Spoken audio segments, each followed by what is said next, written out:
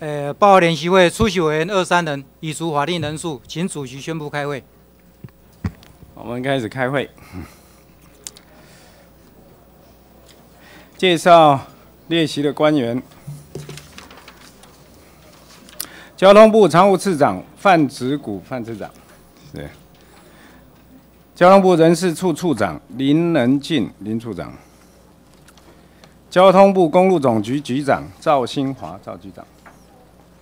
国家发展委员会副主任委员林环，林主任委员、副主任委员；国家发展委员会社会发展处处长李武玉；行政院人事行政总处副人事长张念忠；全序部主任秘书王信惠；劳动部劳动保险司专门委员朱标朱伯良，对不起。行政院主计总处公务预算处专门委员刘家伟，刘专门委员；内政部地震司检任视察林家正；内政部营建署道路组长张之明。在场的委员有包括我们许淑华委员、周春米委员，还有。叶怡景委员，对不起，因为你面向那边，所以我没有认出来，不好意思。好，今天是啊，审查委员叶怡金等二十四人分别凝聚啊，交通部公路总局组织条例修正草案，以及废止交通部公路总局养护工程处组织通则交。通部公路总局材料试验所组织条例、交通部公路总局各区监理所组织通则等案，我们采综合询答、逐案处理的方式来进行。啊，现在进行提案说明与报告。首先，我们请叶怡金委员做提案说明。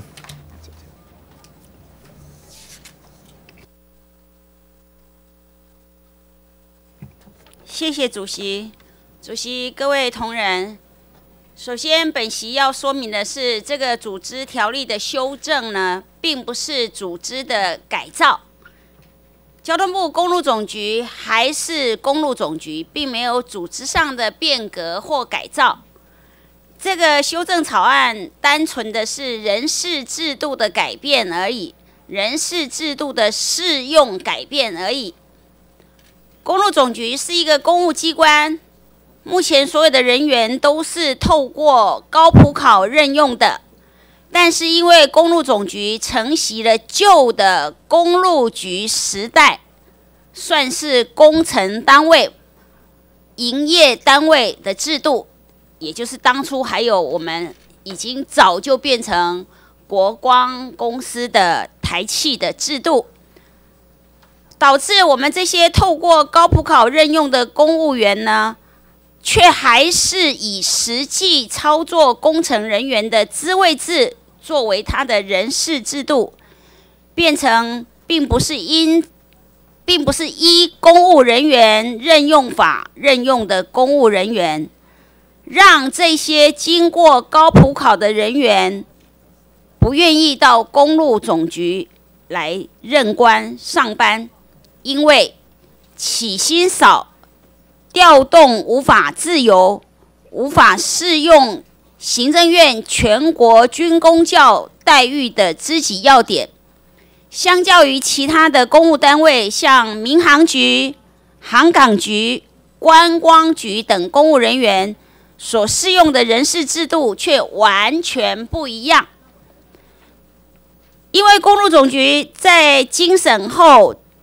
其实早就从公务单位变成为纯公务机关，相关的工程都已经照政府的采购法相关规定来办理，并不是由公路总局的人员亲自操作工程事宜或者经营业务，所以在用。交通资位制呢是完全没有道理的。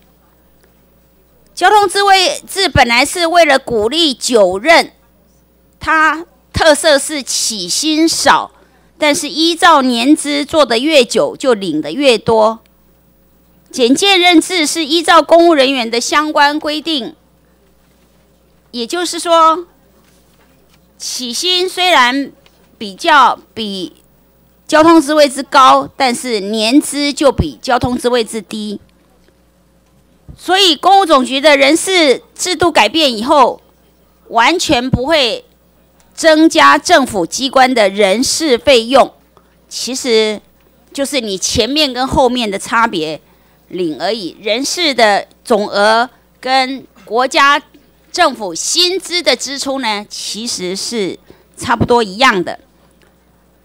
如果适用一般公务人员的简介任制，可以让我们的考试公职的人事制度统一，权利义务统一，不会再有差别待遇。所以我修正了。交通部公路总局的组织法，让所有经由高普考录取的公务人员，包括公路总局的人员，回归到一般公务人员的法制。至于刚才主席才是说逐案呃合并询答逐案讨论，我想啊其他的三个组织法我就不用再做提案说明，因为其他的三个组织法呢。是属于市级机关的组织法，是为了配合中央行政机关组织基准法的规定，不再用法律定之，所以才配合废止的，就不用再做提案说明。以上是本席的提案说明，敬请指教。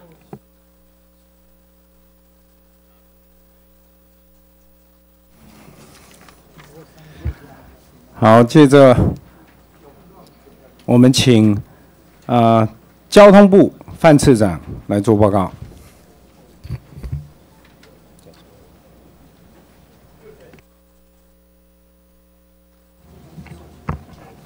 呃，主席、各位委员、各位女士、各位先生，呃，首先我要先谢谢叶怡清委员刚才的提案说明啊。那今天应邀列席各位委员会，就有关呃叶委员怡金等委员拟具。交通部公路总局组织条例修正草案及拟具废止交通部公路总局各区养护工程处组织通则、交通部公路总局材料试验所组织条例、交通部公路总局各区监理所组织通则提案，提出本部处理建议，敬请指教。二、叶委员已经等提案修正交通部公路总局组织条例及废止交通部。公路总局各区养护工程处组织通则，交通部公路总局材料试验所组织条例，交通部公路总局各区监理所组织通则重点及处理建议。一、委员提案重点：依、公务人员任用法相关规定，我国官制以检监委为主，现行本部公路总局却仍以交通事业自卫制为主，有必要加以修正一致化。一行政院组织法第三条第八款规定，行政院设交通及建设部，但整体行政组织改革仍有待全盘考量。在此之前，有必要先行将仍适用交通事业自卫自之公路总局予以改制，积极留下人才。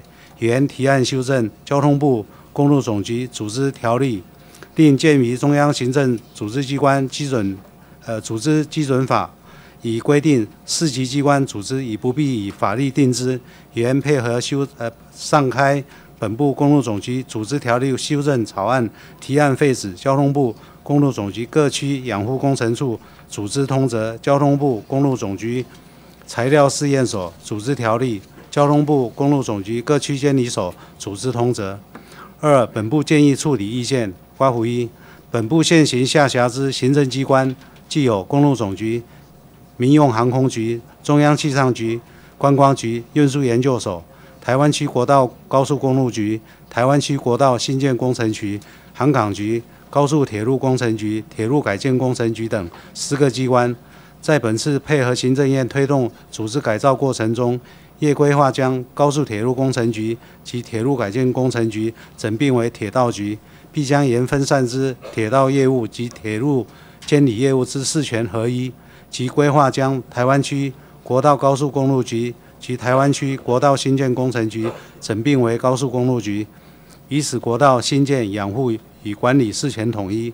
上开组织法案，配合地法院届期，行政院已分别于一百年一月六日刮胡第七届，一百零一年二月十六日刮胡第八届，一百零五年二月一日刮胡第九届，函请立法院审议，为迄今已逾五年，仍未完成组织法三读程序，原建请贵委员会贵委员会优先排审本部主改法案，刮胡第九项，共九项。必符立法经济原则。刮胡二，交通部公路总局组织条例修正草案部分。一、前序部前于八十五年三月二十日召开盐商交通事业人员人事制度有关事宜会议决议，据行政机关性质之现有交通事业机构，其人事制度应回归行政机关人事法制，为因事实有关同仁转任权益之保障事项尚未能。取得共识，延于九十一年制定本部公路总局组织条例时，仍沿用职位职位分立制起经。唯因客观环境变迁，该局适用职位职务分立制，已造成出任人员之待遇福利与一般官等职等并立制相呃机关相差相较差距甚大，致该局难以留置。留置留住优秀人才，而形成人力断层，不利该局业务推动。原继续修正该局人事制度为官等职等并立制。二、有关业委员等提案修正之交通部公路总局组织条例第七条规定部分，自位自位之人员转任权益受损者，得选择呃适用原相关法令规定之过渡期间为。五年以节，考量机关改制不可归责于当事人，为保障员工权益，并以原派用人员任派用条例废止后之过渡年限，刮胡至一百零四年六月十九日该条例废止日起之九年内取得横平，建议修正为八年。至其余条文内容，除第二条第二款为配合公路法之修正，将区道修建、养护、管理之督导。增列为该局掌理事项，本部无意见外，余均与行政院版之主改法案内容相同，本部无补充意见。三、废止交通部公路总局各区养护工程处组织条例、交通部公路总局材料试验所组织条例及交通部公路总局各区监理所组织条例部分，因该局组织条例修正通过后，依中央行政机关组织基准法第四条规定。有关该局所属机关之组织系以命令定之，原建议是未来配合行政院核定该局所属机关组织法、组织法规，并生效后，再行废止该局原所属机关组织通则刮胡条例，以免各该机关失守复利。第三结语，综上说明，呃，叶委员等提案修正之交通部公路总局组织条例。并未涉及与其他机关间之整并、业务调整。鉴于该局目前推动之各项公路工程、监理及灾害防救业务，均急均急需留住及延揽优秀年轻人才，使机关注入心血，活化人力，延期改制实有其迫切性。敬请各位委员予以支持，并参采本部建议处理意见，敬请指教。谢谢。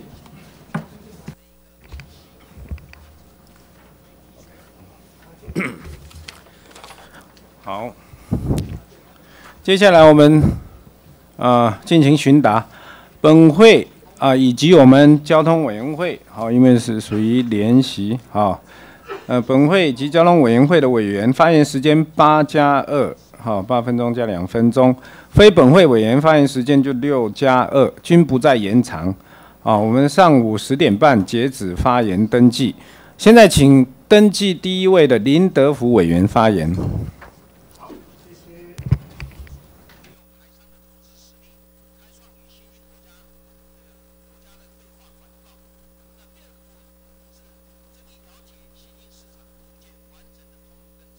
啊，主席，啊，各位委员同仁，啊，这个范次长以及啊赵局长，公路局赵局长两位哈，来谢谢。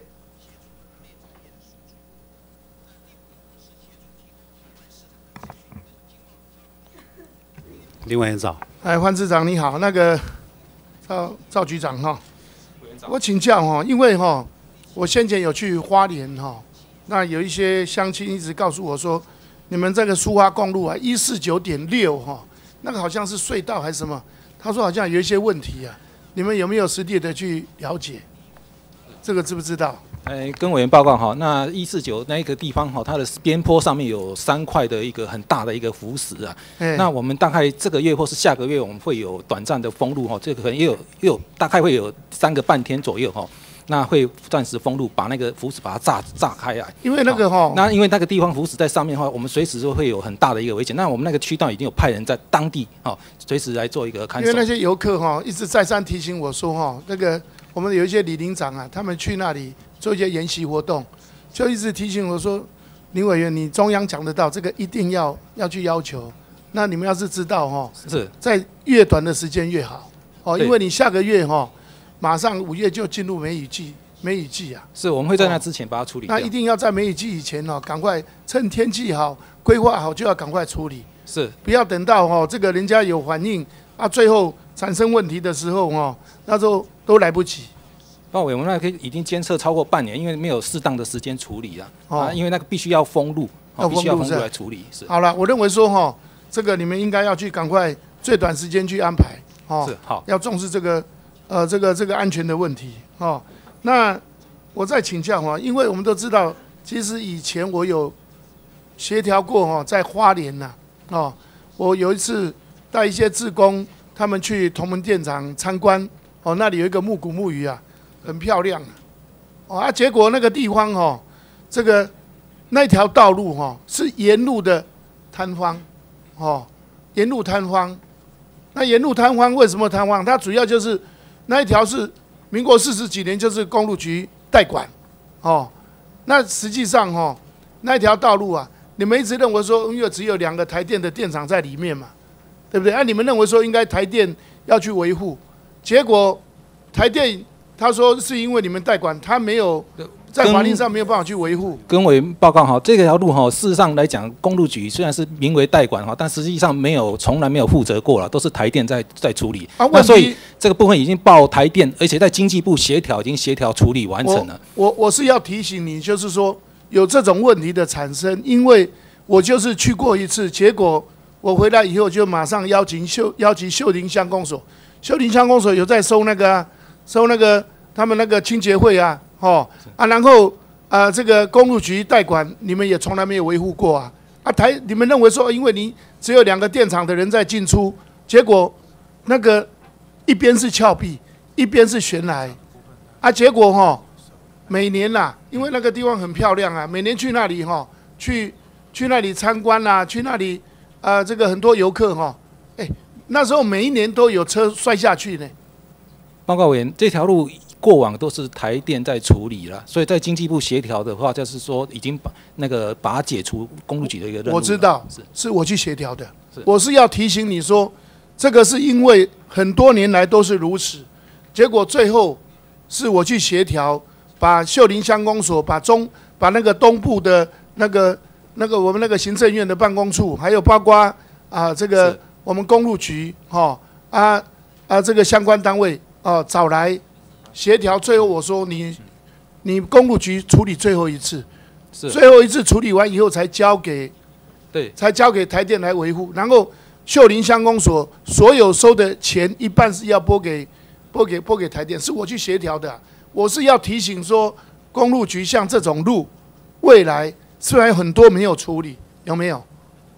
嗯，报委员，我们那整个省道系统都整编过了，那该解编的或是该那个那个那个处理的都已经处理完。，对，赵局长，我意思就是说，你不能说哦，站着茅坑不拉屎。既然是你代管，你就有维护的责任。哦，你不能说我今天只有代管的责任，但是哈、你后面维维护都没有，结果造成很多民众，因为那个地方木古木鱼那个地方是真的很漂亮，它很天然。是。哦啊，结果很多游客每一年哦都有车子摔下去，每一年呐、是。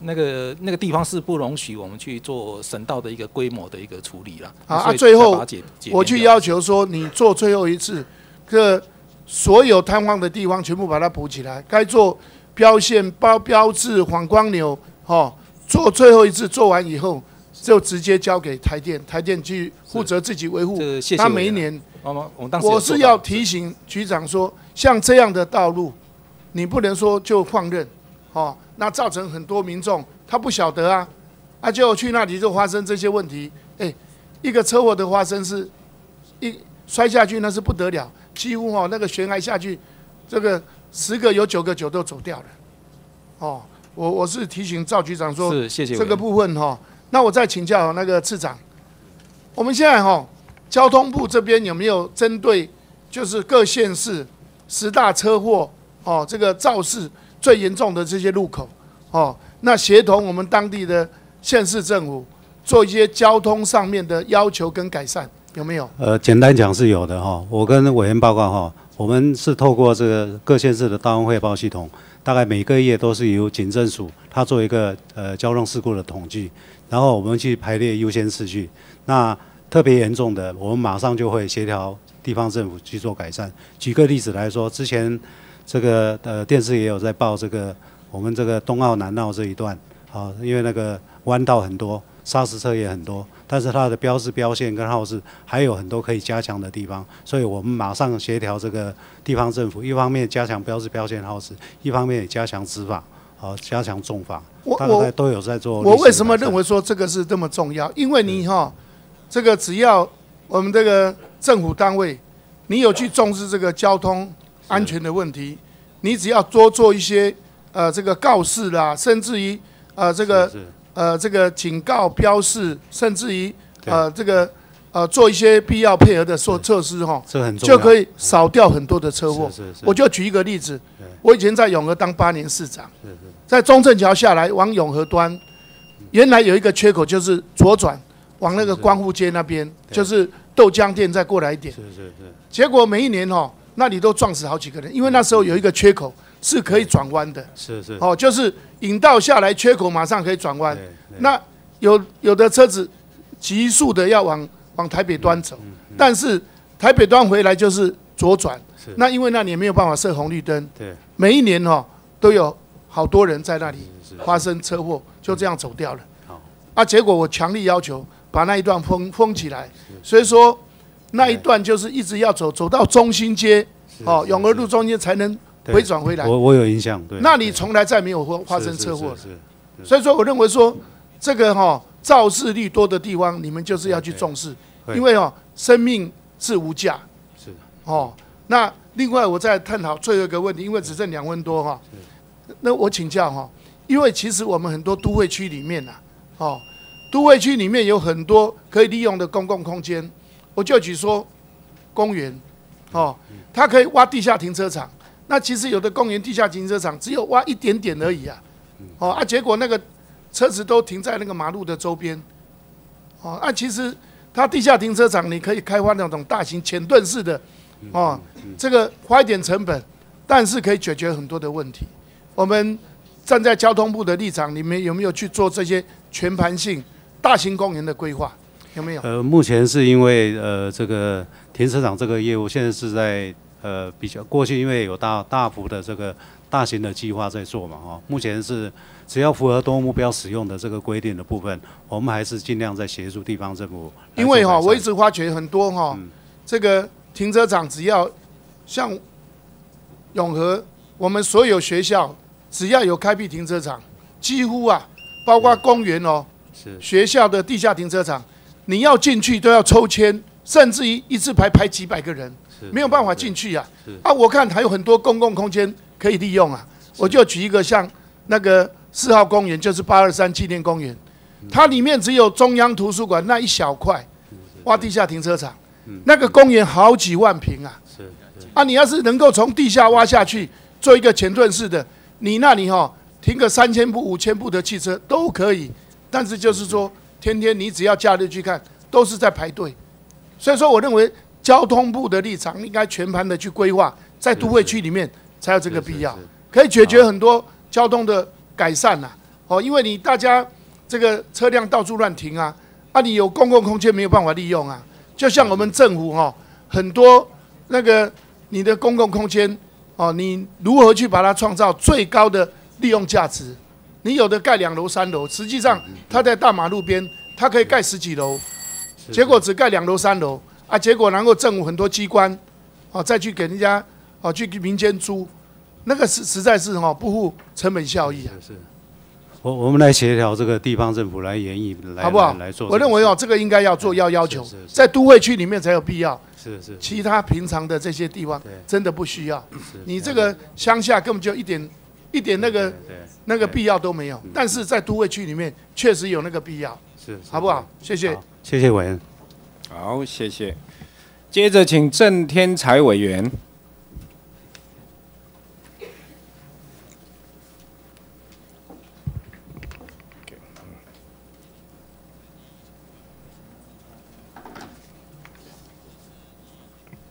呃，主席、各位委员，呃，有请呃次长还有局长，还有国发会的林副主委。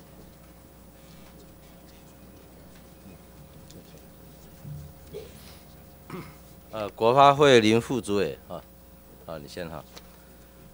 这个行政院的组织法哈，九十九年啊公布施行了，当然是根据中央行政机关组织基准法呃的规定。那行政院组织法特别呃规定了这个 相关的各部会啊各部会一年内要送到立法院嘛，是不是这样规定？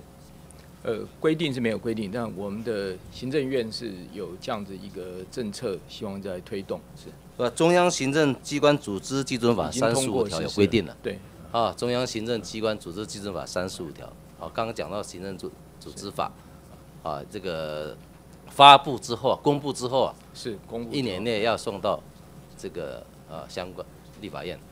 当然，现在主改呃已经历经啊第七届、第八届，现在是第九届啊。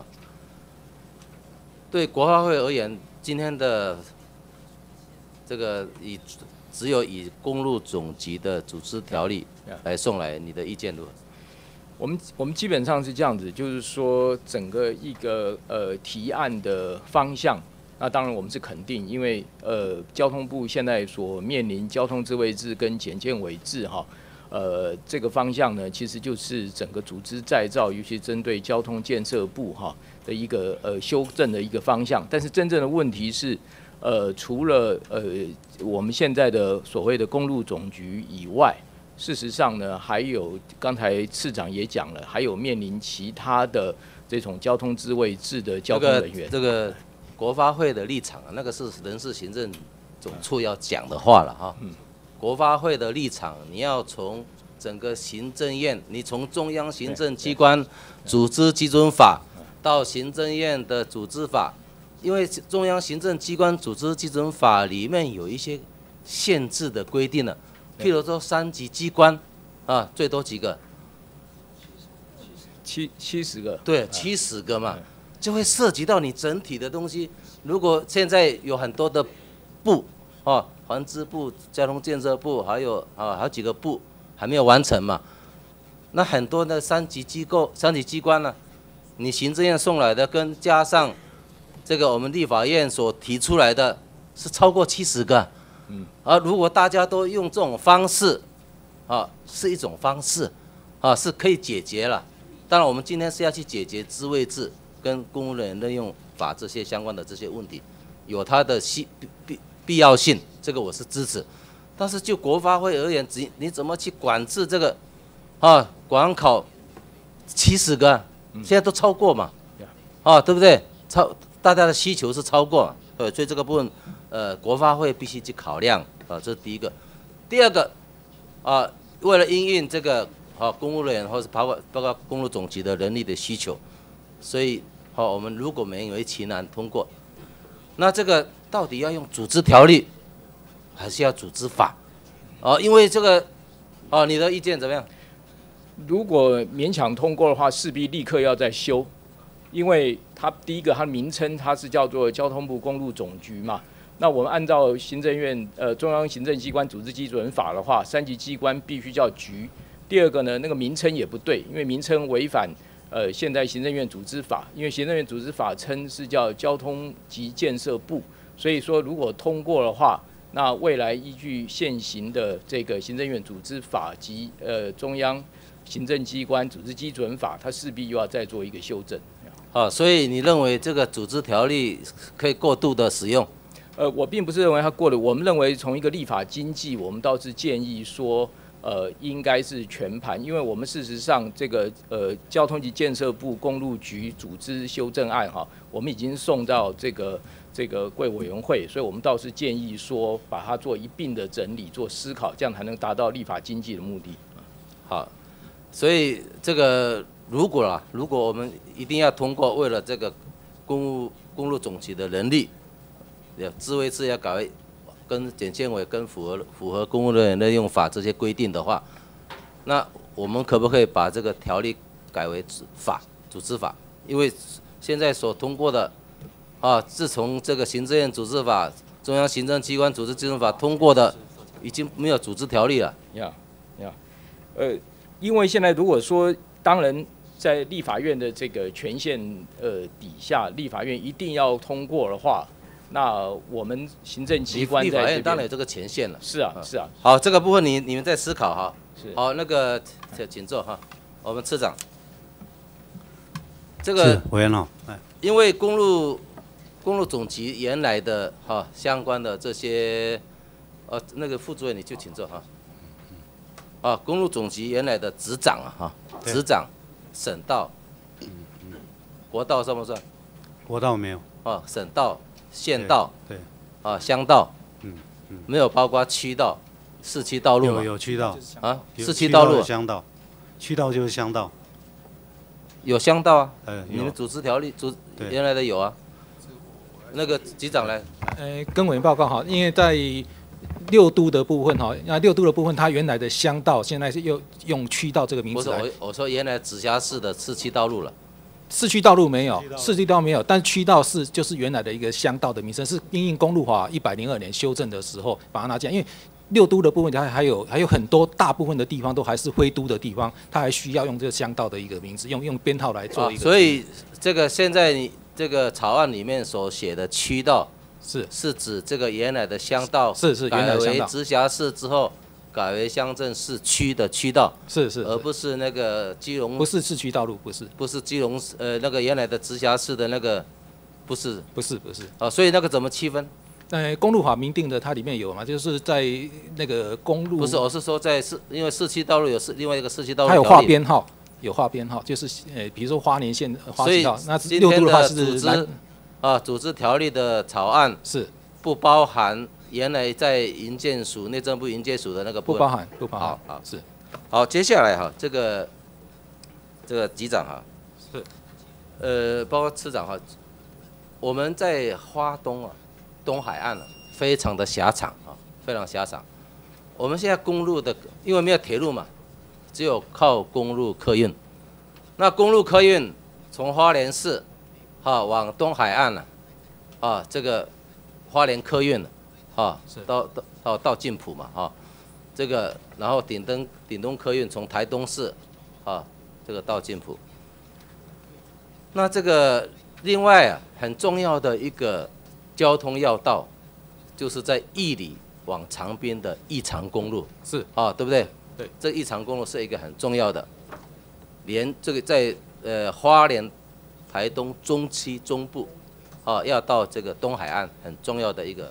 呃，道路，而这个道路啊，目前客运呢，有从啊成功，然后到啊到义里，是不是有这个客运？有啊，顶东客运嘛，啊，那为什么哈长滨哈长滨没有哈没有往义里的？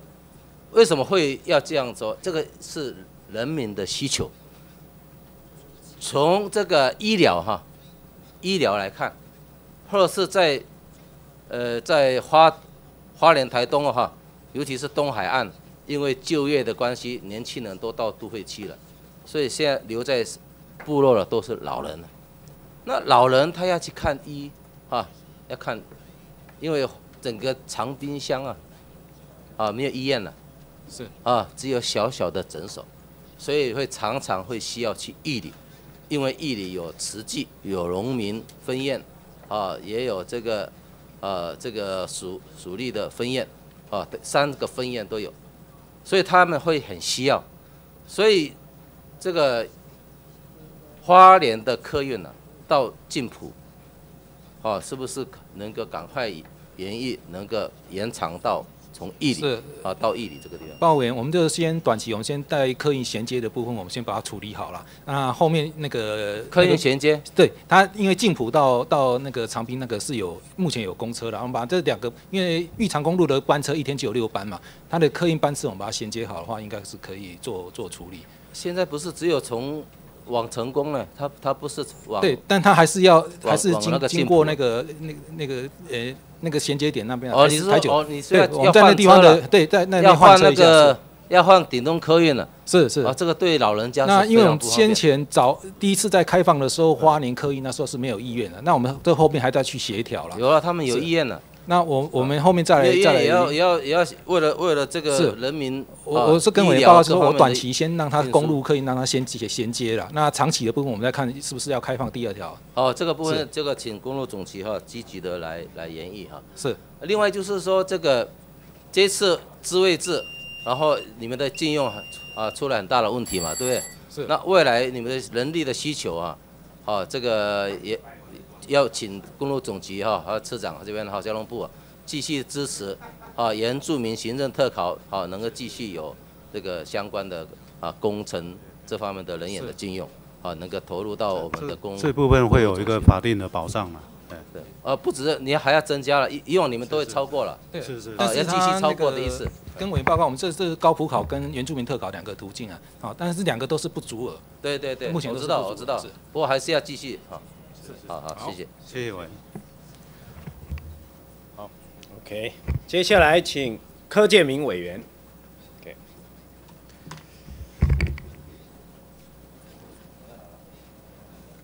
主席、各位委员同仁，请范次长。请范市长。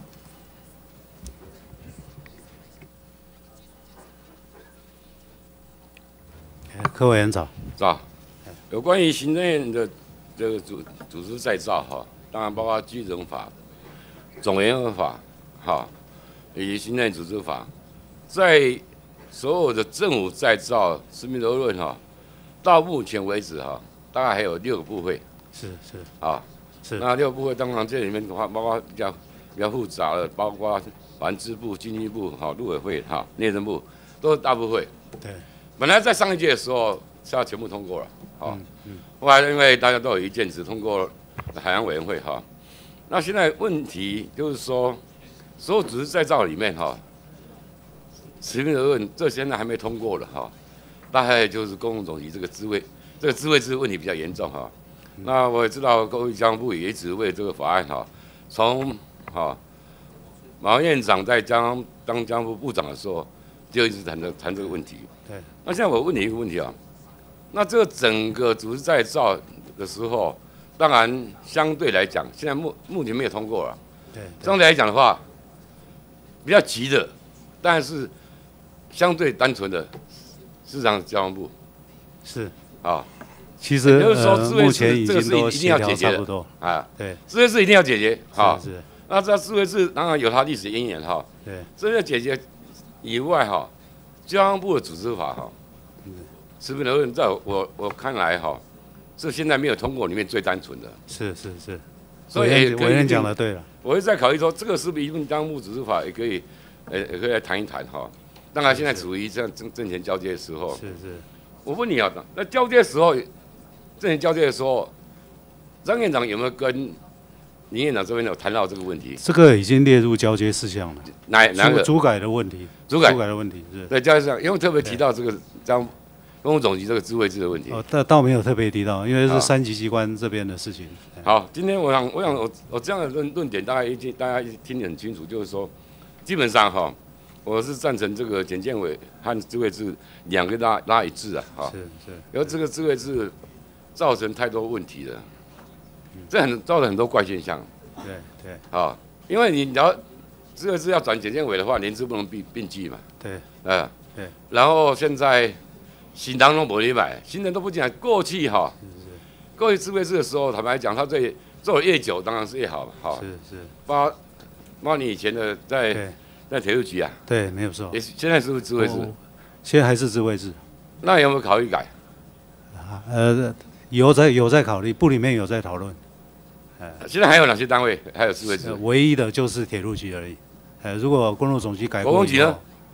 哎，国公局有没有？高工？局啊，高工局，高工，高公局有高还有吧？工局了，哎，那这牵涉到高公局和国公局要合并嘛？哈，对对，好，高速公路局还有铁改铁改局、高铁局也要合并，整个是。政务组织法要要改啊。对。这里面哈，可能最难处理就是那个铁路局啊，对，那牵涉太复杂了，是是那退休问题，对。好。那代理长本席的意见是这个可以改，当然你有一些问题我们要好好谈一下，好不好？是是对，那这些有时候非改不不可的理由，当然包括结婚结婚生育补助啊，那个就相差三十三十倍了，对对，造成很多很多同仁结婚都不在等这个赶快过后才要报，好。是是，那新进人员没有办法进来，每一个人加班那负担的承担量都太大了。对。那赵局长也来办公室，也有来是来是是沟通过哈。对那现在我想指出一个比较症结性的问题了哈。刚才你的报告里面有谈到叶经委员所提的这过渡条款哈，对对。是五年哈，对，可是交通部派用派用派用条例、派用人员派用条例去年才通过嘛，对。那是写九年啊。对，那这这个地方这个五年是不是会有问题？我想前期部呢，前部来哦，前期部来前期部，这是赵局长自己去提的啊，哎，是不是赵局长前期部叫业经委员提的，这个我要王主秘，好，那前前部意见怎么样？那过渡条款应该多多久？报委员，我们比较建议是跟配用条例的那个九年的上限是一致，所以是不是可以修正已经用一百一十掉一年了，三所以是应该改，应该改了。对对对，他他现在是写五年嘛？对对对，你觉得应该几年？？呃，如果搭配一百一十三年的话，它是可以年限上从五可以修正为八，或者直接八吧？直接改成一百一十三也可以，也是另外一百一十三年六月六月十八号哈。是我记得过去哈，在谈智慧制的时候是改是十年的过渡条过渡期的，那现在改为九年，当然是有减少一点。这样的换算回来应该是八年而已嘛，哈。那赵局长，这个法案你看过，是不是你是你主观意愿的啊？哎，报报告委员那个是有跟叶委员提过了，那他也同意修为八年。啊你这样子整个付费都不一致吧？哎你认为你认为是五年？没有没有没，不是我，不是我认为是啊 叶委员提案的时候不小心写错了。啊，那蛮蛮蛮整下，蛮整下的。啊，两时你改因为逃出来了，还有个？不是不是这样这样偷渡条款，这此风不可长啊！是这个法律写得很清楚嘛，你也看过嘛。对，当然我们能了解叶委员的苦心，叶委员对这个他常在交通委员会很清楚这个事情嘛。过去十年了，过去条是写十年，过去上届的时候谈到十年嘛。是啊，所以我不认我不认为哈，对行政部门还有官政官会这个要维持住。我一条文已经判用人条例已经九年了嘛，对，是说一一百一十三年六月十九嘛，是，那换算回来最后是八年而已啊。对我们跟全你系部去投改这五年，报告的也是同意，就是说以八前年这个系部会同意的啦。对前系部刚才讲的很清楚啊就是它。也是八年，也是八年。好吧哦，我们目前的原则都是八年。这个条条文里面这个是最大问题啊，是这一定要先处理啊。第二个哈，第二这个第二条啊，这个执掌哈，我看那市场改很多嘞，不是只有不是只有不是只有七道的问题啊，好，在那增加这个七道，这整个执掌哈，这样下列事项总共有十款嘛哈，还有过去八款，这文字全部调整，全部不一样了。这将来呢，你的市场上会不会有差别啊？包包括哎，你这个建议所的执执长等等都没有写很清楚啊，啊，呃，报告委，那目前来讲，那个你现在这这第二条这哈，这条是很关键嘛，因为这这个是最关键，其他都删掉了吧？跟委员报告好，那第七条而已啊。整个一个改的部分，其实来讲就是文字修正而已，唯一比较大的一个差异就是文字修正，但是内容上看起来你是好像有包到很多东西，但是呃，跟委员报告很明确其实最大最大增加的是那个车辆行车事故及鉴定这一些这个事项但是这个部分因为因为公路法修正以后纳进来哎，公路总局，啊，所以我们把最大的差异是这这个那公路监理设施计划等等那些这个跟原来的都是一样的，只是说我们把公共运输的部分写的比较更明确一点。没有，因为你原来第六款公路监理设施计划，什么汽汽车运输管理等等，这时候写的很明确的东西啊，这是监理所的业务吧？哈对，都也在这里面的分散分散写但是四五六里面都有写到了，是。你这样写哈，我不知道哪这种你，因为过去写比较明确，这个部分根本包括公报告是在路用地的公路用地的的收购、拨用、管理等等哈，这个是特别的一款嘛。那、这将来要在哪哪一款来适用？呃，跟委员报告好，因为这执掌很重要啊，执掌没有写清楚，将来也不能做啊。是啊，那你说是如包如多还是如包如水？报委员有些文字哈可以精简，所以说那时候在行政院哈在九十九年在讨论的时候就已经把它文字精简掉了，好，他用一个管理事项把它处理掉，因为未来公路的部分我，问你了哈，公路的部分以维护原来。第四款，公路用地是收购、拨用、管理及产业啊管理事项，现在跑哪里去啊？呃，报委员，这个在我们那个整个一个第二款里面的公路的管理，哦，管理，因为在公路修建养护公路法的公路修建养护规则里面的管理事项都有包括这些事项了。你现在有增加，包括地区管增加这个技术研发、研研发展，那你现在有没有技术的研发？呃，报告委员，我们在针对材料的部分还是有公路材料。哪一单位？在材料试验所里面那还是有在做。实验所啊，是现在这样，哎呦，那个要会，那是市级官，那个对对，但是它那个机关还是很重要，是我们国内唯一的一个材料试验。那既然是你这个组织的话这样改哦，那编列表怎么没有送来啊？嗯，编列表，编制表的部编制分，编制表，编制表我们一并不没有一并送来，我们它看不到啊它是啊，报员，他那个你自己市机关改改编制表，不要不必用法律嘛，好，改编制表吧。那编制表怎么没有送来？我们一并看一下，看到你这样怎么修到底差哪里？你这个包括人员等等嘛，是应该很多啊。报员，他那未来会在组织规程里面院的院版的组织规程。什么时候会送过来？呃，应该是通说，过啊。假如像材料试验所的话，它必须要等。一般来讲哈，弄到底上来嘛。你要改的时候，一一编成编者应该一一并送进来，让能台湾看到你的钱包的委员，我改跟跟您跟您简单报告一下哈。哎，将来这个公路总局下面它是有这个一级机关，大概有十个左右。这里面有两个机关是机构的性质，哎一个就是材料试验所哎，一个是公路局训练所，这是机构的部分。所以它的这个编制表是另外的，它不是在这个呃这个机构呃机关里面的。你也 OK，那赶快要送进来，我们对对，那一一并来这些到时候都会送，都会当然你。改改智慧式有智慧式的优优点啦，也有它智慧式的缺点啦。当然它用的弹性大嘛。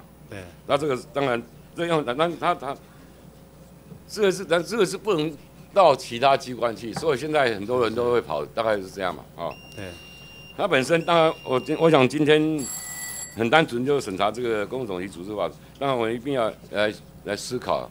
是交通部组织法也开始也可以也可以，我想是当然这个是可能是未来的新的部长了，哈、哦。对。那过去在审在这个组织再造的时候，我们在国跟国民党协商，实名而论哈，这些是上级的，是这是很急啊。对。那我们本身在这个地方基本上是站在哦，当然乐观其成态态度了哈。我的话，这个将来这几个单位都要关门了，是都讲了是是，啊没有人了，没有人要进来了。对对对好，但是呢，有关于偷渡那个五年八年的的问题哦，一定要处理，好不好？是是不要以后送进来对法案，不要自己在乱改。你看过的东西嘛，啊不要不要别人形式想这样鬼混，能够混过混得过去，好不好？是是好，谢谢委员。好，谢谢。OK，接下来我们请郑宝清委员。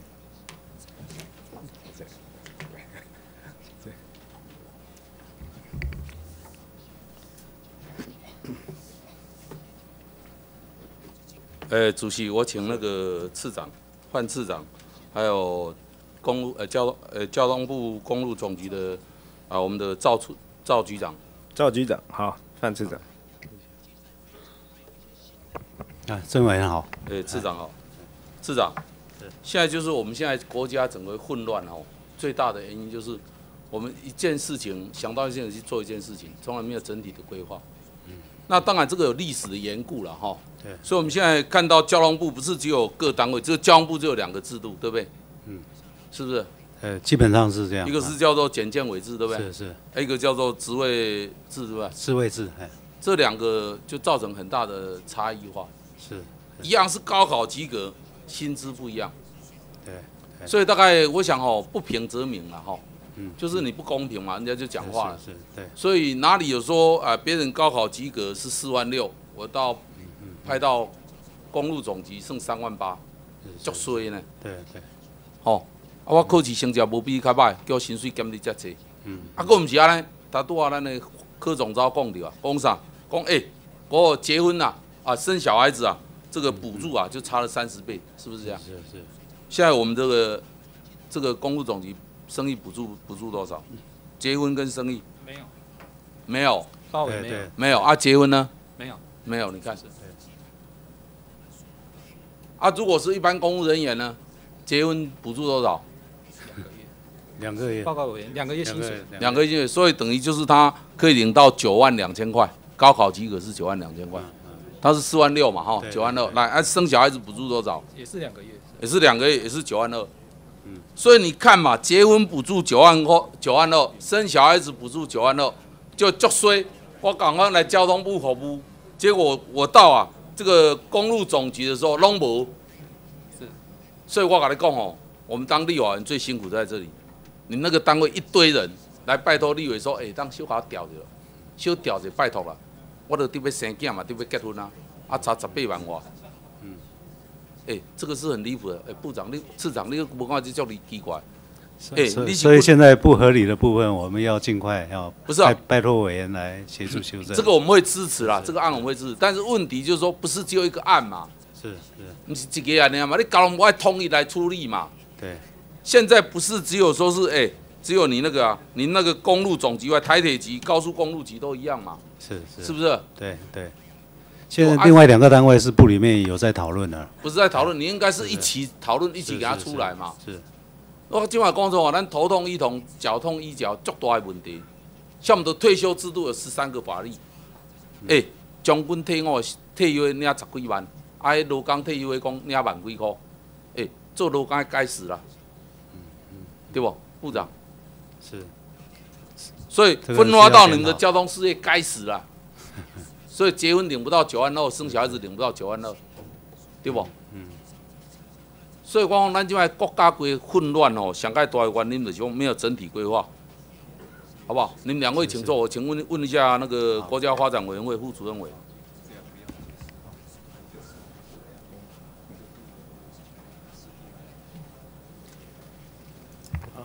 委员好，副主委是我们这个国家发展啊，现在刚刚提到，是不是要做整体的规划？是，现在就问题是出在这里，咱所有的做代志啊，拢头痛医头，脚痛医脚，所以三型足这问题，不是只有他们，每一个部位都有这个相同问题。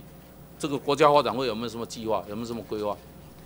呃，其实我们如果说以这个以这个整个组织法的这个调整来讲的话，那我们当然当时是把所有这个六个还没有完成的这个部会底下四十四个单位哈相关的这个呃组织法的修正，其实全部都送到这个司法委员会这边，然后做一并的讨论。啊，但是啊，我看到还有很多单位没有送来，哪里有呃？我们是应该全部行政院在这边全部都有送过来，只是这次审查的时候，它只是针对旧的交通部公路总局组织条例。那我们事实上，我们同样的对应的法案有一个叫做交通及建设部公路局修正案，它并没有它又改名字，交通部要改成交通发展部，对，因为因为那个行政院组织法里面已经明定修正了。但是我们本来是要精简人力嘛，对不对？是，但是越精人就越多啊。你知道不知道？那个可能要请教一下人事。你是整个国家的，我不是问问交通部嘛？是。现在问题是你部位减少，结果人增加嘛？没有，是问题在这里中嘛中中央的中央的总员额事实上是有限制了，可能是因为六都上次不是不是总员额的问题嘛？我们现在问题是我们的除了正式人员外，一堆的聘 A 聘雇人员嘛，你们从来不去管理。哦，那个人事总处那边是有做控制，嗯那个你那个国家发展委员会就应该去处理这些东西啊。是对国家整体的发展，是不是要做规划？那个我们分工上面，因为行政一体，所以我们是由人事总处他们在这边好，来来对这边的，你等一下，还请张张副处长是吧？张副人事长。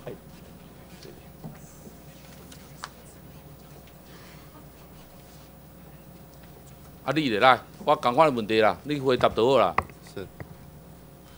跟委员报告哈，我想经过行政组织调整哈，基本上我们还是朝原额精简的方向走。我举个很简单的例子啊，中央总原油法通过五年，我们依据大院的决议啊，附带决议，我们减少了快十快五千多人啊，所以整个原中央机关的原额是减少的。得员额减少，其他的人员增加嘛，因为评估人员因增加一为评估堆嘛因，为评估人员中央机关还是减少的，还是怎样？减少多少？减少的。你把那个比例给我好是我们到时候会后再再给，好包括职员，包括约聘雇，中央部分的是那地方的就大幅膨胀嘛。地方的部分，它地方地方的地方行政机关组织基准，它把做原额的管控，也基本上也是总总量的管理，但它是不是包括可能委员提到的像临时人员或者其他的器库的人员，是不是有增加？它是由它的人事费去控管的。无啦，诶、你讲安尼唔对啦，地方拢是大幅增加啦。我看到的报告跟你给我的报告也不太一样。我们看到是人额在增加，而不是。我们把相关的资料再送给委员参考好。，是尽快了哈。是，我们希望做整体的规划。好，来，我接着再请问一下交通部次长来。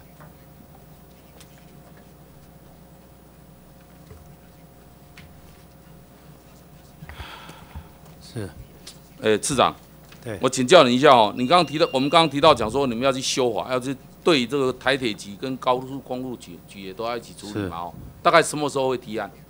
现在是呃，这个铁路局的部分有一个有在优先讨论了。那等公路总局这个变成一个案例以后，它的整个体制比较明确以后，我想我们会进行另外两个单位不是啦，你应该是统一起来处理才对嘛。是，其实高速公路高速公路局的部分，事实上已经送了，在主管案里面已经送了。那那个那台台铁铁局局因为它没有列入主改的范围，好，所以它这个问题比较麻烦，。所以他现在还没有处理是是到台铁局的对部分。，但是简介委的部分里面已经讨论很多次了，哎，对好，我们希望，我们当然我们在这个立场上，希望能国家所有制度，我我们也希望这样对，这样才能够对这些工人造成一个平等是是是大概薪水不是高低的问题，对而是平等的问题。是是是做一样的同工不同酬，对，这个我想啊，就会引起里面的反弹是跟不满是是，好不好？好，好，好，谢谢委员，谢谢。谢谢。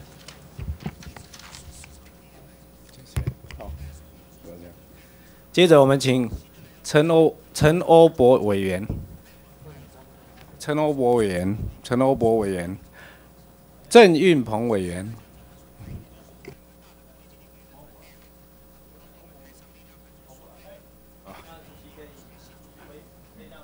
啊、好，请郑欧博委员。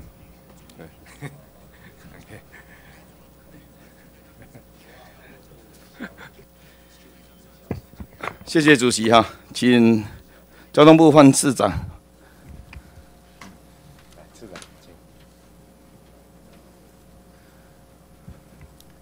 陈委员长。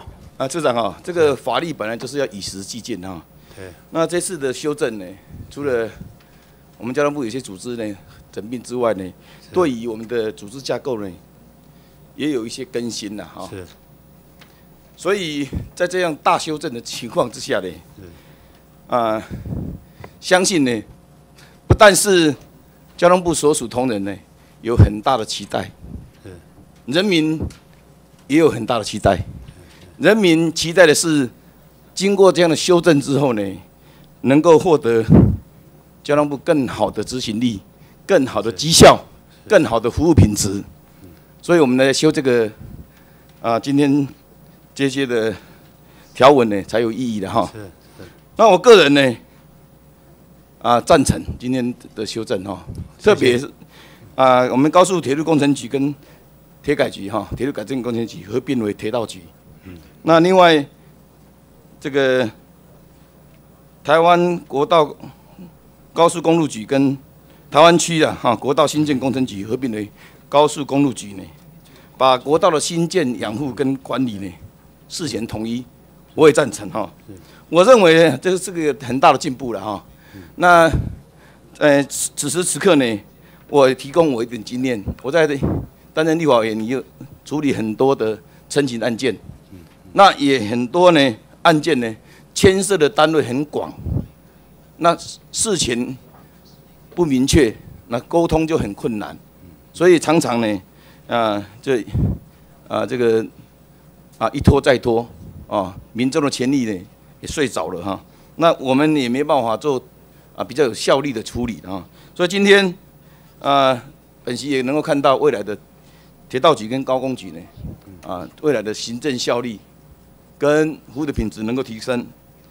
那我在想说，这个另外一个层面的问题，就是我们人才任用的问题。现在哈，啊，我担任公务人员也二十几年了哈。我之前在担任公务人员的时候呢，我们公务人员的体系呢，用人费力有四十几种。那我现在请问次长哈，我们现在交通部所属就好了，用人费力有几种？严格来讲，是交通部用人费力的单位是是适用一种了。呃，像这个的过去的中华电信跟现在的这个呃这个港务公司哈，他们是用人费力的部分。那个我请处长来来回答好不好？来，我们呃交通部所属的呃机构的待遇哈，它专业加级的只给它各机关有不同，就像。呃，部本身哈，我们是呃，目前是有三种，有法制人员专业加级，有呃电子作为人员技呃专业加级，还有一般行政人员专业加级。啊，那另外我们国道工国道工程局他领的呃专业加级，就是国道呃专业人员重大技术呃重大工程专业加级。啊，那呃，高工局，不要加公路总局，他领的就是呃，未实施用人费率的交通事业人员专业加急。所以你一个交通部就好几个，这个同样，如果假设一个高考进去的单位不一样，他的薪资、他的未来的升迁的福利，或者是说啊，他的这个这个序等都会不一样啊。是。哦，那常常说这个，我很多人。很多这个我们交通部的一些同仁呢，来请托我说啊，他不想离开，不想待在原来单位。我说你为什么不想？我说我待在这里也一样啊，我的同学都一直升到九职等了，我现在还是六职等呢。啊，比到六职等的方式了。所以我今天要要提的问题就是说，职位这个这个这个这个今天要解决问题哈，这个哈一定要好好解决，否则的话将来哈公路总局啊，啊跟我们的铁路局呢。大概没人想进去了。目前我知道是严重情形这样子。大概在局长在这里哈，大概你们这边报道率多少啊？然后呢，实习期满以后留留那个报告，我们去去年高考申请三百四十九个，只来两百零九个。那我们宜兰花莲的部分申请三十六个，只来五个。哦，是，对呀，所以这个是问题所在哈。所以那个市长哈，今天啊本会啊这个提出来这个修改这个这个。这个针对官等职等的这个兵力制哈，我是赞成哈，所以我希望这个法案通过之后能赶快来执行哈。对，啊，我也希望说能够哦改制之后能够把好的人才留下来。是是，我们也希望这样。哦，否则现在这个这个你知道哈，我们像我们宜兰县还有乡镇市级啊大家都怕事情多，宜兰县县宜兰县政府比比乡镇公所忙，那中央又又又不想去。因为中央大一升迁没有比地方好啊，嗯嗯嗯，啊，所以就这样子啊，对对对，哦，这这样恶性循环我很不乐意见的哈。那我希望那个啊，我们福利改好之后呢，就是啊，服务品质也要好了哈。是。那在过去这一段期间呢，哈，我我也知道说我们公路总局很辛苦，啊，铁路局很辛苦，当然铁路局呢还是有很多的面向我们要改正。那我特别对。赵局长在这里哈，局局长哈，这样的一个，你现在总共有多少员额？奥委员，我们现在目前有四千六百多个，四千六百个员额哈。是。那如果今天这个法案修正通过之后呢，那报道率会增加多少？有没有把握？嗯，跟我们报告，过去公路局的一个高普考分发哈，那个在十几年前的话都是第一志愿、第二志愿的，那去年是倒数的。那我们希望是说今年。这个赶快过今年十月分发的时候，哦，我们希望说报道率能够达到九成以上。所以这个交通是一切建设之母啊，啊，就是因为这个人才的哈，这个主确这个这个人才的禁用啊，或者是说人才留不住，所以就演变成说很多工程延宕，或者是啊，在这个啊执行上面呢效率不彰，啊，这个都是我们的问题啊，啊，所以我也希望说这个今天的这个这个法案的修正呢，哈，呃，我们交通部的所属的单位呢，能够借个机会能够体认到说啊，你们的福利跟升迁呢，我们照顾到了，那未来来讲，啊，有关人民的服务的品质、工程的这个这个掌控呢，要能够更切实，啊，更切实哈。那最后我再请请请那个次长啊，这个哦，交通部有些单位哈，是经常是退休之后呢转任转转任其他单位，嗯，这个问题很严重，是哦，我过去我不晓得，我现在慢慢清查，桃机就是一个一个最好的一个一个出口，哦，我今天已经要求台桃桃园机场哦，股份有限公司把他所有人事资料，一级主管以上资料都给我看。我想，我想说借这个机会要求你们交通部，把这个抽佣式的，哦，浪费国家公堂的这种那个这个呃这个抽佣呢，应该避免，哦，这交通部很这个方面哦，这个做的不好，是。哦，还有相关的国营企业的公司，绩效都是因为人的关系。我上个礼拜在执行阳明海运的事情，七年多的一个董事长任内，亏损了一百多亿。这个如果是一家民营公司，早就早就倒了啦。啊，这个董事长公司早就破产了，他还能够领高薪吗？所以这个都是要绩效管理的，是这个没有针对哪个个人。对对哦，所以我们在要求这个这个人事的禁用的话，这方面能够改改改正，但是我们也更要求我们哦交通部在啊这个用人啊，特别是一些啊这个国营事业或者是关谷公司呢，这方人员的禁用呢，不要连又被沦为这个外界大批评的对象。是是是哦，因为外界现在对这种事情很不能接受了。是，哦我们会遵照委员的指示来来来尽量来来做好这个事。铁路局最近几年改改善了很多了。是是。过去的人事抽佣，公路总局是比较少的。是是。哦，那现在就是剩下的这些哦，关谷公司、国营事业这公司。嗯嗯嗯。哦，这个部分呢，我想要一定要理清了哈，一定要理清了哈。你们自己去理清了。是。那否则让立法员来来来清理这些事情的话，你们很难看，了解了解。啊，好不好？处长。是是，处长，还有违反公务人员旋转门的部分哦，你要去注意。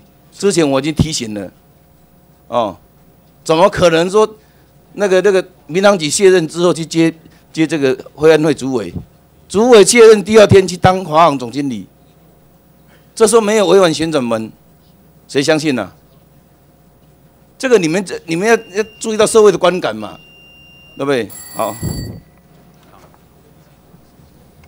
好，谢谢。接着我们请郑运鹏委员。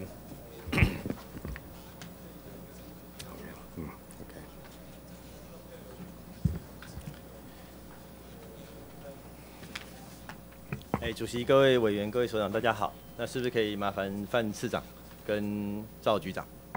请范次长跟赵局长。啊，郑委员好哎，次长好，局长好。那今天我们有关叶宜金委员所提出来的公路总局组织条例的修正案哦，那这个谈起来很像悲情城市啊。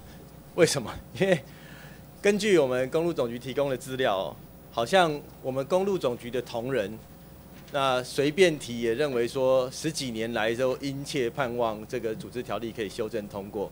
那不不晓得局长跟次长，我们这个到底提了几次了？呃，是呃现在这个事情，呃，确实是因为这几年来哈，呃，这几年来这个因为是人力断层的问题很严重了，所以变得问题越来越迫切。越来，所以十几年来每每年都希望说排得进去，希望过得了，但是都希望落空嘛，哦，所以现在越来越没有，越来越越来越没有人愿意来加入中公路总局或其他一样是用资位制的，我们交通部所属的机关，这样没有错吧？哈。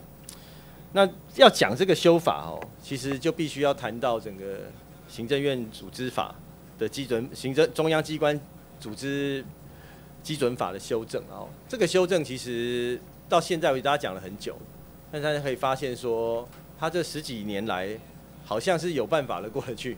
啊，给他龙喜心了哈。我在这边跟次长简单来报告一下这个严格哦。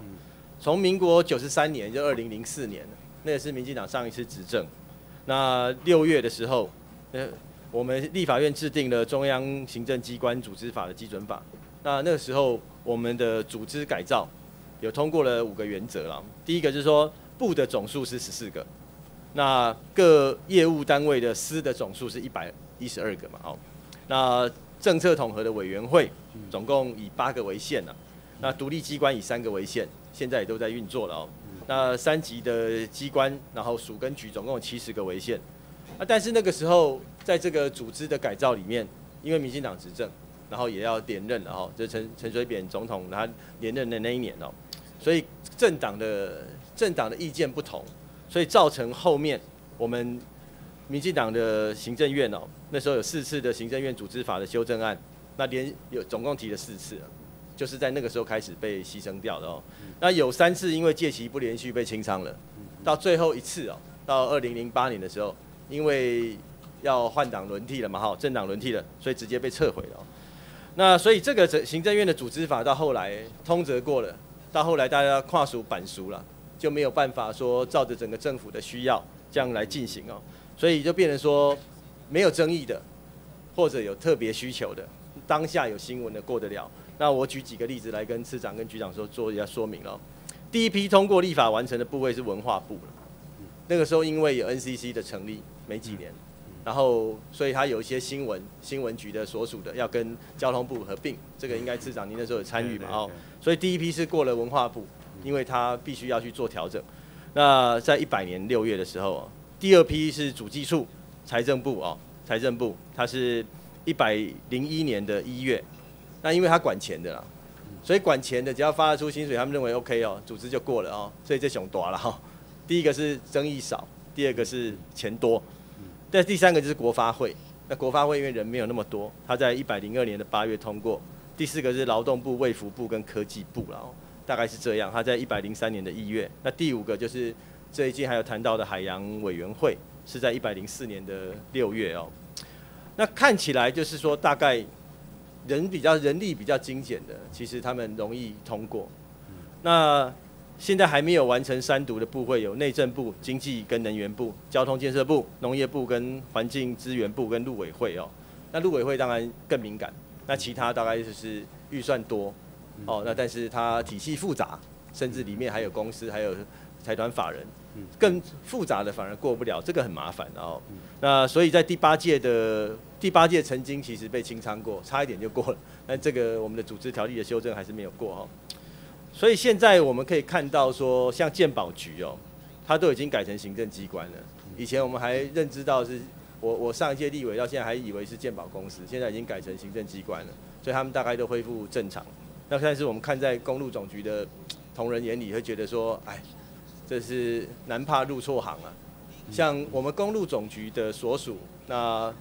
法定员额是六百六千四千，法定员额是多少？局长，报员那个四千六百，四千多少？那现在的员额多少？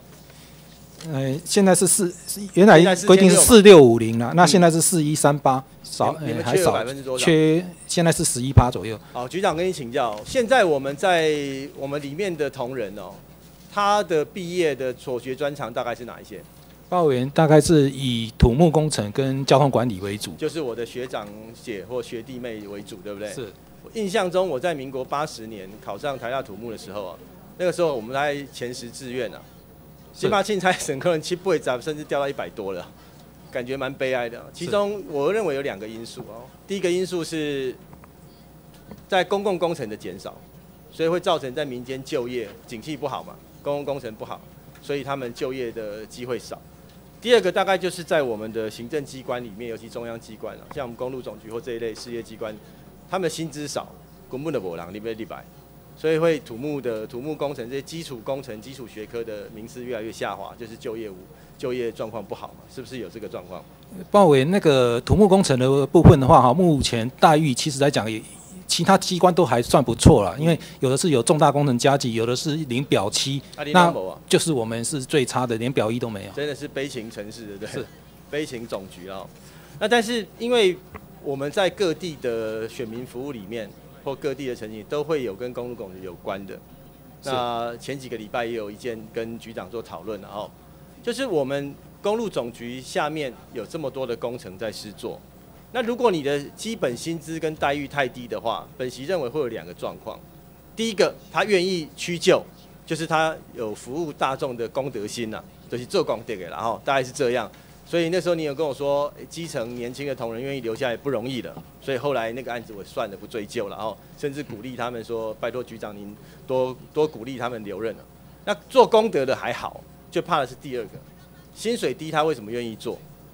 那因为来来做行情的啦，哦，所以下面就做行情诶，因为外面的承包商很多，所以本席那个时候直觉认为这些案子都是有背后的暗盘，对不对？我们警察机关的外派，哦，派出所什么的，其实有些你不要，人家都会塞进去，所以怕的是我们的待遇不好的话，你不能够期待每个人服公职都是做功德的嘛，因为黑几差几礼拜差三千，啊，年终奖金差一万七。一年下来差七万，几乎是差两个月的薪水了。哦，那这个差了也就算了。那如果说他从别的地方拿，那这才是严重的问题。所以本席今天赞成叶一金委员所提案的组织条例的修正，是因为担心说我们这些工程人员，他在外面其实看到他们的同同学哦，或在民间就业有很好的待遇，或者他们当初选对的公职。他的薪水比我多了一年多了七八万以上哦，这还不不包含年资哦，然后造成他起歪念了。那局长是不是这个这样的一个状况？你认为如果不修正的话，久了之后不但留不住人，可能你们的政风也维持不住。是，那目前来讲，我们政风人员对局的所有的同仁的要求是蛮多的啦。那我们在也有主动发掘一些案例去。移送的那基本上来讲，我们现在目前基层的部分哦，尤其是基层的主管，大概很多人都不愿意去当啊。我们包括几个几个监工站的站长都是用拜托的，甚至说先给他升迁一个职务，然后再让他。但这权宜之计不是不是基本的办法是是，就是如果公务人员，尤其是掌握这么多预算的，不能够不能够有合理的薪资待遇的话，人比人气死人呐，就像职棒一样啊。如果职业运动他的薪资低哦，他就打假球嘛。这一定是这样，工程的弊端所见不鲜啊。所以如果说再拜托次长，然后，所以我们其他的局啦，哈，其他的要比照办理的话，我认为是尽快提出了。所以本席在这边有两个建议的方向哦。第一个看起来今天没什么争议，所以如果能够照叶金委员所提的方案过关的话，我认为是最好。那第二个哈，第二个救济管道，希望是不用发生、不用用到了啊。那第二救济管道是什么？这个太短条了哦。如果要毕其功于意义的话，不用说一个一个组织条例来审的话，我们也可以请我们过委员会，然后再拜托那个林招委哦。那是不是两位招委可以联名请院长哦，苏院长可以召集内政部啦、经济部、交通部哦、农业部跟陆委会、环境资讯部这些还没有通过组织改造的，一起来协商了。因为在上一届的时候，大致上都已经完成共识了，差的是差最后一关嘛。一被清仓掉了之后，大家都牺牲啊。所以今天会处理到说，公路总局的组织条例，好像是一案一案过哈，一个一个局来审，这个也不好了。但是如果说还有争议的话，就拜托我们贵委员会协助一下哈。那我想这样子对整个组织改造来说，虽然这是特特例，但是过了之后，我相信其他交通部所属的同仁会更有士气，然后这个也拜托你们。但是就如果这一次时间不如预期，那也拜托局长跟次长这边哦。正风要顾好，好不好？这个部分我相信是大家都必须要去要求跟期待。好，谢谢。好，谢谢委员。那我们请顾立雄委员。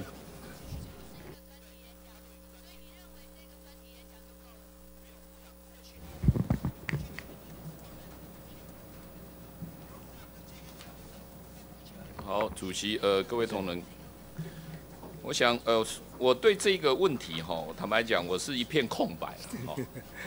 那所以呢，我还是有一些疑问。那是不是先请一下国发会的副主委？请国发会副主委。林副主委。就您刚刚在接受其他委员答询的时候，似乎有提到这一个到底应该要呃先就这个交通部公路总局的这个主条例来修正，或者是一一并连同其他的有相关同样问题来并修正，要表示一些看法。我只想再确认一下，究竟从国发会的立场或者从行政院的立场来看的话，到底你认为怎么做是比较适当的？我们我们的看法是说。因为我们有同样一样的这几个单位，叫做交通及建设部公路局组织法一个修正案。那我们今天呢，在按照过去呢这个大院的这个这个常例来讲的话，如果说是相同内容的法会并审，那我们这一次看到的话，就是只有针对现行的公路总局的。组织条例的修正案拿出来讨论。那你们你们现在你说你们正在拟议中的还包括？不是，是已经送来那个案子已经送来送来的。那包括的是怎么样？包包括另外还有就是呃铁道局，还有这个公路公路局高呃高工局的这一个组织法修正修正案。那这样相关的这样的一个组织法，现在你一并送进来是？放在一起还是有好几部。呃，现在一共有这一放的一包，然后都送到这个司法法制委员会在这边，所以现在都在贵委员会的手上。那这样的话，交通部的立场呢？如果他一并已经送进来了，那交通部的立场呢？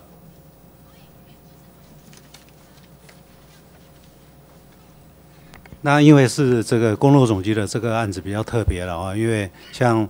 呃，每年其实都在争取，希望简建委的部分。交通部嘛，是是是。你要关照的范围也不是我了解，我了解。所以我问一下你的意见，是你要？我们当然是希望呃赶快过了。你是希望针对公路总局先过，那其他的部分放在后面。都都一起，后面就一起，后面第二批就是等于是。希望能够包括立法。我不太清楚您的态度到底是哪一个啊？第一个，因为今天在审公路总局的部分嘛，我们希望这个案子哈能够拜托委员赶快通过。那第二批的话，我们希望就是包括刚刚提到的这个，包括交通及建设部这一部分。那国发会同意交通部次长这样的讲法吗？跟委员报告，就内容上面，他们这次修内容跟我们提出来的大部分相同。但是呢，有一些可能需要调整。那从我们的立场来讲的话，包括像比如说，他们叫做公路总局。那按照我们现在的这个组织基准法呢，只能叫做局，不能叫做总局。好，我想没微调的部分没有关系。那原则上，他刚刚想说先审，已经送进来，已经放在法制委员会审了，先审，你们同不同意吧？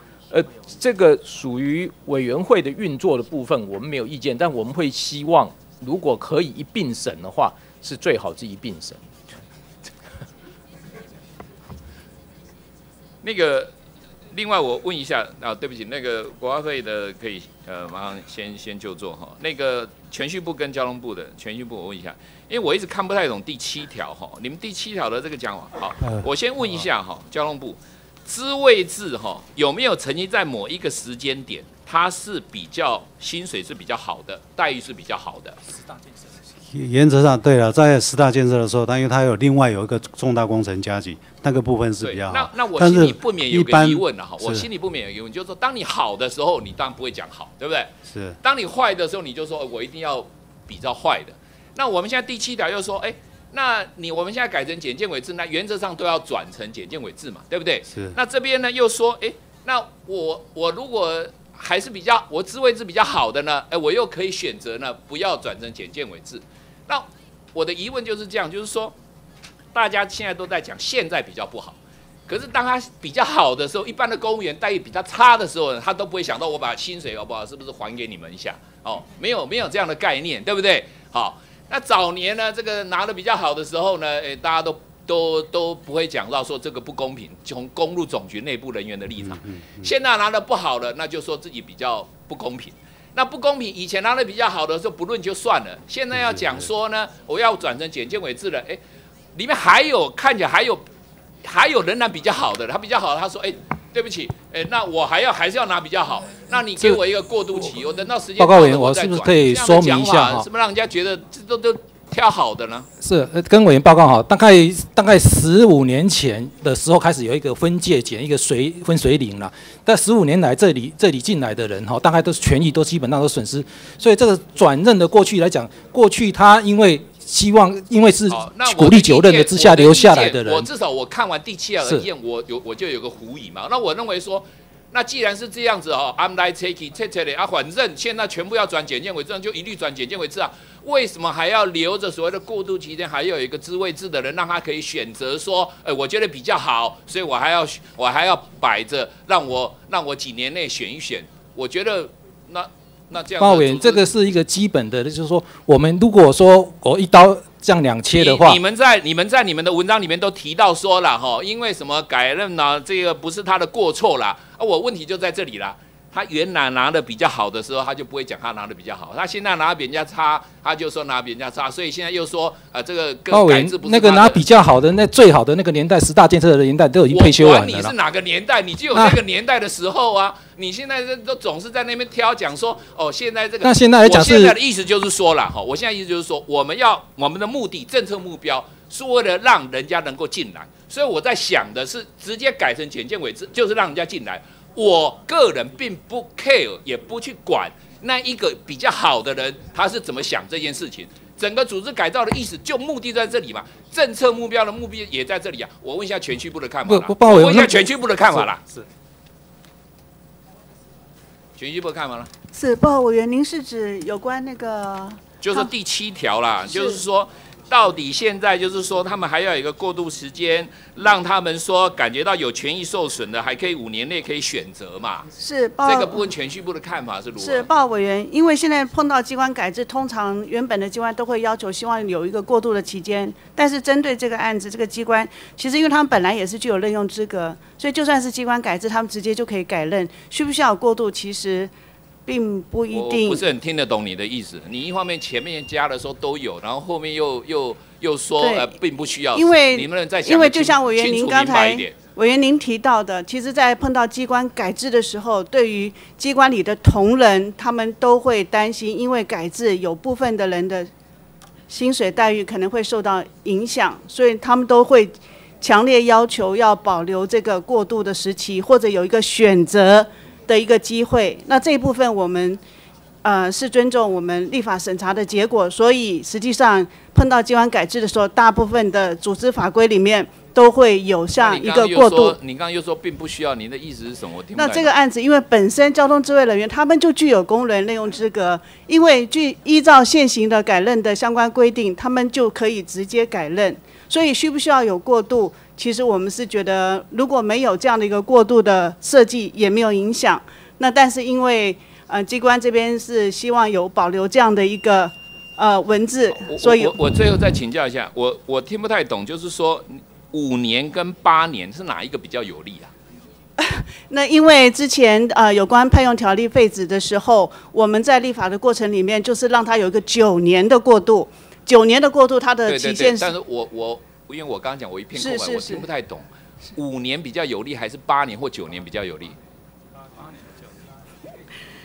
对他对他们来讲，他们认为说当八然是年限越长长越有利嘛，利我初看起来是这样子嘛。是是是是，但但是你们的你们全序部的意见有在，我我看起来是有点奇怪，就是好像你们觉得一方面是不需要，但是一方面如果又有需要的话，他们原来这个业经委员的版本是提五年，那你们要提八年或九年，你们就是至少它的期限是一致的，一百一十三年六那你月十八号刚刚有提到一个我就听不太懂的问题，就是说，你刚刚也提到说，他们本来就有公务人员的任用资格，是所以在转成现行一般公务员适用的简介委制的时候呢，因为现在就有改任办法，他改直接就人办法，可以改所以就不。需要了。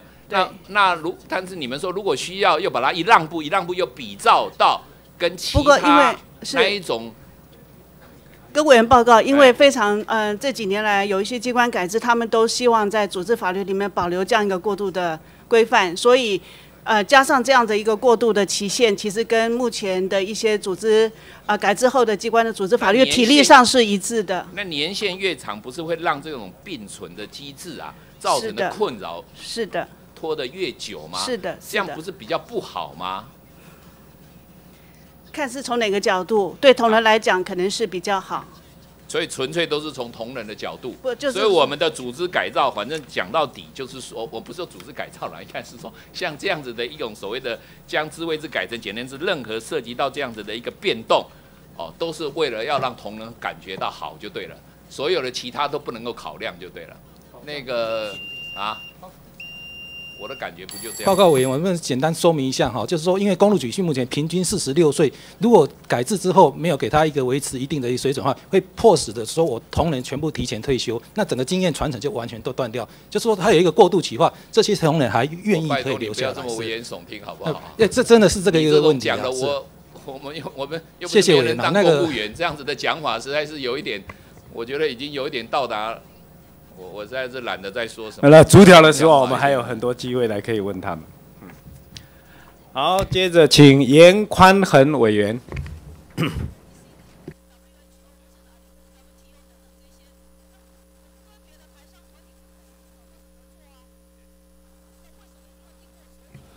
主席、各位委员同仁，主席，我想请交通部我们范次长，请范次长。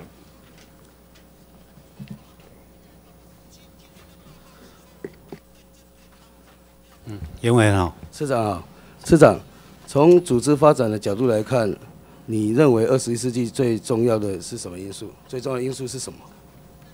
组织发展，呃，应该是要有绩效的导向吧？绩效导向是。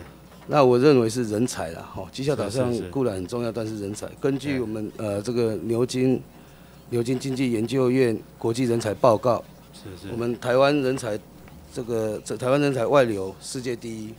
是是，其中专业人士外流占外移人外移人口的六十一点一趴，等于说每一百个外流人口当中就有六十一个以上是专业人才。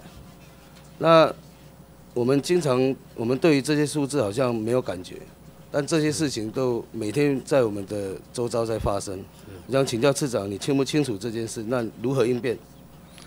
呃，我想确实啦，这个呃传统的俗话说，人才是中心资本了哈，就是说每个单位都一样哈，呃，不管是新进的或是原有的这个这个人员呢，还是以这个人才为最主要的骨干呐，否则的话，业务也没办法推动啊。现在全世界正在抢人大作战哈，就是都在抢这个人才，但是如果我们还活在这种呃缩衣节食这种这种节省成本的一种思维里面。像国外大厂，中国、印度、新加坡，他们都寄出很优渥的条件到台湾来，来这个吸引台湾的人才。那在公务部门，为什么我们的人才留不住？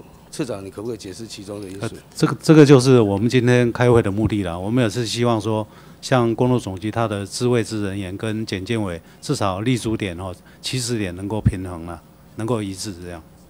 那我想。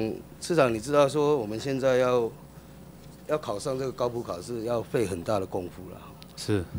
那好不容易考上了，但是到了单位之后，才发现说跟原来想的都不一样。市长是哪里不一样？啊？我说考上了之后到单位来服务了。是。那才发觉说他跟当初的这个想呃跟设想的完全不一样。不一样在哪里？呃，就是续心有些差异，差异很大。差异在哪里啊？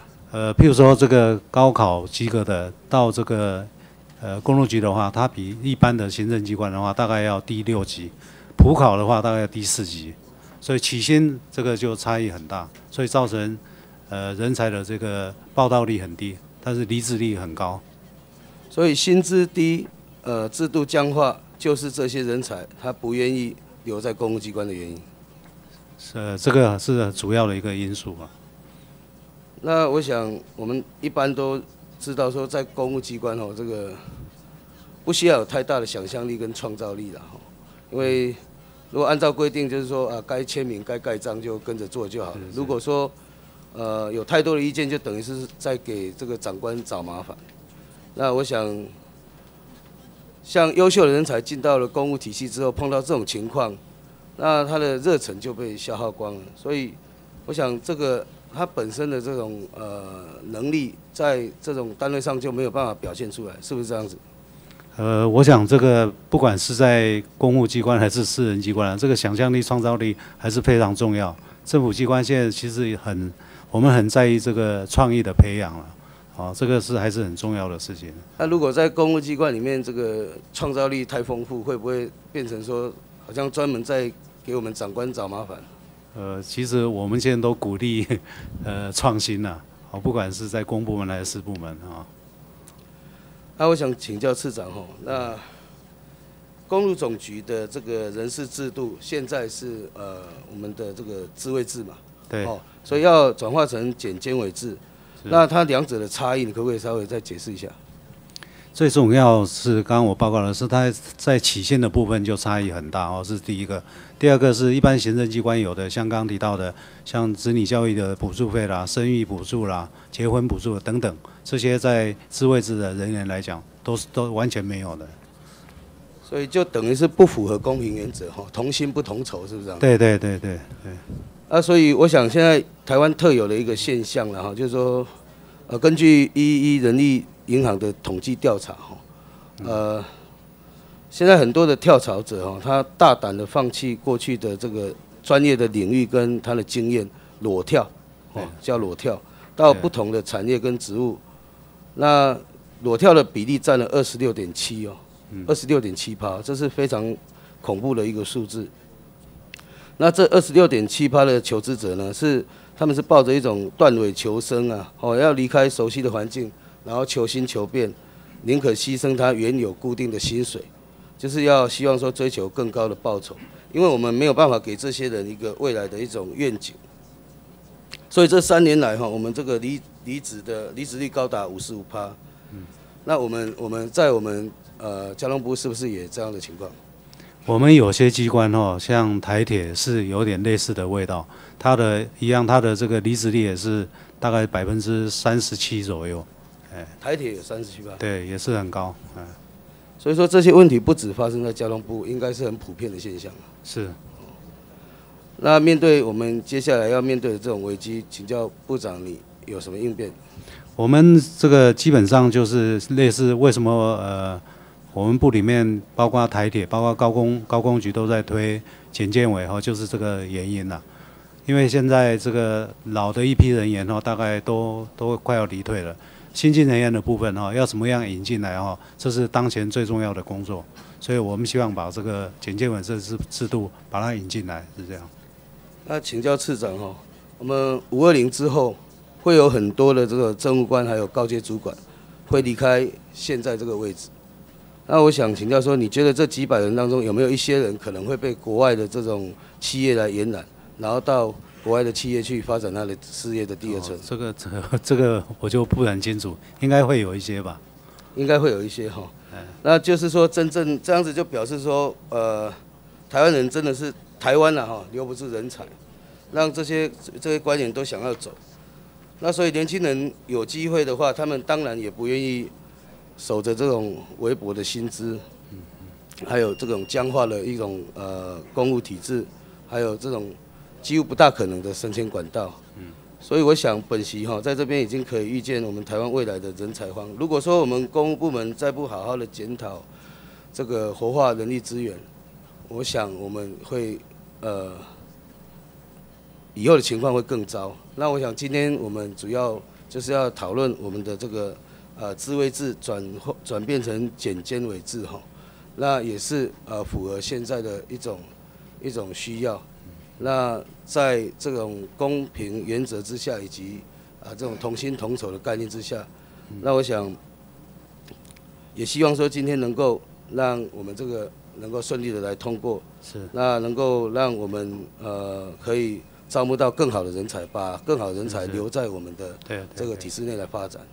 对，所以我想呃这个有没有次长，你可不可以再再再补充说明一下？是，我想这个怎么样引进这个多元化而且很优秀的人才哦，是目前我想我们行政机关的当务之急了。我们也希望能够获得委员的支持哈，让这个案子能够顺利通过。谢谢。最主要是要符合公平原则了。那所以我们今天是先单独处理这个呃这个公务总局的部分嘛。好，那刚刚你也说了说呃其他的部分要留在第二波来来处理这个案。好，那我想呃，以上谢谢，好，谢谢市长。谢谢委员。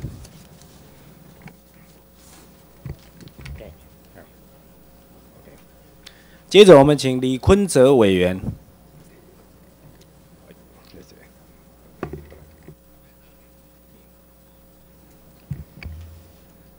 好，谢谢主席。主席，请一下范次长，还有赵新华赵局长。请范次长、赵局长。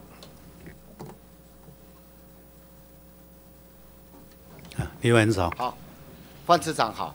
那有关于自卫制跟简建委制，其实不只是只有公路总局有这个问题，台铁也有相关的问题，对不对？对。高工局也有相同的问题，没有错。对不对？嗯，没有错。那其实这样的一个自卫制跟简建委制，在交通部这两种制度的实施啊，其实让自卫制的这样的一个同仁，其实是深表不公平。其实也有很多事实的现象，例如他们的起薪比较低，对不对？对，没错。大概是从差到起薪大概是差四千元到八千元，一般来讲都五千元以上，对不对？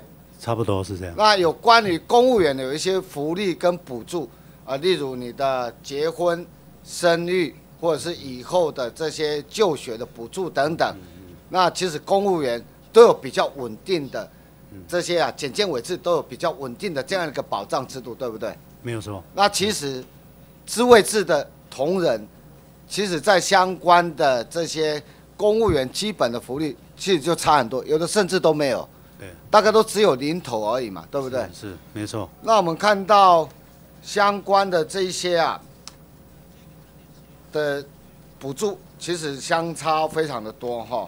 我们来看有关于起薪来讲，起薪来讲，相关于这些啊，我看到有很多考公职的这些论坛，其实他们都极力的推荐不要去考资位制，是不是有这样一个现象？因为它起薪低，福利差，而且啊，资位制跟检建委的制度，如果单位互相协调的时候，年资的计算也比较吃亏，是不是？没有错。哦，没有错。那具体的内容是什么？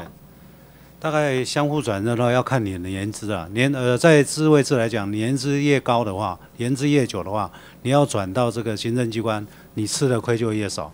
但是如果你的年资很短的话，你转到这个行政机关的话，你可能吃的亏就很大了，是这样。那其实我们看到有很多相关的这些议题啊，不只是只有公路总局有这个问题，那台铁、高工局都有这个问题。那现在提出的是有关于公路总局，对不对？是。那是因为这个公路总局赵局长他对于他业务的迫切性，对于同仁权益的提升。他有非常的重视，所以看到他这一两年来积极的奔走。那其他台铁的员工怎么办？其他高工局的同仁怎么办？其实高工局的部分也已经送到这个这个本委员会来了。那呃台铁的部分部里面也在讨论哦，已经讨论很多次了。希望就是尽量朝检建委这方向去发展，但是它内部还有一些意见。其实这种职位制有很多的问题，我看到。他的报道率比较低，对不对？他的离职率比较高，没有错。而且啊，外补的遴选啊，要补外面的人进来也比较困难，大家比较不愿意嘛，不容易。他简建委制的话，他比较不希望到相关的职位制来嘛。是是。我看一下，我们目前啊，台铁局的新人报道率大概百分之八十三，他的离职率新人离职率啊，是高达二十五趴，这个。范市长，你以前也在台铁待过，你也知道这样一个严重的状况。那公路总局，他高考的报道率大概百分之七十八而已，你很不容易考上，但是报道率却只有将近八成而已，离职率是非常高的，离职率将近一半的，是不是？请这个赵新华局长简单说明一下。是跟委员报告，离职率有超有一半以上。那现在来讲，这去年的报道率只剩下六成，然后越来越糟糕。是。高工局也是同样的问题啊，新人报道率高工局比较高，有九十六趴，啊，他的离职率也有十七趴。那同样是属于交通部的部本部，他采取的是简建委制，请次长简单说明一下，是不是这样？是，没有错。那你们的报道率跟离职率怎么样？一般来讲，这个行政机关的部分，呃，从来没有反映过什么问题了。对啊，我看你们这三年，你们新人的报道只有一位，到目前也还在职啊，是所以你们的报道率跟离职率其实都非常的稳定，是也不愿意离职啊，因为好不容易考上公务员啊。对，那这种情况来看的话，显见这两种制度是明显的不公平啊。这种不公平的制度，它会影响人员的流动，以及他工作的品质。我看我们我们这个是有点隐忧哎，市长，因为我们的公路总局负责全国所有的公路桥梁，那台铁每天要负责几十万人的这个旅客的运送，而且高工局是负责这样的一个高速公路的这样的一个维护等等。那其实他们的这样的一个起薪福利，或是以后的转调，都有相当多的这个不公平。那是你们现在的交通部的处理方式是怎样？是要先高工局、公路总局先试看看，看会不会过，再慢慢来看心情，再来调整。公路总局、台铁是不是这样的一个状这个况？这个呃，首先要谢谢这个叶委员呃跟各位委员的提案了哈。像公路总局这一部分哦，因为他这个刚诚如刚才委员提到的，赵局长他比较有使命感了，他比较有迫切感，所以他先送过来。高工局的部分，你所有高工公务员这个体系，你应该是一个整体的考量啊，你不能说赵新华局长 他比较认真，他对于他的业务，他认为这种技术的移转或是传承、人才的培养，这种公路总局都要长期的培养，你不能说报道的人比较少，离职率又比较高，是然后福利又不好的状况之下，又要他们负责全国所有的公路桥梁这么重要的工作的时候，是是。你不能只肯定他，委委员讲的对了，肯定他不过 是他比较努力没有错，但是对于整个公务员体系相关的问题，呃因为包括呃台铁，包括在我高工前局相关的人员，在我前面你你现在如果只处理公路总局的话，你先先听我说，是先处理公路总局，其实我们大家都希望能够整体的一个改进。是是是。但是现在公路总局要处理这样一个提案，台铁的员工已经来跟我们抱怨了，是是。说士气本来就已经不好了，然后公路总局那么好，可以先做一个自卫制转为简建委制，然后台铁员工本来工作士气就不高了，你是台铁出身的嘛，是。你应该知道员工的心情我嘛。我呃，容我解释一下哦，因为 工作总局它这个比较单纯，它不涉及其他的组织啊的这个调整。那像高工局的话，因为它还要跟国工局合并，好，所以它牵涉到组织的简并这一部分。啊，台铁的话，因为它没有列入这一次的主改，所以现在是内部在积极在讨论简建委这个事情，希望能够配合这个脚步哈，好，我请教一下。国奥会林务主委。是。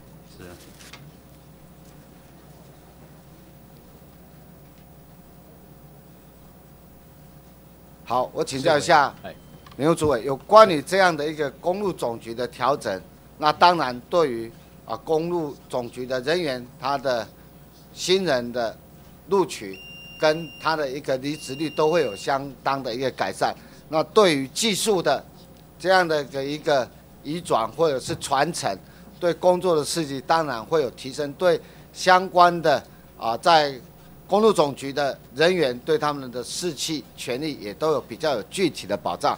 那除了国安会副主委，你针对这样的一个议题，除了公路总局，那相关的台铁或者是相关的高工局的人员，是不是应该有跟交通部来做一个整体的讨论？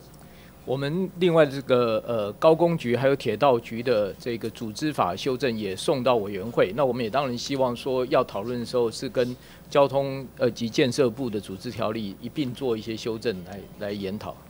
现在就是一个问题，如果说，因为我们现在公路总局如果这个简建委制的这样一个修法通过，那其实很多单位就想要跳到这个单位，那其实这种都有相当多的问题。我请教一下市长，市长应该你应该知道台铁的考试啊，对。常常被高考的啊拿来练笔，就是先练习的。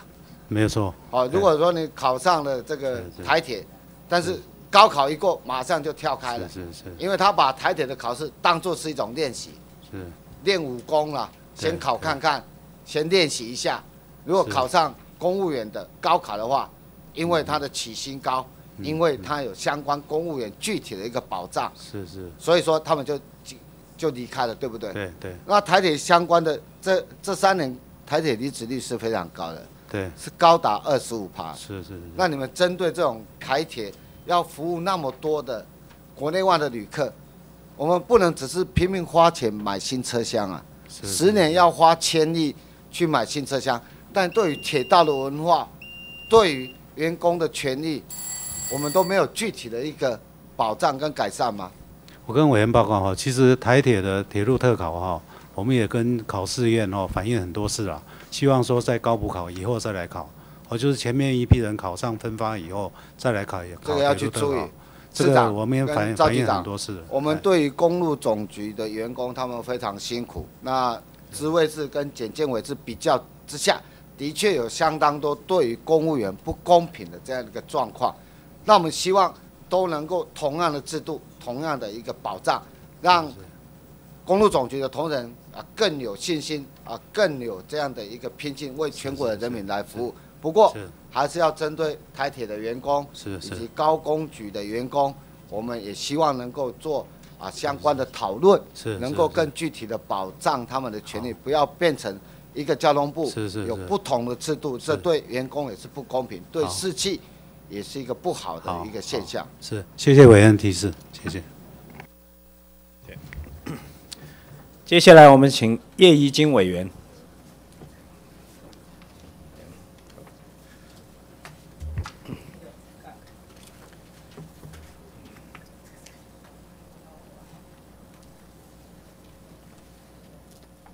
要请全序部主秘跟人事行政总处副人事长以及呃常次局长都来哈。好，请各位官员备询。我先请问全序部主秘，请问公务机关的公务人员？不是依照公务人员任用法任用，有没有违反人事制度？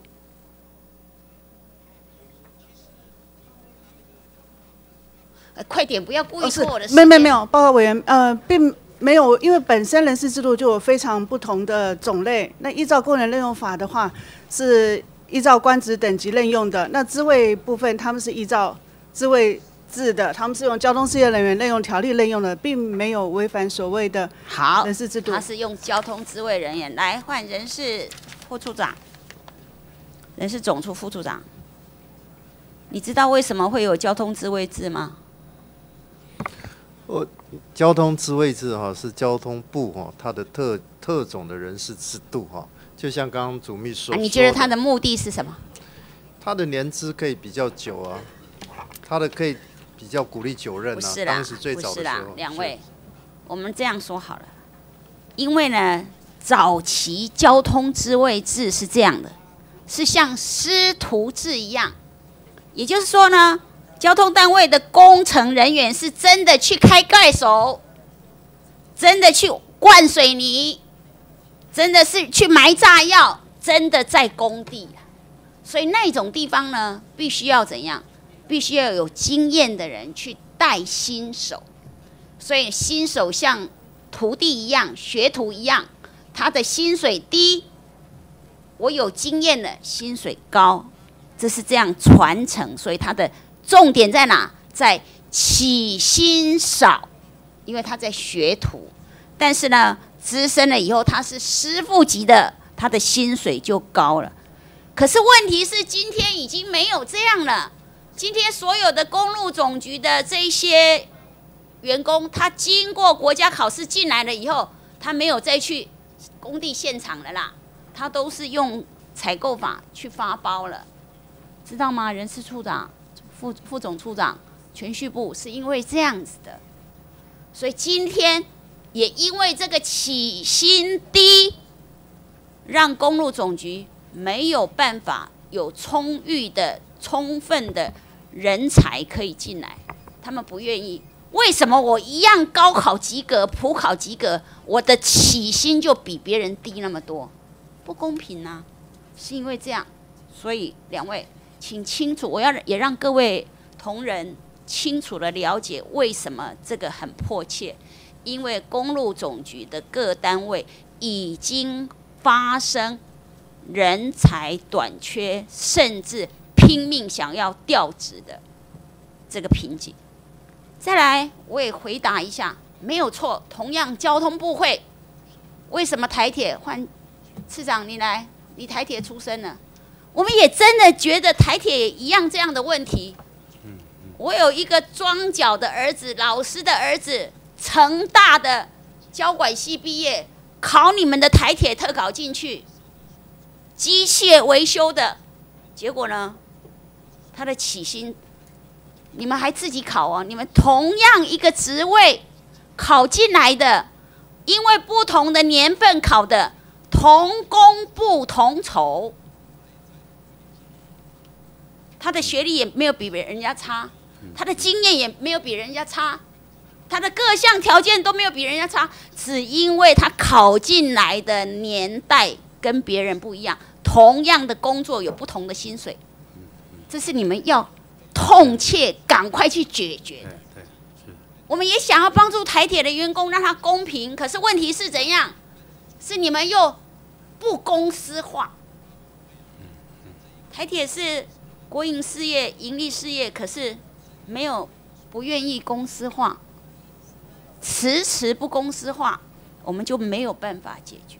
这是一个次长台铁的问题，你非常清楚。是是。要作为，好不好？是，好，谢谢委员。再来换高工局跟国工局的合并，我们所有的交通委员一次又一次的要求，主改里面也拼命的说，可是呢，谁在抗拒？市长，谁在抗拒？事实上，这个呃是少数的人，你不敢说是不是？是少数的人呢，呃，因为他这个制度是制度上是有一些有一些不同。国工局跟高工局的合并要等到什么时候？这个比台铁要单纯的多啦。你们台铁什么百年老店嘛，所以要公司化也真的是问题一大堆了。可是国工局跟高工局当初成立的时候就说的清清楚楚，这是任务备案组，我们还要盖多少高铁啊？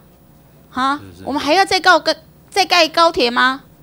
当然没有了嘛，不是吗？对那为什么不能合并？事实上，委员讲的对了。事实上，国公局的业务已经在萎缩了哈，所以这个案子我什么萎缩了？已经在是已经没有用了，没有没有作用了。我们不可能，台湾不可能再盖第二条高铁嘛？是不是？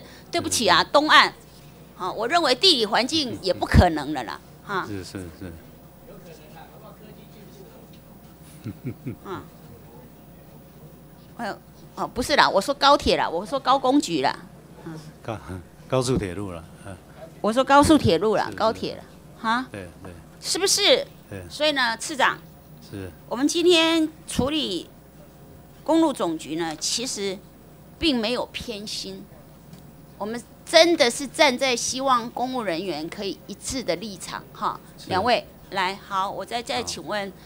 那我这样讲的够清楚了，请问人事处总副总处长，你同意吗？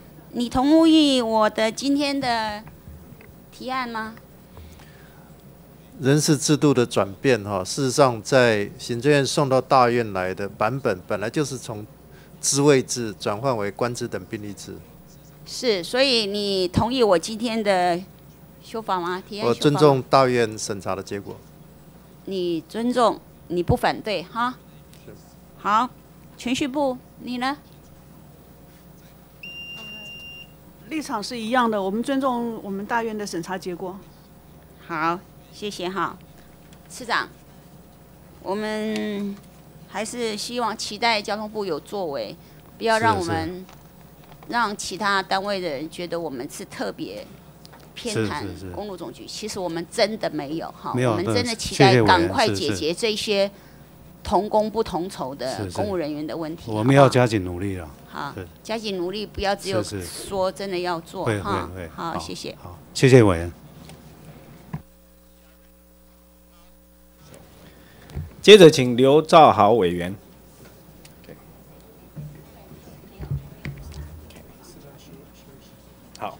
谢谢主席。主席，我们可以请次呃范次长跟赵局长哈，就公路总局赵局长。请范次长、赵局长啊，不好意思哈，呃，等一下哈，就是张宏禄委员发言完哈，我们会休息个五分钟哈，给大家休息一下，这样子哈来，，跟大，家报告。我们今天针对这整个，特别是我们公路总局的组织条例，特别是人事的禁用的部分，我们进行来讨论了哈。那待会如果有需要补充的时候，请赵局长来补充。是实际上，我们今天在讨论这个问题，我们面对面临一个两难呐哈。第一个，交通部所所辖的单位非常多了哈，那用检建委或其他人事单位人事的禁用状况不统一的状况，也不止只有公路总局哈，比如说包括呃。国国公局、高工局或者是铁路局都有面对这样的状况，是所以我们面对一个两难。那为什么要告公路总局要先抽出来，要先先来处理哈？我相信刚刚大呃许多委员都提出这相关的看法哈。当然啊，赵局长跟次长也有提出相关的一个说明。好那范市长，你是从铁路局在啊老铁路局的了哈。事实上，我们今天在讨论公路总局，因为就一般人的理解状况，就是说，既然是公务人员，那那我们任用的之考试的管道应该是一来来源是一个，然后起薪当然可能会随着你的专业加级或者危险加级会有不一样的薪水，但在起薪任用的官等应该是同一个系统。哦，这个理论上应该是比较这样比较对嘛？是是那当初也也许他当初有他的历史的背景哈，因为因应国家的建设等等，所以我们创造了许多不一样的制度跑出来。所以我我要讨论公路总局的时候，我还是要讨论一下铁路局的哈。是是铁路局局长，你你虽然离离开铁路局一段时间哦，不过你你现在掌管的范围又更大了。嗯铁路局下面一个状况哦，司机的指导员没有人要去当了。是是是，这呃，指导员坦白讲是主管啊，指导员想当然了，他是在管理司机嘛，或者是在解决司机的问题嘛，他就是司机员的主管对哈。照理讲，这个主管应该是大概，既然当公务人员在这个体系，应该多数的人想要往上爬，现在他职等比较高，薪水比较高，工作责任比较大嘛，但就呃那个次长，你知道现在这个现象，指导员没人要走呢。我我我了解这个是是这很，我我我一直很觉得这很离谱。指导员现在是用这个主管哈，以花东部为例哈，我我想不止东部了哈，很多地区是要用抽签的嘞，用抽签的叫轮啊，嗯嗯，司机抽签，然后一个人轮两个月或三个月，然后造轮，然后啊抽到人都很不愿意啊。哦，是就市长这个问题怎么怎么解决这个事情啊？这个是有这个可能这个问题已经有一段时间了哈。我所了解就是，可能有些同仁他不愿意负更大的责任。啊啊，哎市长不是这样啊。是。哦，但不是负责，当当当主管负更大责任，但是你一定要有一个诱因嘛，他薪水没有增加了，减少，因为他本来是司机员，他开车加级比较加少级比较多，因为亏他开火车比较多啊，结果他当指导员、当主管之后，他加级是变少，因为他开火车次数是变没有少啊错。没有错。他也许本来是你我们我们司机员待待遇虽然辛苦，不过待遇还有一定的水准哈，比如八万九万这样，但是当主管之后，他可能少个两万块啊。是是，阿里向边走，啊，责任又重大，嗯，啊，责任重大，那都换成是我们两个，我们也不做啊。是是是，哎，你薪水少块一两万块，然后责任变重大，然后你薪水变少，那谁会去做这个位置啊？也也违反了我们一般拔擢人才的基本原理。是我们拔擢人才当主管，不是要给他加薪吗？这是很基本的原理啊。是，所以，我们今天在讨论这些人事禁用的部分，市长，你是从这个铁路系统这个存在这个问题哈很久了啊。当然，我我知道这里面有有几个问题，第一个是整个铁路局的薪资结构的问题。对对，好，薪资结构的问题啊。第二个是个别的问题，像我一直认为这个司机指导员这件事情哦，他他本身是具备司机的资格嘛。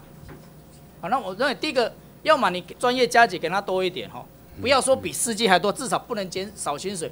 第二个，哦，看排班的部分，比如司机指导员，我们看可不可以三个来轮，然后每个人他一样可以，每一个一样可以派下去开火车啦，这样他薪水不会减少，那比较让这个人事的禁用比较常态吧，不要主管不要用抽签的啦。是是，我想啊是的。委员很了解这个问题了，我也赞成往这个方向。这个一百哎铁路局应该一百二十年了嘛，哈，是是。一百二十年的一个那么有传统的一个机构，结果主管是用抽签的，嗯嗯，哦，这个对这个组组织来讲一定是不正常的。对，他没有，你没有办法，你没有办法常态规律的、有效率的培养人才啊。照照理讲，这个是主管的，应该是大家想当才对。比如说你小老师升主任，主任升校长啊，都不然是不是每个人，但多数人想要往这样的路线走。是市长，我们今天在讨论这件事情的时候，本席今天在交通委员会有提案啊、哦，是你身为是市长，因为你又从铁路局出来，所以你对这个事情一定会更了解清楚。哦，本席希望，我我同意委员的这个见解了，对。就像我们今天在是是讨论这个交通，对对哎，不，公路局的意思一样啊。有有有些人认为说啊，为什么要解决公路局？应该我我先说我的结论，我本席是赞成先处理公路总局啦。是我我是赞成的啦。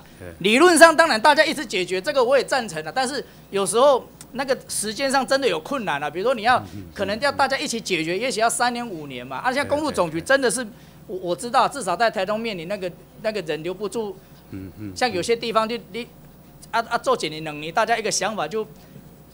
不不过你这个都不要去怪公务人员啊，换成是我，我也会想调一定的。啊，你薪水比较低，然后工作工作你那个未来性比较没有的时候，人都会想走，这个是一定的。是是是。哦，那所以我我先讲我的责任，我我是目前我是倾向哈、哦，我赞成这个先处理公路总局的，好、先处理。是就如同道理哎，市长，我之所以先讲我结论，就是说，就如同我跟你讲司机指导员的意思一样，这件事情我相信整体的司机结构不是只有指导，在铁路局的这个结构。这个范围里面不是只有司机指导员这个问题，一定薪资结构有个别存在它不同的问题，人力人事兼用不同的问题。但是这个问题既然浮现，啊，你也清楚，本席认为应该要来局部处理这件事情，而且这个不难啊，哦，这个这个不难。我跟委员报告了，这个除了机务以外哈，用工电都有类似的问题。谢谢委员的指导了。这个不，而且主管不用抽签的，不然你们想办法哦，想办法看怎么样栽培人才，去讲拜托啊，用用用什么办法？是是是现在用抽签的呢，而且抽签的用影响影响他抽签，他被抽到的那轮的那三个月哈，他薪水到少一个月少两万块，到少六万块了。嗯嗯。好啊，这大家司机也要养鸡养家活口，你要为他，不不然你要请他为机关为国家来奉献牺牲哈，也要找到另外一个让他觉得可以牺牲奉献的理由嘛，是。跟诱因跟动机啊啊，我你我们将心比心啊，我们生我我们在为为大家付出劳力在打拼啊，雄勇一三个月我减老板扣的薪水，这这个真的是讲不过去了。好，市长。是我我们我们谢谢委员的指导，我们再来努力了。局长，就如同你今天还有，我我我我比较少问赵局长了，就如同我们今天你在这里为这个叫呃高公路局的组织条例的相关修正在做说明一样，你认为它有它的急迫性，还有因为虽然这个是它单比较单纯，好、它跟其他的国公几个高公局的合并，还有铁路局的整体的定位，它到底是公司还是公务机关的整体的定位，它有它有因为这个后续定位清楚，才可以走后续的路。公路总局相对比较单纯，所以你们主张应该先给个别处理公路总局问题。同样的道理，你这个理论，你这个看法我，我我赞成。但是同样的道理，我也请你个别的一个一个来处理铁路局的相关的禁用的问题，好不好？谢谢是是是，谢谢谢谢委员。谢谢。接下来我们请张宏禄委员。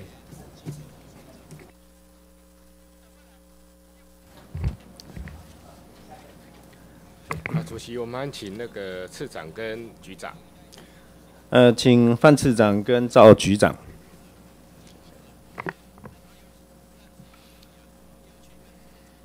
哎张委员好。啊，次长、局长，基本上啊，你们今天送这个案子啊，大家都知道有局迫性，我个人也不反对啊是是我个人也希望哈、能够尽速来做。不过，我想请教一个，就是说，应该除了公路总局之外，应该还有其他的单位也也有面临同样的问题吧？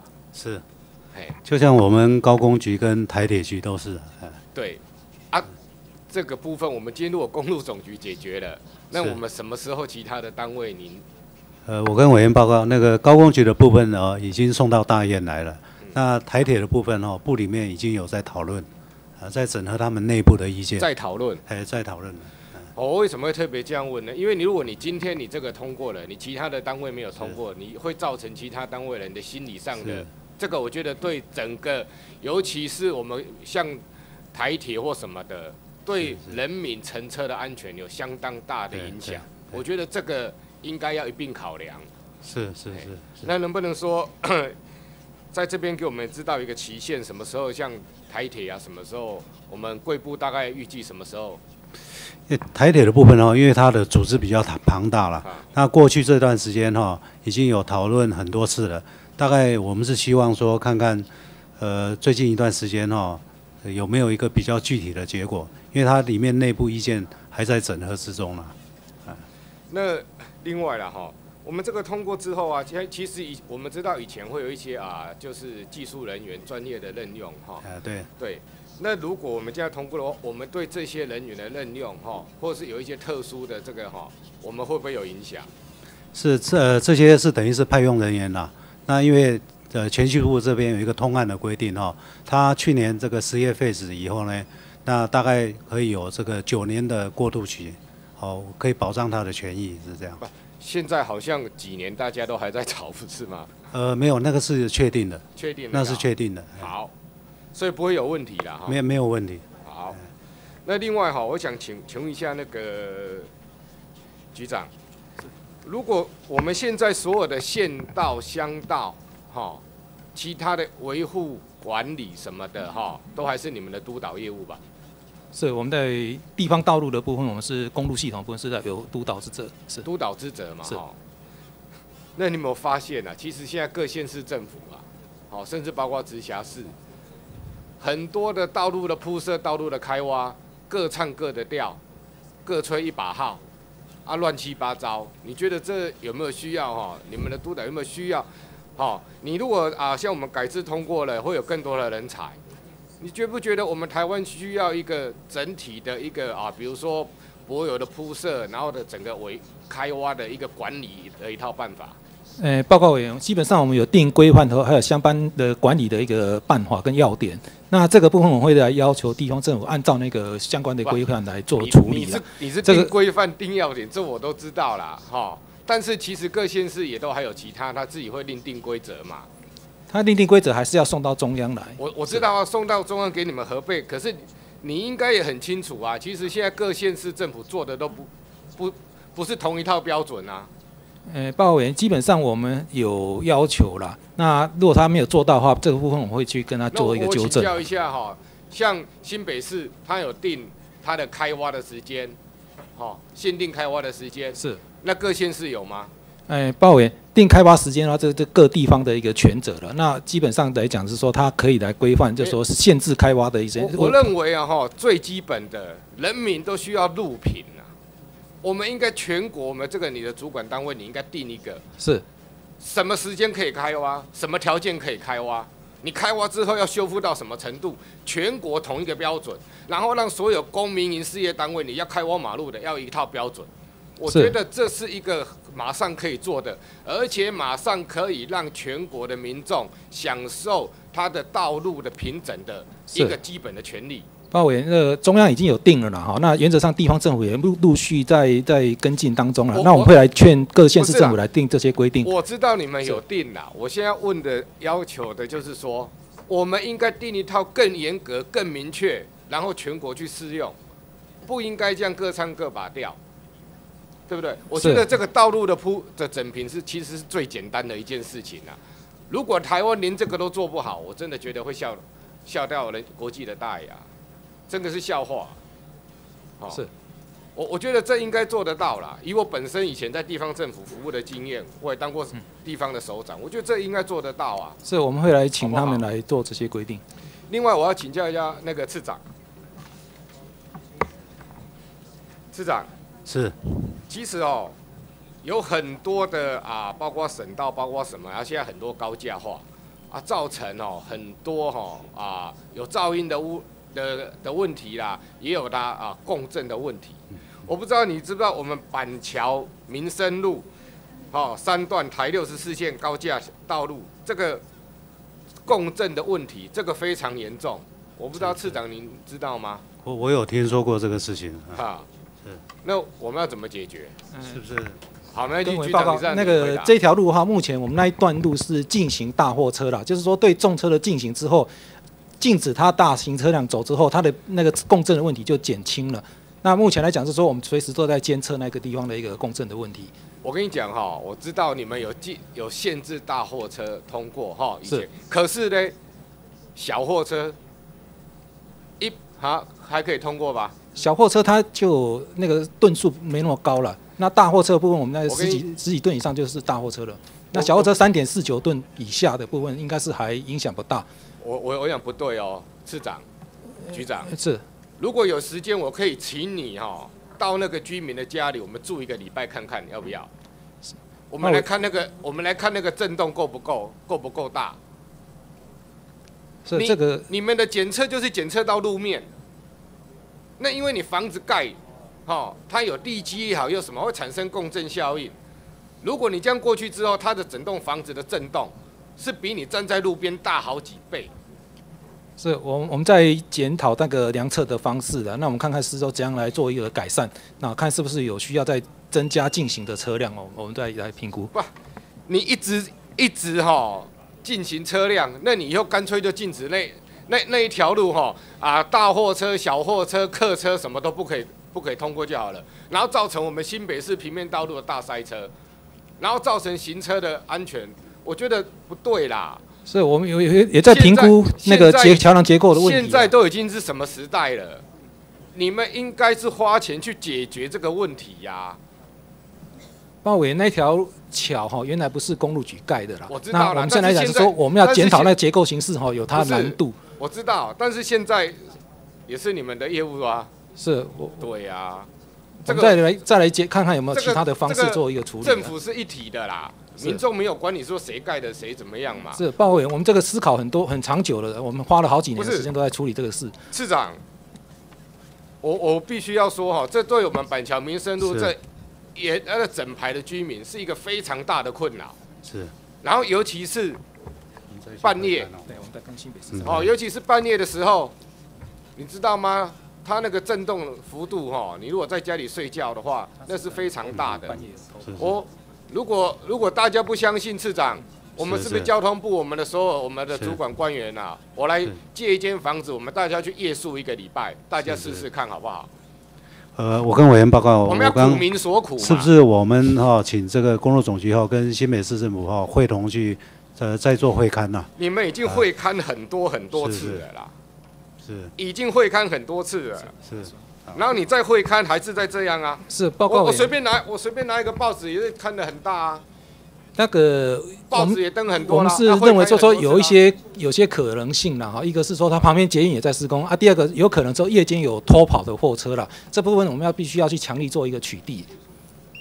不，强力取缔是一回事啦，好，那你已经造成这个困扰了。我那工程的改善部分我们来来评估了。我我认为做啦，工程的改善现在都什么时代？我我不认为啦，工程哈、完全没有办办法改善的空间，哦，可能是要花很多钱或怎样，我们都可以去研究看看。是。然后你说的取缔，哦，那个大货车，我跟你讲，那又是另外比较哦执法层面的问题了。那边的居民很多老人家都跟我讲，晚上没办法睡觉。哦，尤其像日本地震之后，他们晚上不敢睡啊，他也分不清楚是大大大大货车来还是地震啊。这个有时候民众的那个的哦，他们的需求、他们的那个困扰，我们必须要要考虑。所以我在这边，我拜托次长还有局长，是把这件事情当成一件真正的事情来做了。啊，我我会我会继续再跟大家沟通啊，好不好？好是好。好，谢谢。啊，接下来我们休息哈，我们休息到啊，这个我们刚刚已经宣告了，好了，休息五分钟啊，因为大家给大家去休息一下哈，五分钟而已哈。好，谢谢。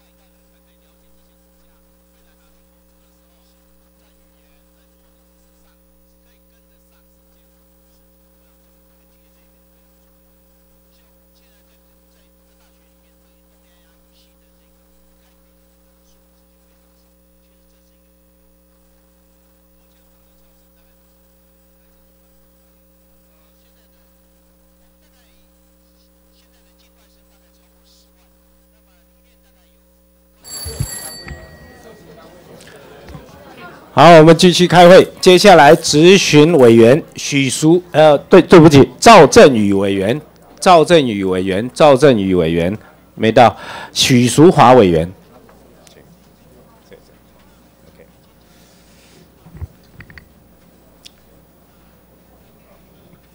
谢谢主席，请主席有请范次长以及呃赵局长。请范次长、赵局长、请党。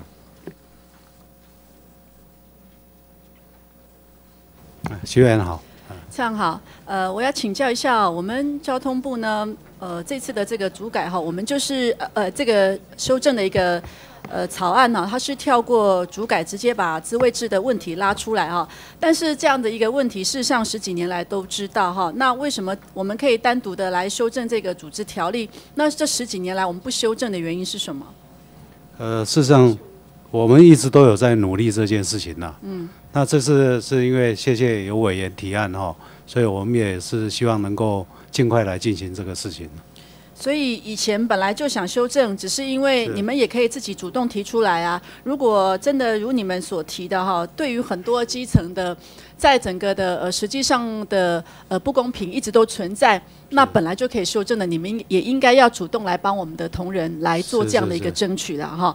好，那我要请教哈，呃，就是呃在我们呃这个修正的一个草案当中哈，我我原本呢我们。呃，沿用的是滋味植物的分分立制哈，那现在改为我们官职官等职等的并立制哈。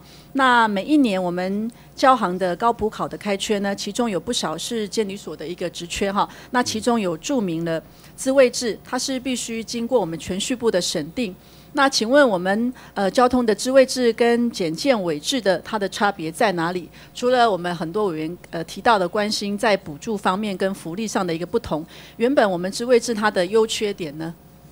这个我简单报告了，大概知位制哈，它跟高补考来比较的话哈，大概在起薪的人员哈续薪就是新进人员续薪的部分呢，大概知位制的要比高考的部分要呃低降六级。嗯，那普考的部分要降四级，好，这是第一个差别。第二个差别就刚刚委员提到的，像类似这个子女教育补助费啦、结婚补助啦、婚丧喜庆的补助啊，这些大概呃智慧制是完全没有的。那它的优点呢？它是不是有一个是假设你的考绩不管是甲等或者是乙等，你都是可以按照每一年的的那个晋晋升的一个条例，只要你没有犯到错哈，所以它一路上它的竞争是可以加薪，呃，到达顶点的，是这样吗？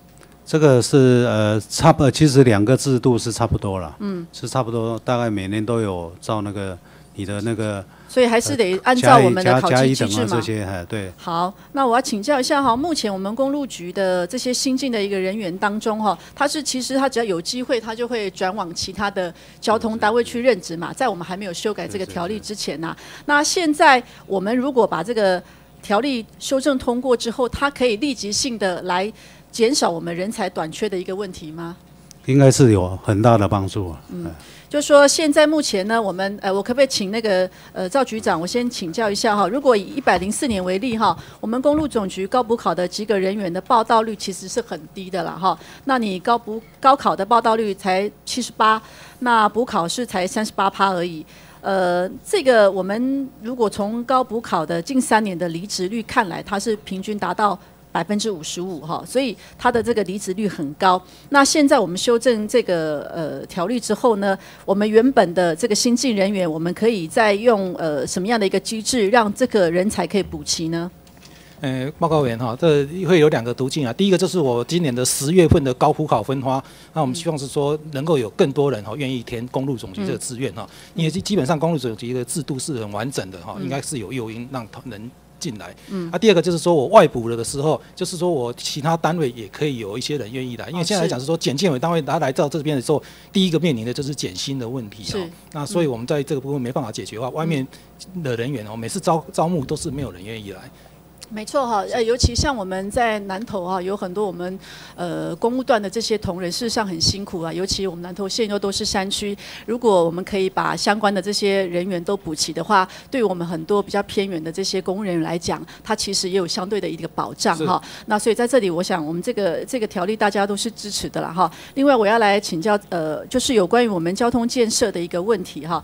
那目前呢，我们交通部有多少的部分哈，就公路的建设计划是核定核定了之后呢，但是我们事前的规划比较欠缺，那么导致呢有退场跟浪费公帑这样的一个情势，能不能请那个次长或者是局长跟我说明一下哈？现在呢我们在各地政府的执行率，我们督导的状况，还有包括我们发包还有没有还有没有完成的这些呃大概是有多少哈？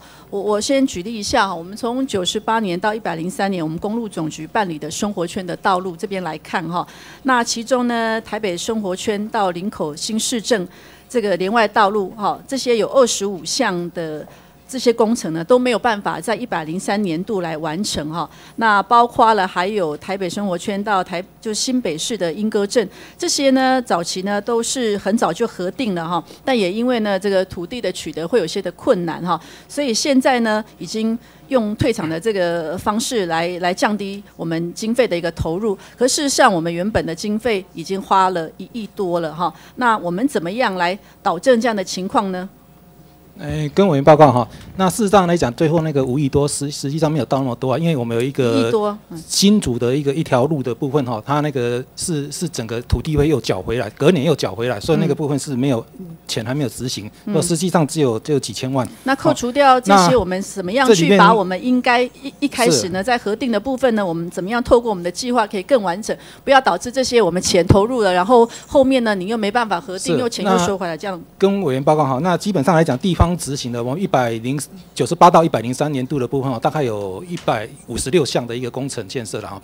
那当时核定给他们的时候，呃，大概有二十六项是也没办法完全执行完的哈。那这里面来讲，就是很多都是因为用地的问题。嗯那所以我们在一百零四年度的开始执行呢，我们第一个在检核地方的一个申请款的时候，第一个就是检核用地有没有办法解决。嗯好，那用地有办法解决，才有办法去让它有顺利可执行。事实上，我们一开始的用地也都是都都，如果能够按照我们之前这样的一个想法来做的话，现在有很多都是因为土地取得会有困难呐、是，所以今年现在开始做的计划都是第一步先看它用地，用地可以解决之后，后续才会跟进的让它继续来、来来执行推好，我想哈、这个不只是我们一开始在我们的这个呃规定当中呢，我们希望能够督导地方政府哈、一个工程，毕竟这么大的钱哈、要补助到地方政府都是不容易啦。我们也希望呢，呃，我们中央呢在补助经费上面呢，能够更详尽的去做各项的一个规划，避免很多的这个你也压缩到其他县市的一个申请嘛哈。是好，那我最后要请教哈，有关于大型的这个重型机车哈，它是争取今年希望能够开放国道的路权。那么八月份如果他们即将要自行上国道，我要请教你们的看法，是否同意要开放？我跟委员报告哈，其实这两年来哈，我们在交交通事故的这个肇事率方面呢，事实上重型机车的肇事率越来越高。对，好，这是一个值得我们我们去注意的问题。所以基本上呢，这国道这个部分呢，我所了解的哈，很多重机的朋友啊，事实上他们是认为他们对靠快速道路的部分熟悉度还没有那么高。好，所以贸然去开放这个国道的话，这是很危险的事情。嗯我们基于保护人民这个生命财产安全哦，嗯我们认为这个问题是确实非常值得这个深深切去考量的。好，就基本上你们的态度是不倾向开放嘛，哈。是那如果呢，有关于这些呃歧视能够，如果在他们呃也透过不同的管道来反映的话，我还是希望能够呃透过各项的一个呃这样的一个联系哈，跟他们做更好的一，个沟通我们跟。他跟他们多做沟通交流。好，谢谢哈。哦，再次感谢我们次长跟局长，谢谢主席。谢谢委员。接下来请肖美琴委员。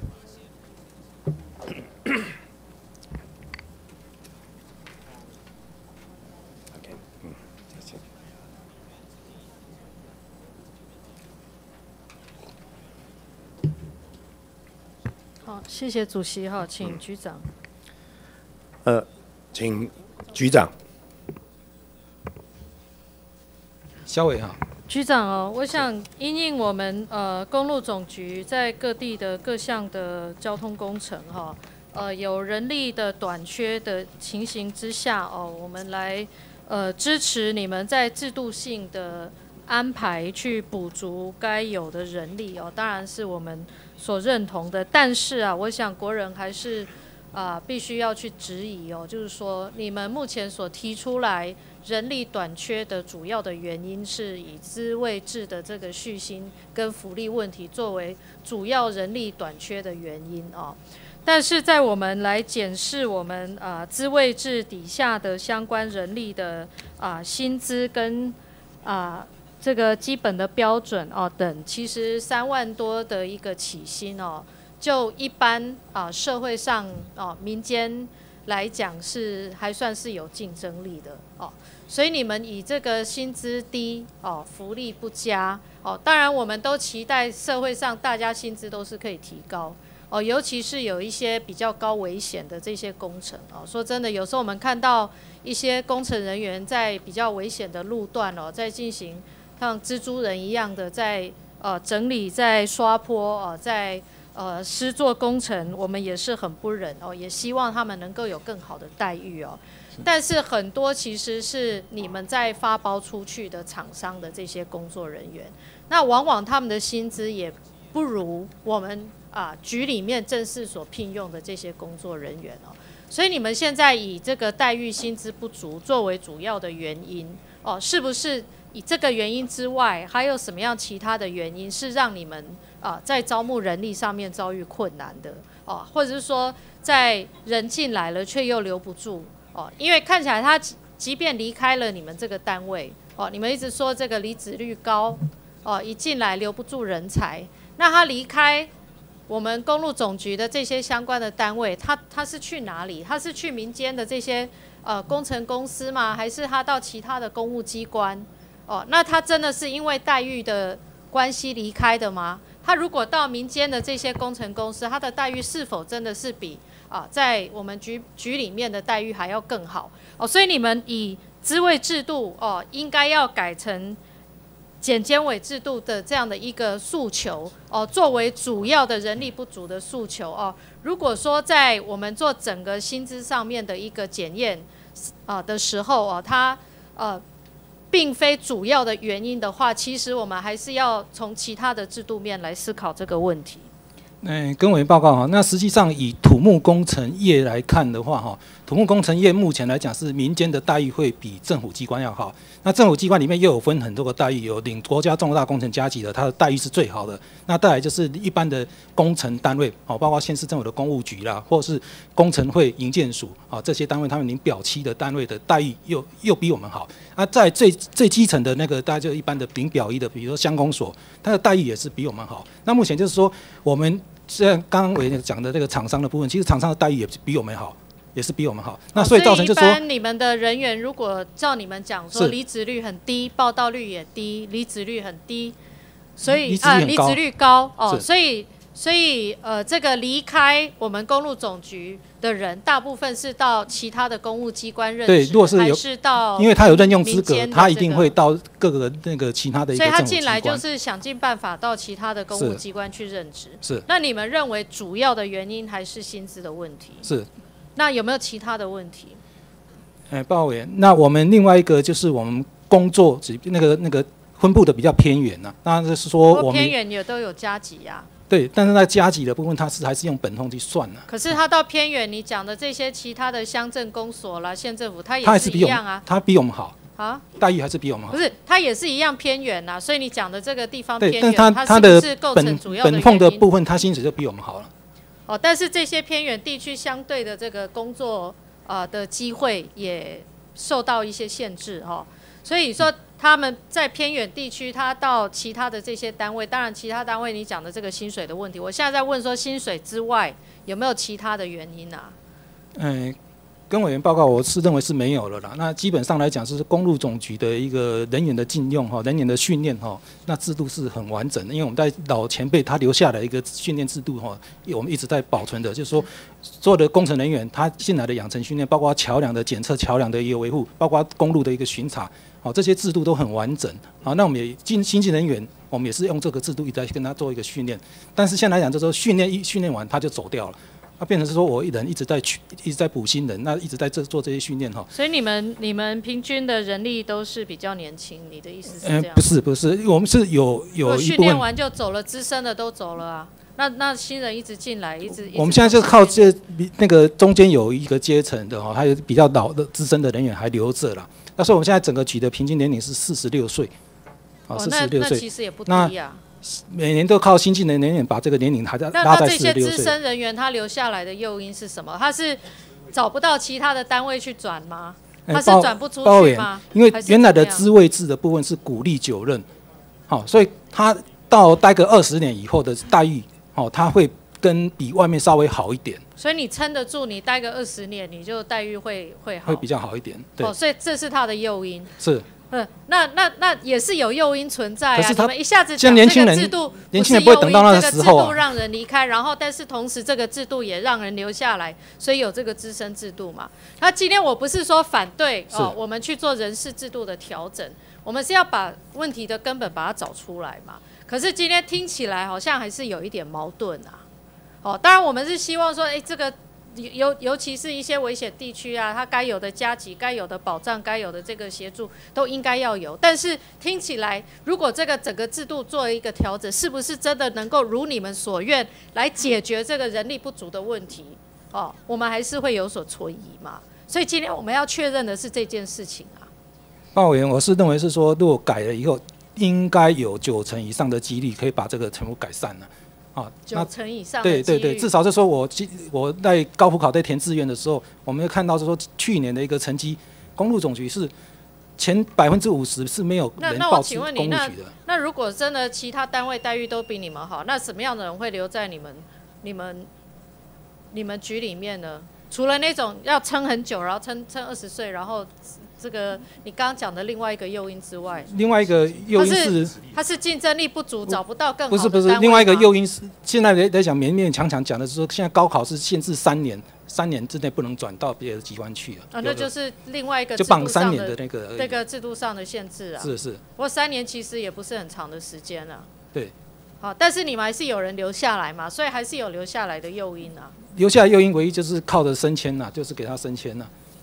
哦，所以其实这个制度其实是有很多其他不同的方式了哦。那我觉得这个要看，应该是薪水是其中之一，但是还是要有更全面的的一个了解哈。那另外我要请教局长哈，之前你们呃公路总局做了一个花东快的可行性评估哦，那后来媒体也揭露相关的一些片段的讯息哦，但是这个完整的报告你们一直没有公布。哎，那什么时候可以公布完整的报告？现在在做定稿本，做完之后我们会报布，报布就会公布了。啊，大概要多少时间呢？什么这个时月底应候可以公布？这个月底应该是可以。这个月底是可以让对这个社会大众都可以看到你们的整个评估的内容哈。是。OK，好。那另外呃，今天那个人事行政总处又来，好，是不是？好，局长，谢谢哈。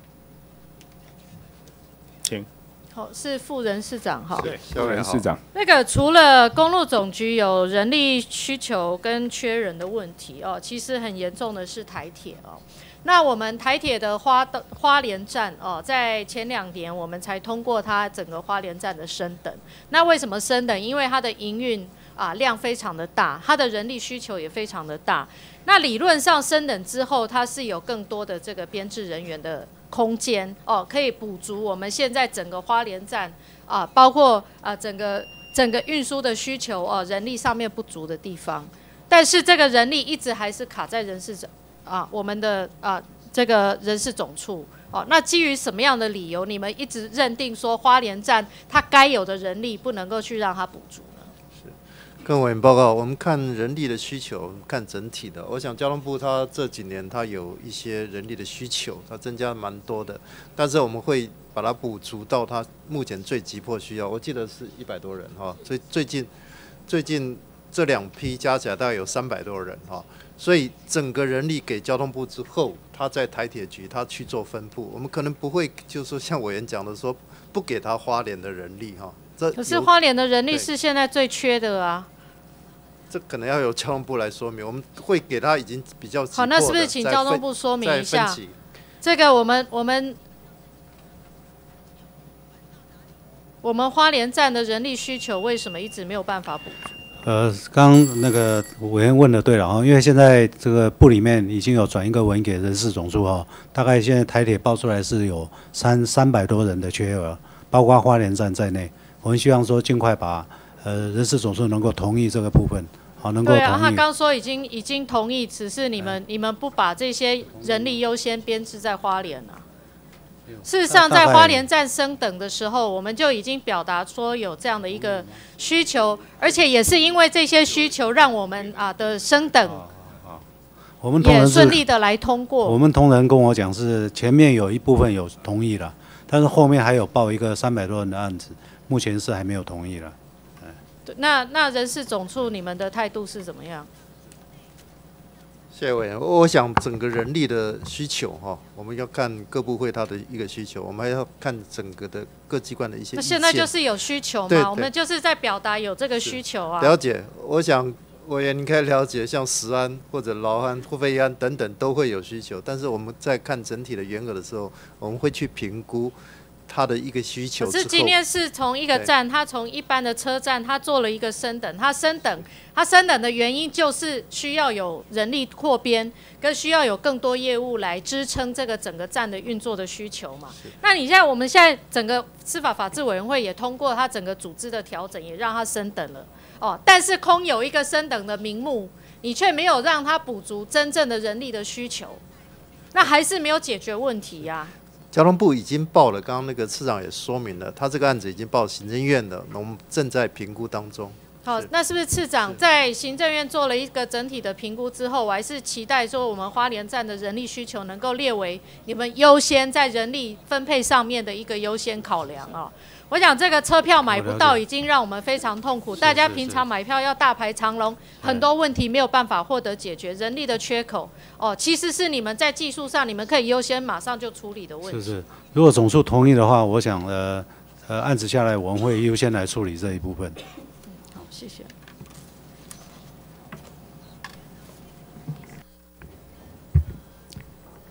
接下来我们请蔡意瑜委员。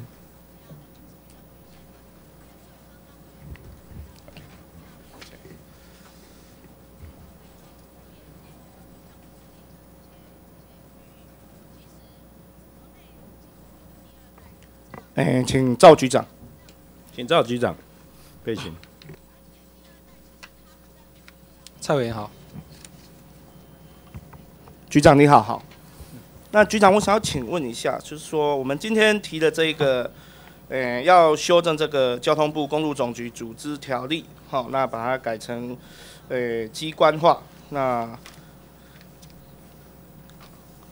这样听起来，早上听起来哈，我们的。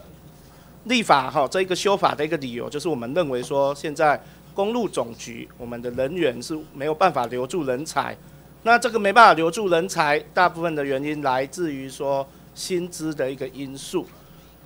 那我想请教局长说，我们公路总局我们人才的，诶，我们人员的哈，人员的新进人员是怎么产生的？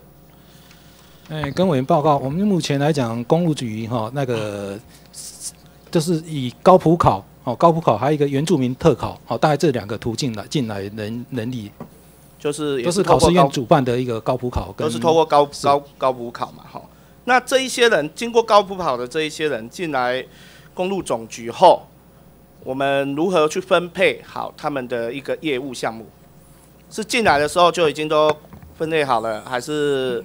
还是说他们之后会再遇到业务调整？我们是提缺提缺给人事总处那边做一个分发，好，那考生他是填选填志愿的，就全国所有的各单位有开缺出来送到那个报人事总处之后，他是按照考生他就按他的一个考试成绩来填志愿，所以基本上进来的时候也是依照他们的志愿，然后进来我们公路总局，这样话人留不住，到底原因是什么？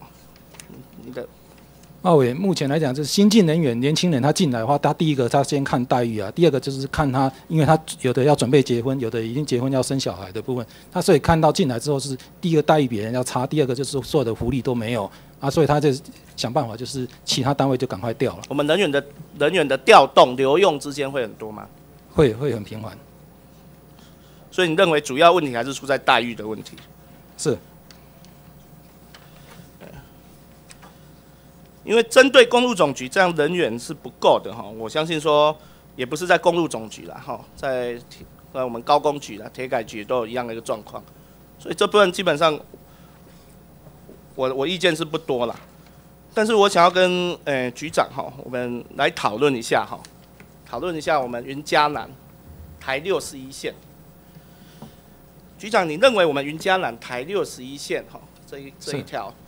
这个是这个台六十一线是很神奇的一条公路了哈，因为它它就是什么时候会通到哪都不知道，哦，什么时候会通到哪？比如说之前在呃布袋就有一个断桥嘛，哦，就是没有通，啊，不过在两年前已经通了，这个没问题。好，那现在就是一直延伸到了台南七股，现在到将军了，将军七股了哈，现在高内处下应该也快通了嘛，快了，哦，九块处那边。好，那如果说这个台六十一线哈，它的整个，它这一条公路哈，它可以说是行经整个台湾哈，可以说是最荒凉的一个地方了。是。哦，台六十一线去，你只要走这条路，就会发现说，怎么台湾还有这一种这么热，又这么安静，又这么荒凉的一个地方。啊，因为你台六实线，你这样在行经的时候，你就看到了，你可以看到的就是旁边就是废弃的盐田，还是旁边就是一一个不知道已经放多少、放多久，从余温已经变成湖泊了。哦，而且在这这一条公路旁边的居居民哈，旁边的居民哈，他们有高达百分之四十以上的人，基本上都是六十五岁以上。高达百分之四十，所以做这条路是要改善当地的交通呢，就让他的生活环境。所以台六十一线它的建筑都是认为说，因为这个地方真的是太过于落后了，哦，而且一直不被大家所重视，所以去把台六十一线的完成。所以如果台六十一线的完成，它是为了要发展整个云嘉南滨海地区的生活环境、人文水水平，那是不是在台六十一线应该要广设？分流道，让让大家可以轻易的来这里，来到这个地方，是，好，所以目前到底云嘉南断台六十一线有多少分流道？嗯，报告员，我现在手上没有这个数据，但是它的一个交流道的一个密度是算蛮高的，因为它大概是三到五公里之内一定有一个交流道。对，因为在这里建设交流道，我相信成本相对其他地方是很低的啦。是，哦，因为土地取得太容易了。对，所以我认为说。如果在这个地方，它的它的主要的一个目的，并不是说为了南北交通的一个便捷，它是为了说这一个西滨道路可以带动地方的一个发展。我认为说在交流道是有必要再予以增设，哦，予以增设，尤其是在在那个将军跟新问这一段，将军跟新问这一段目前没有交流道。好，那我们也知道说在这一段中。在过去就是南南南昆生的嘛，南昆新嘛，哈。那如果你要让这里的人可以到南昆新，哈，他们去去参拜怎样？结果后他要行经，他又必须要绕绕到布袋，哦，绕回布袋，哈，然后上交流道才有办法再回到西滨，所以它会造成一个浪费，时间上一个浪费。好，所以我们请请我们局长是不是可以在跟委员报告，就是说基本上我们在建设那一条路的时候，我们在考虑的。好，一个是它的一个联络道路，啊，另外一个是地方政府的一个配合的一个部分的哈，所以当时这所有的交道的设置哈，这两个部分都都有做一个考量。那要在新增交道部分哈，我们也愿意跟地方再来谈。如果地方能够帮我解决到它的联络道路，因为下来交交道下来一定要有出口，好，那出口的路要要要有一定的一个水准哦。那另外一个就是说它的用地的部分，它能够帮我们做一个解决。那工程的部分我们可以来处理。好，那我希望哦，希望局长这部分哈，再替我们。云嘉南这个哈，再替我们考虑一下哈。那接下来可不可以请我们我们次长哈，交通部次长换次长。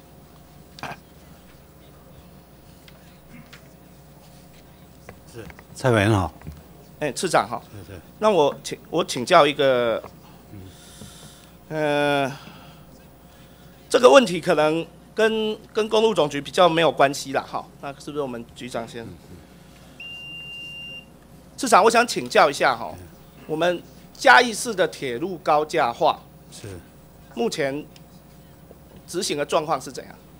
这个案子我所了解，之前有报验过哈，报道院里面，那好像目前国发会好像有意见吧，就回到这个地方政府，可能是这样。对，因为目前可以说铁路高架化在所有的城市都是一个趋势啦。是哦，铁路不应该变成说让一个城市阻挡哈，变成说分分一半嘛。哦，那如果铁路高架化的话，哦，这是一个我认为应该要快速去完成哈，是对整个嘉义地区的发展是很重要的。对。那如果铁路高架化目前它规划的调度场，好，调度场是在水上嘛？对。好，在水上。是。如果在水上是调度场的话，市长可不可以考虑看看，在水上这边有没有办法增设？哦，增设一个车站。呃，原则上调度场是用为了调度车辆专用的啊。如果有有有用地，这个这个有可能的话，我想要增设车站也不是不可能嘛。对，因为水上那边水上那边空间够大，而且水上又临近水上机场。那如果未来铁路高架化的话，好，我们跟部市长提出的建议就是说，是是，你你在水上这边增设一个车站。就又可以跟整个机场做一个串联起来。是。哦，那是不是？这个部分可能跟地方政府来研究一下。对对，市长有机会哦，再来我们地方看一看。是是。哦，因为水上这边那又临近快速道东西向快速道路，也有接到中山高，又非常的方便。是是。哦，那如果说车站本身是可以带动地方的一个发展，是。哦，我们希望说在水上这边高架化后，在水上这边可以增设一个车站。哦，那是不是带动哈？那因为交通主要的目的就是要带动带动经济嘛。哦，那如果人没有办法聚集，还是人的聚集会产生困难的话，哦，会塞车啦，停车不方便，那也应该寻找一个适当的一个地点。是是是。好，好，那那就好，谢谢。好，谢谢委员。好，谢谢。呃，接下来我们要请周春米委员啊，跟。那个大会报告一下哦，就是周清米委员发言完之后，我们就会中午休息。啊，好好，由美女委员讲完，我们休息。好好，主席、各位委员同仁，我们请那个赵局长。嗯，赵局长备询。周委员好。局长，那我们今天上午也讨论很久了哈，那大概就是就是公路总局原来的人事制是采这个交通事业人员任用条例的自卫制嘛哈，那现在要修正为一般公务机关所采的这个简建委制。那我请教，就是说刚刚局长在回复委员的答询的时候是说这些。进来进来那个公路总局的人，当初也是经过高补考的考试嘛，是。那经过填选填志愿嘛，那当时他们在选填志愿的时候，他们选择公路总局这个资位制，他们就知道说当时的待遇福利是跟简建委简建委制是不一样的嘛，对不对？那应该没有任何说所谓的一个。信赖利益的保护的问题嘛，当初他们选择公路总局选择这样的一个资位制，那现在因为说，哎，你们考量这个没有办法留住人才，所以要来改成这个。报告委员，那个可以解释一下吗？或者再说清楚一点？最近这三年哈，那那也比较流行的时候，才会有这样大家广泛的讨论啊。那之前早期是大家进来其实都不知道，进来之后训练以后才发觉说待遇的问题。啊，因为在人事总数在公布的时候，他并没有写说待遇是多少。那在最近这三年的时候，大家耐很很很很普遍的时候，每次在考试分发的时候，那就开始传了，就说，哎，哪一个单位可以填，哪一个不不能填。另外一个就是说，补习班在讲课的时候也会讲说，哎，选填哪个志愿是有有哪些问题啊？比如说我们在你们的组织的这个制度是因应市场那个补习考试的市场去做变革哦。是因为他他不，我是讲说包括补习班呐。啊，另外一个就是说，那个土木系的他毕业的同仁，他就会就会在那边传了，就说哪一个待机关待遇是怎么样，哪个机关待遇是怎么样。好，那大家就就在选哦，比如说高铁局哦，他们是有共国家国家重大工程加急的哦，大家第一志愿都选那边。啊，啊，但是公路局他们就这样，就是待遇是怎么样，哦，福利又是怎么样，就所以是这三选到后面年，是三年才你认这三年这三年变化很大。问题啊。那其实我也不是很懂，我问一个问题，那就是说，如果有这样的一个困境或者是问题的话，那不可以修正说交通事业人员任用条例吗？包委员，因为那个部分不是我们公路局可以主导的了，因为交通事业人员任用条例里面，它有包括还有很多单位，那我们是属于是说非用人费率的部分，那非用人费率的大部分它的待遇比较差，那有些还是用人费率的，待遇还很好，那以前不是曾经有过一段时期说待遇很好，那个都是很久以前的，那个都对对，所以是说没有办法了，所以一定要来修正这个，就是趁组织条例的一个修正，然后将简介呃将那个自卫制改成简介委制，是这样吗？对我们现在来讲是说三年，的问题，其实也不止这三年，其实时间还有一段时间的。但是现在来讲是说，因为进来的人他就想办法要走，好，那那就算是说在之前我我民国九十四年来九十五年来举的时候就发现这个问题所，以有机会可以调走就调走，那可以调去哪里啊？高委员他是高普考来的，他任何机关都可以去。只要就是符合相等的是是编制都可以去。那那我再请教哈，就是说，现在我们除了这个人事制度的变革之外了哈，你们大概在机关权限这部分也有做一些修正。我我想要了解是说，现在这个第二条，我们叶委员提的这个第二条第九款车辆行车事故的鉴定及复议业务，原来没有在交通部公路总局的业务范围内嘛？是那呃，这个部分局长的看法是怎样？他原来是在台湾省政府啦，那因为公因应公路法修正以后啦，因为原来在精神的部分，他就在在争议说这个到底要留在哪个机关？那因为在公路法一百零二年修正以后，他是改到交通部来了。好，那我我啊，就是这所以现在是没有人现在现在是在公路局用用那个任务编组的单位来来做处理。任务编组，是因为就是哎，比如说高平棚区行车事故鉴定委员会，对那是在公路局的下面的是任务编组。对，就行政院专专案核准的一个一个任务编组。那我再请教哈，那原来在第七条的规定哈，是说公路总局为了办理公路新辟工程，得设各临时工程处，于完工验收后六个月内裁撤。那现在我们的条文修正后，是在第三条第二款，各区公路整建工程处执行公路新建及整建事项吗？是这样吗？是那这样子看的话，原来第七条的规定是一个临时的编组。如果说完工验收后是裁撤的，那如果现在我们修正第三条的话，它应该是一个常设的机关，是吗？嗯，报委员，那常设机关我们是用分局，那处的工程处的部分，它还是临时单位，哦，还是以它任务结束还是会裁撤。哦，所以还是一个临临时的单位就对了。好，那那个我请请教那个局长哈，我因为我住在屏东呢哈，我了解一下我们屏东这个第二条东西向的快速公路到底是呃计划现在是进行到什么阶段？报委员，我们大概这个月或应该是下个月初哈、会开一个最后一个定线的一个会议啊，啊定线定线呃确定，因为现在有 A 案跟 B 案，好，好 A 案跟 B 案，好那这个部分的这个方案哈、到要走哪一个方案？因为之前大概有一些呃不同的意见，那大概这一个这个最近应该已经整合完成了，那我们会跟县政府再开一个最后协商确认之后就报交定线通部。那定线之后大概是它的施工的期程，你可不可以跟那后续的话，我们还是要经过环境影响评估嗨啊，环评过了以后多，久？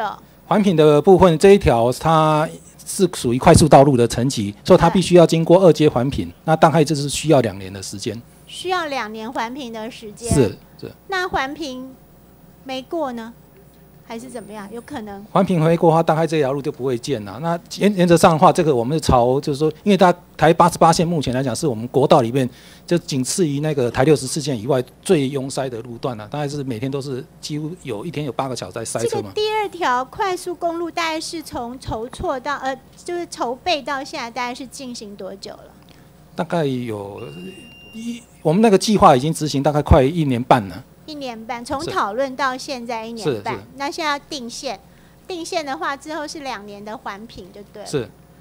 那我看一下原来的条文哦，条例修正，你们有你们的业务是包括公路用地的收购嘛？哈，就原来的这个第二条第第四款，那修正之后我好像看不到收购这两个。哎，八委员，这个在我们那个省道管理的事项里面都有，因为在公路法的执法公路修建养护管理规则里面，它都有明定，它修建养护管理它到底是包括哪些事项。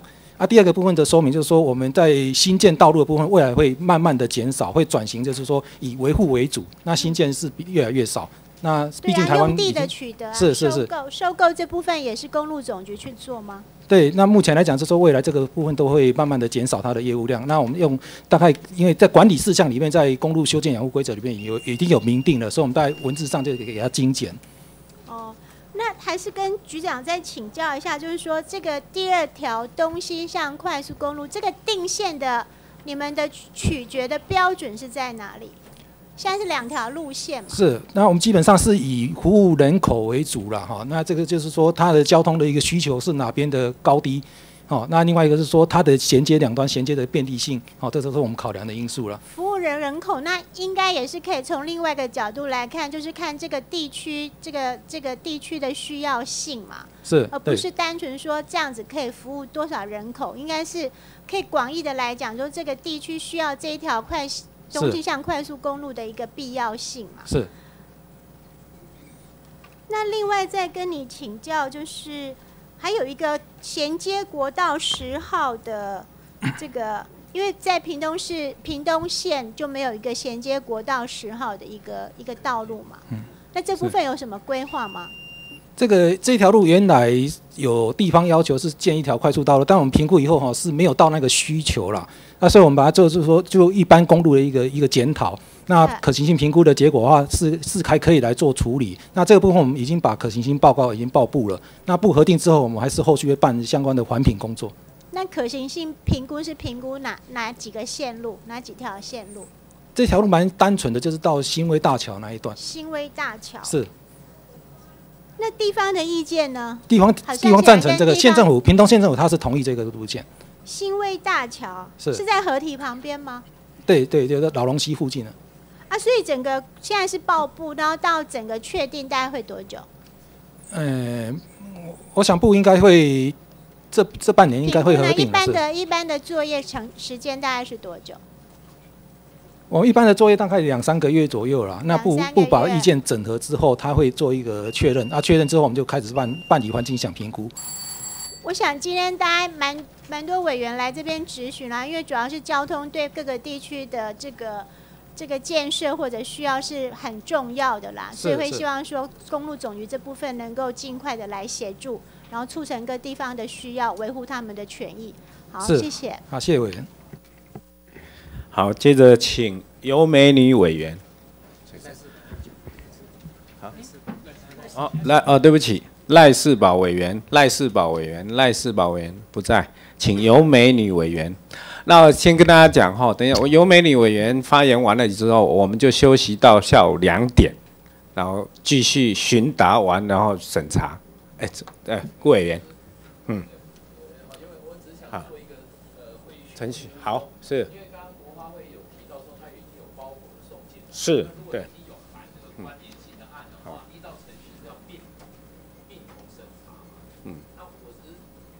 或者有委员也可以问一下，我的意思就是说，我们必须要确认到底有没有另外一个关联性的法案是已经呃送进来，然后要即将或者互委或者即将互委了。这个部分如果是的话，可能呃主席可能要确认一下，以后要确认。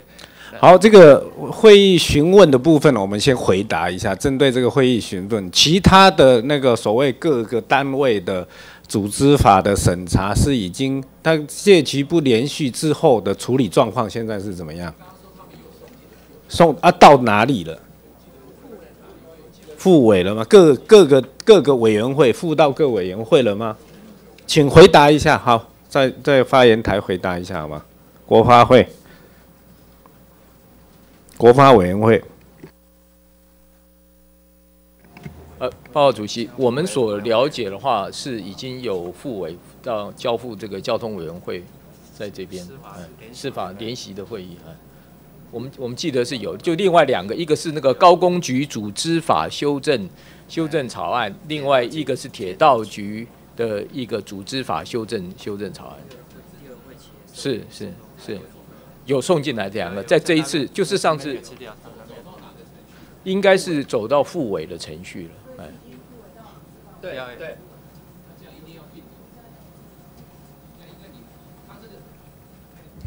那可能是整个主改的方案呐、那主改可能现在或者什么原因或者怎么样，暂时大家都摆在那里嘛。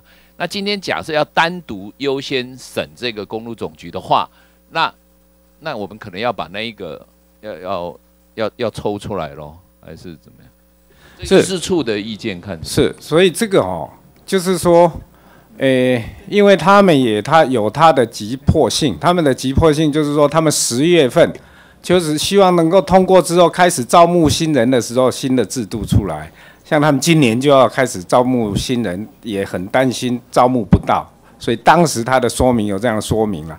那我们现在当然，如果说其他的都一起并进来之后，会不会因为并进来以后以后就争议很多，然后造成上是时程上面的没有没有，我我你我我想我们没有要全部并进来的问题，我们现在只是说依照我们的议事规则，我们相关的规范，就是说我们要审公路局、公路总局的这个部分的话，那假设行政院已经送进来对岸，那么也是属于公路总局的话，我只是说我们必须要只针对公路总局的这一个部分的法案，我们一定要纳进来一起审，我们不然的话会有问题的，好不好？我们的好，所以只针对这个公路总局有关的组织方面的这个相关的。你今天没有办法审好啊，你一定要求艺术处，我们可能再排一天。好，如果大家都同意优先审哈，我看今天如果大家都同意优先，那就优先了嘛。嗯只是说可能要把那个对岸一并要纳进来，一并并审啊。那今天是没有办法处理的啊、那个好，所以我们今天呢就询答结束。好，那下一次我们就把那一部分并案审呃纳进来一起审。好，继续请尤美女委员发言。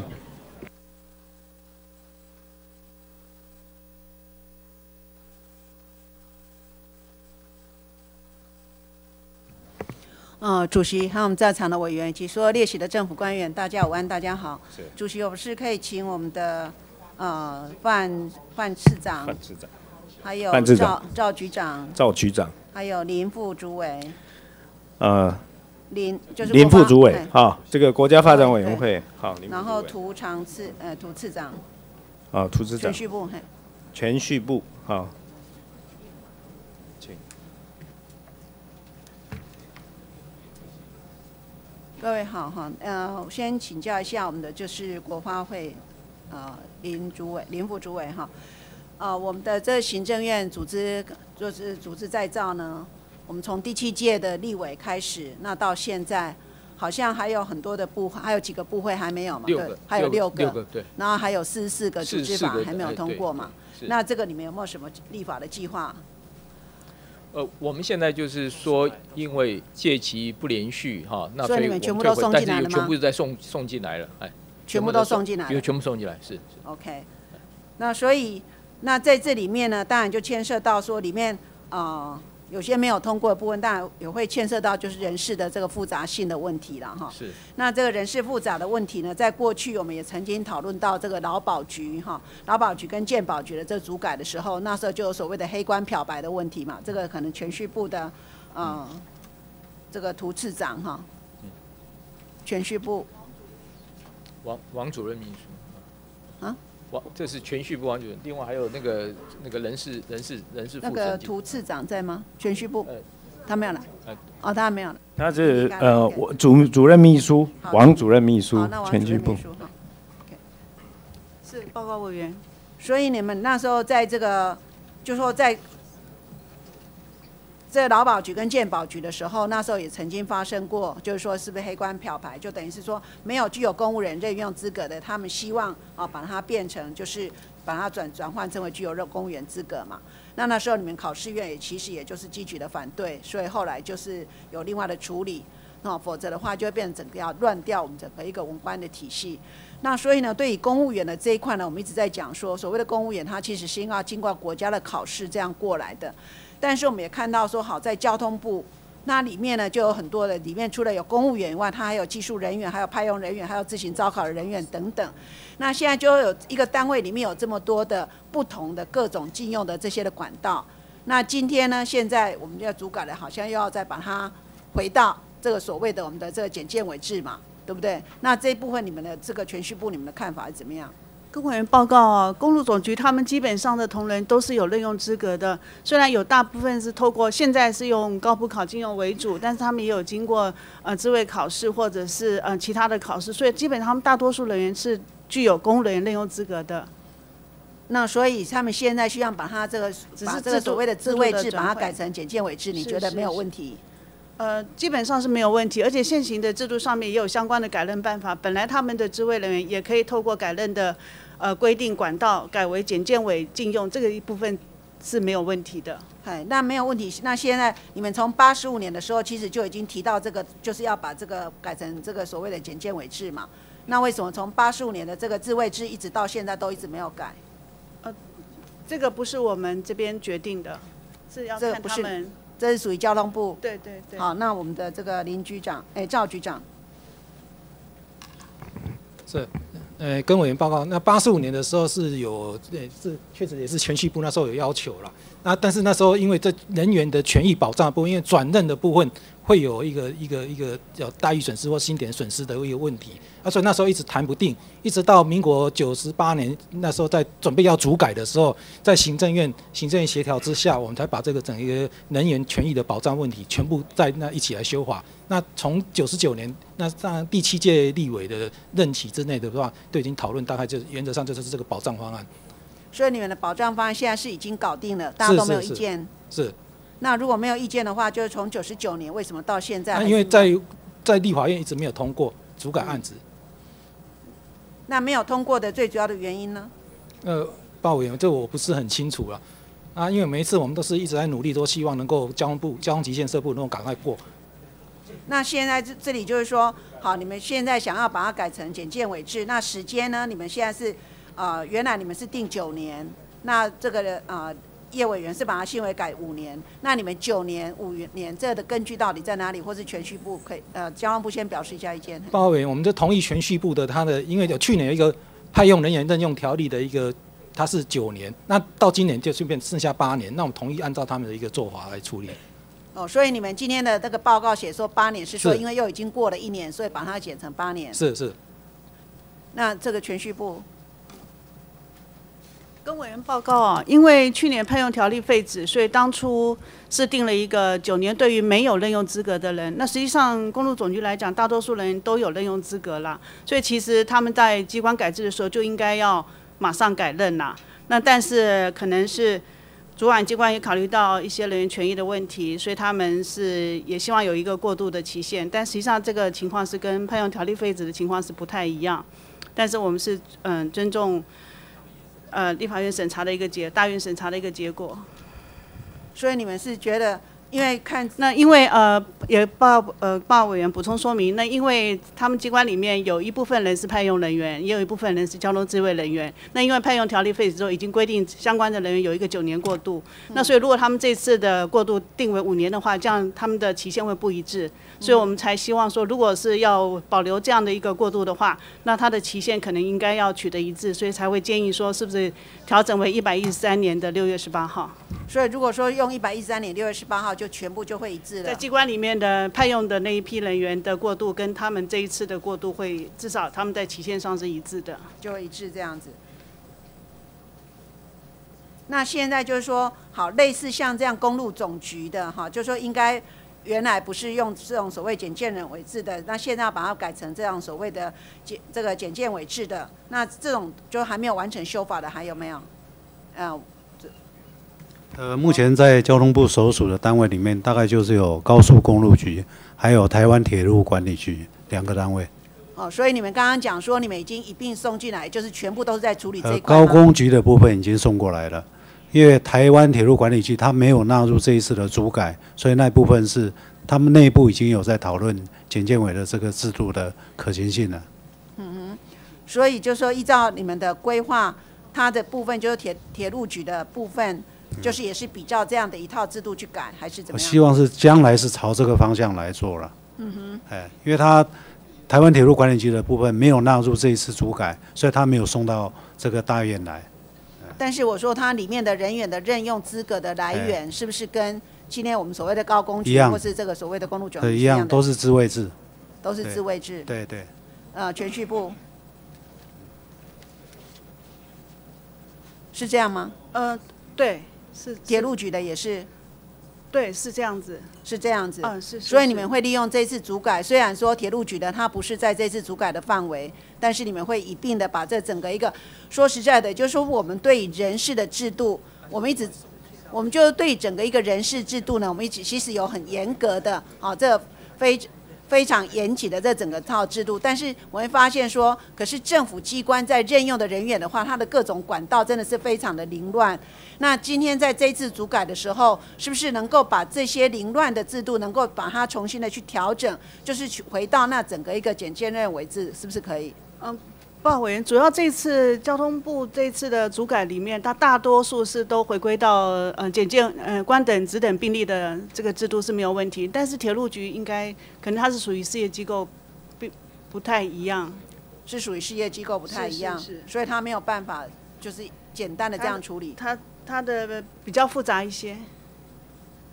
好，那在这里呢，我想要再请教的就是，啊、我们交通部呢，这个，我们其实在你们在这个六十九年的时候呢，就是交通部的这个公路总局，你们在六十九年的时候就已经把这个运输营业部门把它划出去，所以你们现在的营业的这个的业务呢，其实就只剩下所谓的公路工程跟公路监理嘛这两个部对分，所以这里面其实就是属于应该就是纯粹的公务机关，不再是有事业单位的性质嘛。是是是。那所以在这样的情况之下的话，其实你们从六十九年就已经改了，这业务已经改了，但是你们这所谓的自卫制，当初的这样的一个聘用的方式，到今天还在用自卫制在聘用吗？是是是，那只是因为法律没有修改。对对。那从六十九年到现在，为什么要等到我们这次主改的时候才要去做整个修改呢？呃，刚才这个赵局长哎，呃，委员也有垂询过哈，大概在八十五年的时候，全系部也有要求，就是你的机关的性质如果是比较偏向行政机关的话，应该是改为检监委了。但是因为那时候考虑到现职人员的很多权益的问题，所以一直拖拖下来没有改，一直拖到九十八年，啊，再纳到主改里面去，呃，但是因为届期不审嘛，所以后来一直就是没有没有通过，没有通过的话，这一次再重送是这样。那你们这次重送，你们现在是你说有有把这个高工局的送过来，然后还有一个呃这一次的公公路总局的也送过来，是你们是两个不同的法案嘛？呃还是呃，应该是是包裹过来的。我这边来回答一下，因为好，这个呃，国发局跟是是给给委员报告一下，因为就交通部这部分的主改哈，因为是和行政机关有关的，所以刚才您垂询那个铁路局事业单位就不包括在里面。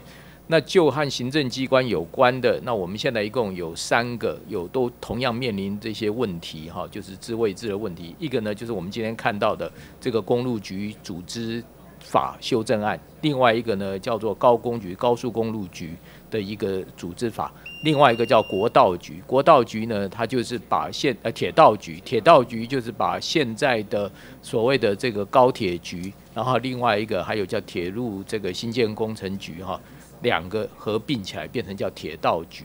所以那个是属于行政机关的部分，然后现在都已经送到这个委员会这边，都应该复委了。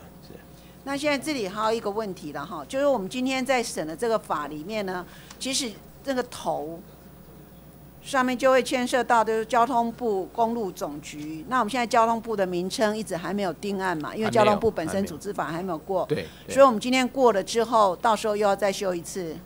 要需要。所以您所以您的看法呢？今天我我我是说，今天的话，其实除了这个以外，还有另外两个地方还要再修一次。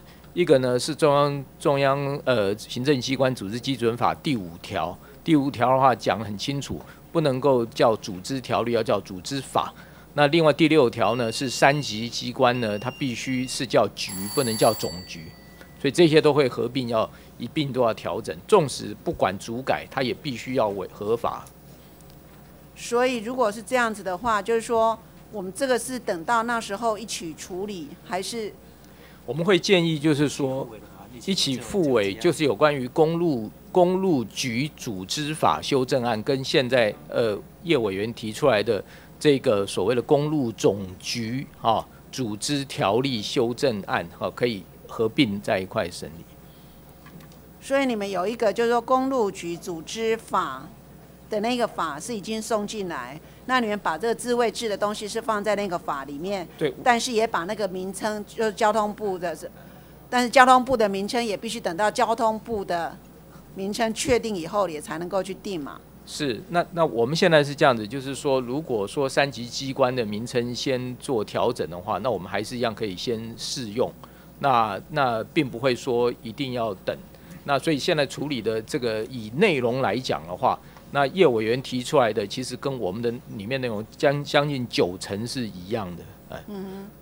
所以就是刚刚呃这个公路总局就是赵局长，你们刚刚是讲说十月又要招考，所以现在大家就是看情势，觉得不对，没有人要来考，所以你们觉得非常的迫切。是。跟委员报告哈，大家高普考它每年大概七八月份考，考完十月份会分发。那十月份分发的话，我们每次就是面临的，就是我去年十月份发的时候，我缺额是五百九十几个人。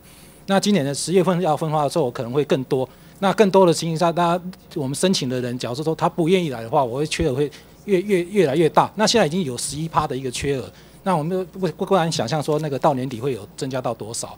你说他们现在不来的原因是什么？那因为他们在在选填志愿的时候，他们一定是往高待遇的单位先填啊。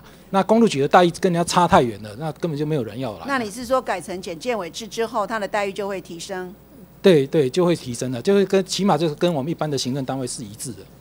嗯哼，OK，好，谢谢。好，谢谢。好，那我们今天上午的询答就到此，下午两点继续询答。好，现在休息。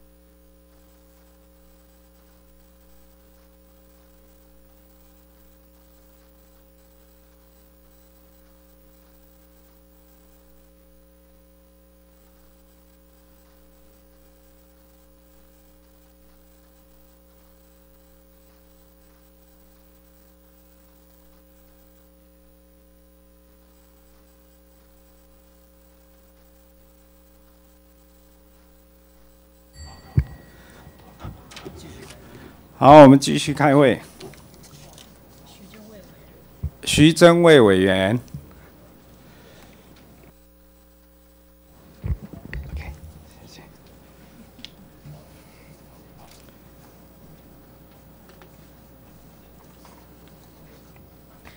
主席好，哎，你好麻。烦请我们呃公路总局好吗？哎，公路总局赵局长。徐员好，局长好。这个用完餐休息一下哦，但是啊，这个本席啊，刚才从这个进来立法院我们委员会的时候，看到我们公路总局的一些伙伴同仁有点泄气啊，有点对于今天早上的询答的部分，以及我们现在好像这个关于我们公路总局的主改的部分，今天好像不对逐条的或是讨论，只有做询答的部分。是。那我们其实希望多沟通了，那我们希望能够促成。好，这个上礼拜啊，这个本席啊，这个回到花莲，个有乡亲拿一个地方报给我，关于我们公路总局在花莲的台九线有两段的道路拓宽的这个开工仪式，好，这个没有通知各地的乡亲，还有各地的地方政府以及华莲县政府，大家都很有意见，不晓得我们的呃局长您怎么看？呃，跟委员报告哈，那基本上那个不算说我们政府机关办的开工典礼啊。那一般来讲，厂商他动土之前哦，他都会有一个习俗要去拜拜。好，那是这个部分就是他们一个厂商自己办的一个一个呃，跟祈求那个我们天地保佑哈，那个能够施工顺利平安的一个仪式。啊是啊，这是其实动土啊，也是要这个祈求我们在地的土地公嘛哈是的正神，还有我们地基主来保佑啊。让这个开工一切都能如期哈、的完工，也这个施工的人员、工作的伙伴都能平平安安，出入也都能平安。但是中央政府一直在做很多的事情，其实是没有没有做很好的这个行销和推广。哦，就像我们这个一直以来对我们台九线的全线拓宽的部分，乡亲的期盼和期望。那现在因为已经定的这个已经开工哈，已经要这个拜拜哈，那我们给一点点乡亲那个小确幸，说哇，中庸建户感人看到呢，好，我感人摇旗啊，这样子我这个我们乡亲骑脚踏车、骑摩托车经过的时候，哎，这个就是我们现在要拓宽的工程，好开心哦，终于有在动了，这一种小小的幸福，不晓得我们这个功率总局哦，是不是未来在动工的时候，其实让全民来参与。让花莲人知道中央政府真的有在重视地方，有在重视地方的发展，好吗？是，这我们来协调未来得标的厂商哈，来这样来做，因为我们这个这个部分最主要是厂商他在嗯，这其实哦无论是得标厂商，这个主管还是我们我们的公路总局嘛，是是是不是是我们我们哎会尽量来来促成的。这个部分其实，在那个在那个当下，如果有几百人、几百乡亲聚在那时候，其实，在公路总局要对花莲的地方建交通的建设部分，其实，在致辞里面也可以也可以宣扬，也可以推广啊。就像我们现在要做 DRTS 这个部分，哈，DRTS 部分，其实乡亲们不知道。那现在我们的公路公路总局，哈。交通部这边，然后一直在在协调沟通什么，但是大家不知道，所以其实很多良善的建设，很多在动工或者很在已在做，或是未来要做，其实多加的宣扬，告诉大家，才让国民有感。这是哈。那另外就是哦，为什么本席一直强调我们的这个台九线的拓宽工程哦，要专案，尤其在三月底的时候。这个本席在院会的时候，这个跟张院长有协调，那张院长也当下应允要这个送往这个行政院，好要做专案的部分。请问现在进行到怎么样？呃，跟委员报告，我们事实上有按照那个原来要求的一个期限已经报院了。那据了解，目前是交国发会审议中了。已经报院交国发会，那请问什么时候会专案会会 OK 会通过？这不是国发会来？是好，那请国发会，国发会今天有来吗？你什么时候送案？我们在国发会林三月副主委三多少？三三月底，三月底，好，是，抱歉，嘿，林副主委哈。好，谢谢林副主委，嘿国，发委员会。这个给委员报告哈，因为呃，我个人不是负责这个业务，但我回去可以了解一下，说他们现在的这个审议的情形。好，呃，请尽速给我书面好不好？到底什么时候？日期是您决定。哈，这个其实是攸关花莲这个整整体的发展。还有以目前来说，这个花莲啊是全国这个一年有一千万的旅客游客，台九线不是花莲人在走。不是指花莲人在走，而是全国的乡亲以及国际的旅客在走。如果未来再发生什么事情，是不是成为危险道路的时候，闹出国际媒体的时候，那时候影响到花莲，影响到台国台湾的名誉，我想我们交通部或者是我们国发会都没有办法承受吧？是不是这样？那我明天呃之前哈呃会把书面提供给委员。好的，谢谢。我们今天来讲我们的这个自卫制，还有这个这个我们的这个呃我们的这个正式的一般公务员呢、其实我们乡亲大家都觉得说，公务员哇就是铁饭碗，但是今天我们来看。国考土木工程师啊，好，这个部分其实我们所有的这个国家的这个高普考，每一年都是这个百分之零点呃百分之个位数都非常非常的难，就是所以捧铁饭碗是很辛苦的，所以大家都经过的严格的检定才进来这个公部门哦。但是在我们地方特考的部分呢、尤其是这个科系土木土木工程的这个部分，去年在这个地方特考的时候，基隆的部分还百分之百录取。这就表示我们在土木工程的部分人才是非常欠缺，尤其在交通部。其实，在这个部分，我们真的交通部是属于我们国家的建设，还有维系到所有国人以及这个所有用路人的行的安全。所以在这里才会，今天我们会就我们的这个希望将我们交通资位制走入历史，希望我们这个另外哈，我们一般所有一体适用，我们将我们的这个公务员的体制让它一一一并。所以我们来看我们现在公务员还有我们现在交通司位制的福利的部分。我们请问是正式我们的公务员，请举手好吗？有吗？报告委员这边应该都是都是哈，都不是交通，就都不是我们公路总局的资位制嘛。所以我们看看我们的公路总局资位制的部分，他们的福利落差，大家通通一样都是公务员，为什么有这么这么大的落差？所以今天才会讨论这个部分，让公务员有一一样的地位、一样的平等、一样的福利。好，我们下一章。所以我们看一下好了，这个可能这个可能大家都不知道，另外我们花莲我们全国的乡亲也不知道。所以这个在我们的这个网络里面啊，这个劝高考新进人员啊，不要进，不要选择职位制。我相信局长您非常的清楚，你也知道人才啊，我们这个公路总局的人才是真的留都留不住，为什么薪资的问题，对不对？所以我们今天是要讨论这个问题。所以在资位制和检建委的部分，真的希望国家的法令是对所有的公务员都是一样的尊重，给予一样的地位。所以在这里，本席非常非常的支持我们在这里要将我们的资位制走入历史。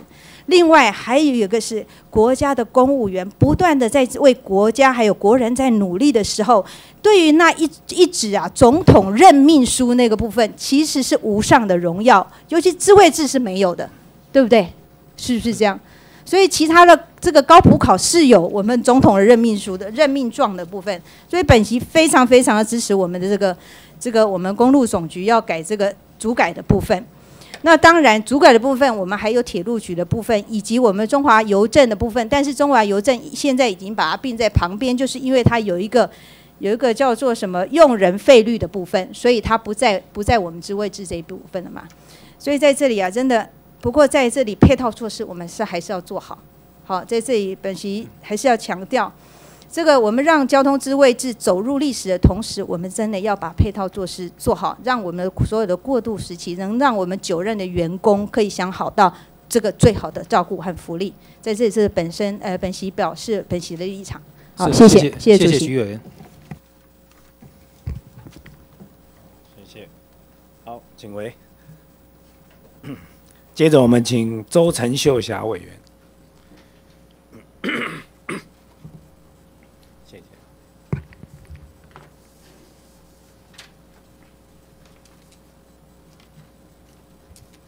呃，主席，呃，徐委员啊，我们有请交通部，呃，呃范，次次长、次长跟局长，，好，那个局长、次长，请备询。两位好。今天我先就我们交通问题然后，民众所关心的问题来请教两位了哈。就是在大地震的时候，今年呢、八十六线大潭到归仁呢、二十四号桥面及支撑位移的问题，造成东行线封闭哈，交通必那个车辆必须要绕行，民民怨四起这个部分。在三月十七号的时候，我我有去考察，去会勘呢、去会勘，当时部长有说会，呃，加快修复嘛，哈，有允诺在五月底的时候要完成通车啦，哈。那这个部分现在进度如何？可不可以说明一下？五月底以前一定可以通是，行？呃，跟委员报告，目前我们已经在积极在办理了。那目前按照目前的进度推算的话，应该在五二零到五月底之中，好、会完成，最晚五月底之前一定可以完成。哦，好好，谢谢。那我们公路法修正哦，要取消这个车龄的限制哈、初审已经通过了啊，对不对？初审通过了，那未来校车没有车龄限制，这样这样好吗？校车没有车龄限制，这样有没有图利业者的这一种嫌疑啊？哎，跟委员报告哈，那这个校车的部分的一个限制的话，我们基本上来讲是在公路局的立场是所有的检验合格的车辆哈，它是符合它的安全标准是符合了。啊，那至于是说他有呃学校有什么限制条件的部分的话哈，那这个部分就不是我们公路局可以做一个主张的。它本来有限制是八年嘛，校车那个是在教育部限制，不是在公路局。是这样吗？教育部，哦哦哦，因为我觉得这个每一个法案呢、哈，如果是要修了，还是要立立案啊，我觉得是要以我们大众的的这个利益为优先哈，不要是为了替这个业者或者是那个利益财团哈量身定做哈，这样不好啦，哈，这是我的觉得啦，哈，所以这个这个我我也在在这里我要表明一下，如果是要取消这个车龄的限制，我本席是持反对意见的，这个我我不赞同了哈。那再请问一下哈，如果经过修法以后，你觉得业业者了哈，他真的会买那个昂贵的车、安全系数高的车，然后认真保养，然后可以开很多年吗？会吗？业者会这样做吗？是，这个这个部分跟委员报告哈，基本上应该是从其他的途径。那现在公路局的做法是对游览车部分，我会已经有一些公告的一个条件，就是提升它的一个车辆的那个刑事认定的部分，就是安审的部分的规定。比如说，以未来新的游览车一百零六年度以后，哦，它新进的它必须要有那个。搭配那些那个辅助辅助安全设施那个刹车系统 ABS 啊，或是那些哦已经有规定的几个项目公告出去了。那先来讲是说这是一个配套的措施啊。我除了在检验的部分要求它的一个检确保它的安全哦，刹车稳稳定系统那些以外，另外我们在搭配的就是说它的车身稳定系统啦，或是 ABS 啊，或是辅助刹车系统的部分哦，在新的法规都会要求。，车龄的限制有包括游览车没有？你知道吗？因为现在车顶的目前来讲是是有，就是针对游览车的部分。游览车本来是只有五年嘛，对不对？嗯，是吧？那个是校车的部分，校车是八年嘛，我我知道校车好像是八年，那游览车好像是五年啊。嗯，游览车是应该是没有，目前我我所知道是应该是没有限制，是在其他的学校的旅游的部分呢、哦，这样子，好好，因为那个美国校车哦，相关规定哦，有达五百多项啊，美国的。那我们台湾的有多少啊？相关规定，包括那个侧撞标准啊、防撞设施等等啊。基本上国内的部分，我们是普遍性的跟欧洲一致。跟欧洲一致。我们在在公路的法规的部分是跟欧洲一致的，好，那一致的一个标准。那至于说美国在校车的部分，它是额外在定定的那些规定的话，诶，基本上来讲，我们大部分都已经有有现有的规定是有规定了。哦，所以我是觉得这个车龄的放宽哦，我这个部分也是要注意一下啦，哈，不不能随意就放宽，因为你啊。你那车龄放宽吼，啊，连刚一挂老爷车伫咧伫咧路边拍拍照吼，这样也是很危险的事。是那个这个部分还是在教育部那边做规划是。好好，谢谢你。那个公路总局现在已经是行政机关性质了嘛？哈。是。嘿，所以人员任用制度哈，我是觉得不宜再适用交通事业人员的这个条例了哈。我本席是认为把它改为简介委制哈，有这个必要性，也也有这个迫切性了哈。你认不认同？哎，认同。认同哈，因因为我觉得这些交通职位人员的薪资哈，和简介简介为制的哈比起来哈，是相对的比较低呀。而且好像你看那个生育啦、结婚啦、丧葬啦、补助啦，通通没有哈。所以我也是支持改制的啦哈。但是改制以后哈，我要求哈要保障不能转任的这些基层市级职位人员的权益哈。是。局长，你你觉得要如何来保障这些人员的权益呢？报告员，那在我们第七条的新那个修订的一个条文里面，它是有保障的一个条款。那目前来讲是，但是它保障的条款里面哈，他说本法修正施行前哦，交通事业人员、公路人员升职考试与本法施行后五年以内办三次为限呢。如果五年以内以内只有办三次哈，我觉得是次次数太太少，时间也太短嘛。呃，报员那个基本上来讲，我们跟考试院这边在协调的话，那过去的升资考试也是两年才办一次的，那五年办三次应该还可以啊。哎呦，我觉得不可以的，因为机关改制哦，不是同仁的错哈。尤其草案通过以后，未来四级人员只能以四级职位来继续任用了。如果不不不续办升资考试哈，他就没有办法升迁哦，没永远没有办法升迁。转任嘛，没有这个管道嘛，哦，这样对于这个机关的员工哈和士气哦，这个管理上，我想会造成不利的影响啦，哦，所以我的建议啦，我的建议是，是不是施行十年以后啦哈，十十年以内办理五次，办理五次的这个，呃，考试哈，这样比较有保障啊。是我们这这是我的建议的。哎，是。因为还有啦来来通过这个有关度过期间的这些任用人员和职位人员哈，他们的升迁问题哈，他们的这个未来的升迁积分，呃，资资金评分还有职缺的地步哈，要怎怎么样来设计，对他们会有比较有保障。哎，报告委员，这个我们会采这个公平性的原则啦，一这个这个应该没有问题，我们在内部已经在思考。因为现在我们所讲求的都是公平正义嘛，哦，所以不不管不分贵贱啊，不分高低啦，我我想处事原则都是要以一致的啦。是。还有哈，第呃，我们原条例第二条规定，交通部公路总局。执掌里有公路用地的这个收购、拨用、管理及产业产业管理事项哈，但是修正草案里面把这一条删掉了哈。这个收用地收购部分啊，这个未来要谁来来负责呢？这个条文是不是这个部分？它原来本来就是公路修建、养护、管理中间那管理的那个底下就包含用地取得的部分。那这个部分的话，我们在就是为了简简化它那个条文的文字啊，这个部分把它用一个管理代替啊。好好，来，接下来这个问题，我相信大家都很有很有兴趣的哈。中华电信的五席独立董事哦，大风吹哦，陈天之将转任国发会主委，那吴宗藩请辞，独独董周运彩据名质疑新独董候选人不具专业性，是政治酬庸哈，并要求中华电信公告重大信息，引起轩然大波哈。次长，次长来，我来问你一下。为什么提名吴国龙、陈永成、陈正然呢？他们的专业是什么？提名标准是什么？是谁推荐的？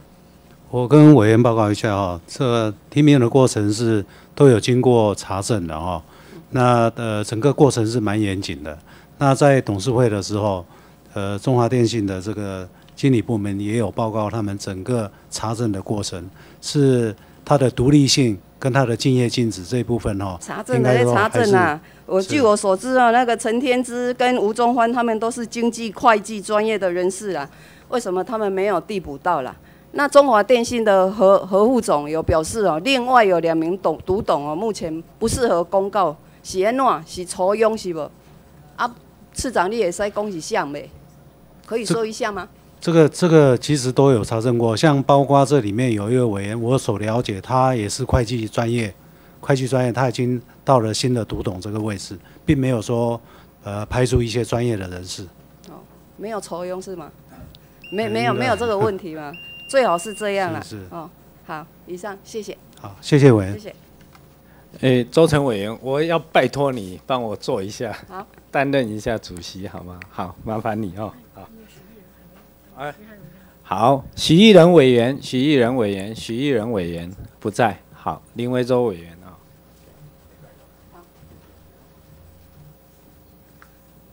好，我们请林维洲委员。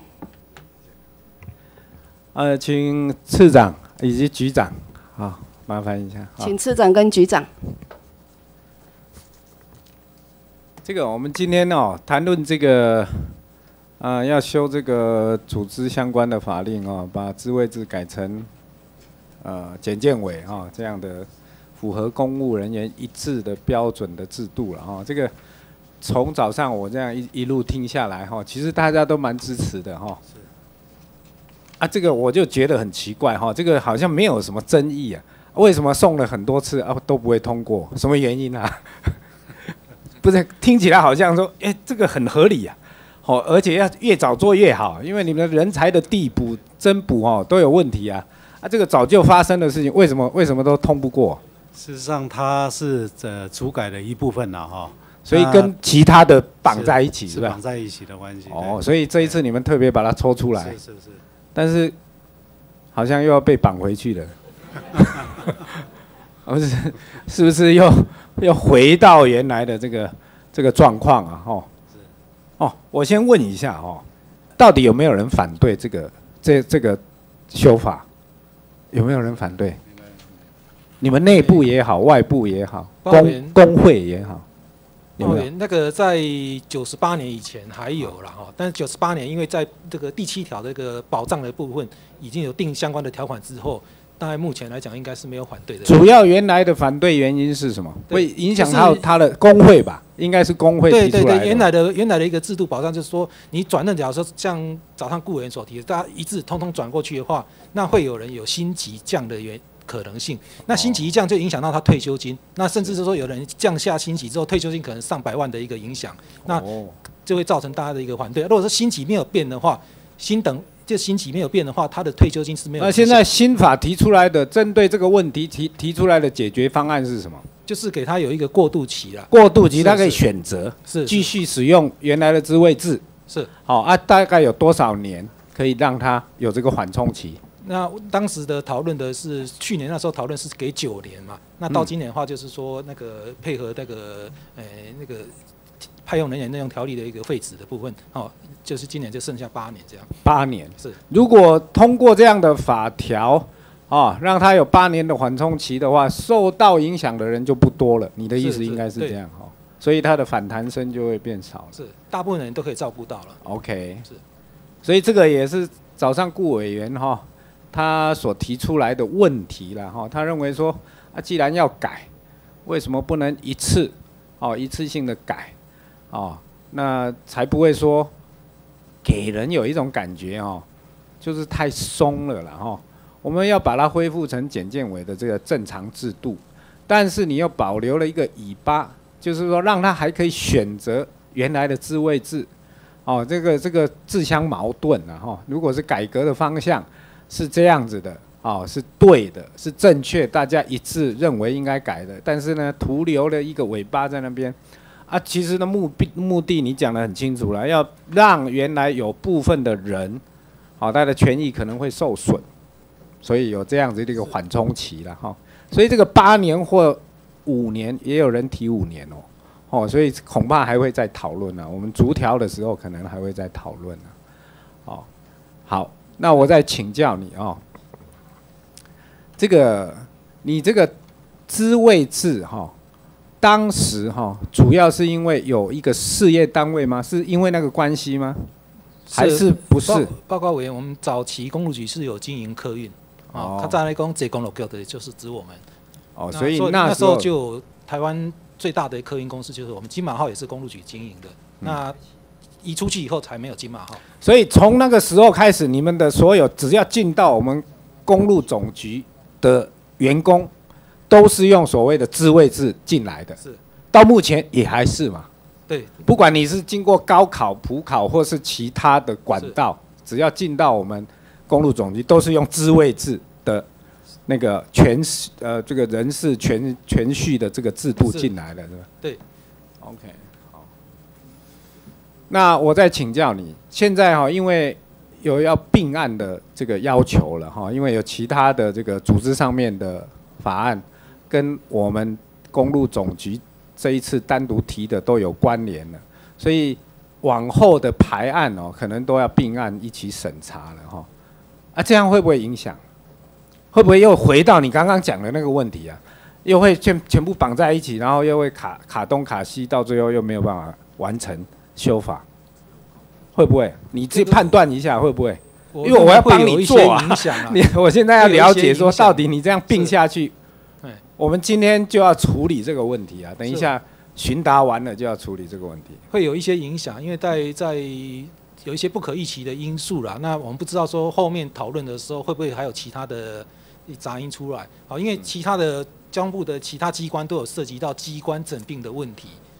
嗯，好，那如果说有一个地方有问题有异议的话，那变成说整个法案都会延，对吧？哎，讲清楚一点，你把它讲清楚一点，到底哈是，就是说只有针针对你们的呃公路总局内部的这个法条的修改，那因为有不同版本，包括那个名称啊什么的，要所以要进来单独的审查，还是会跟其他交通部以外、公路局总局以外的都会并在一起，会互相影响。包委员，如果只有公路局一个的话，我想是应该没有什么大的争议，因为公路局没有新增业务、没有调整业务的地方。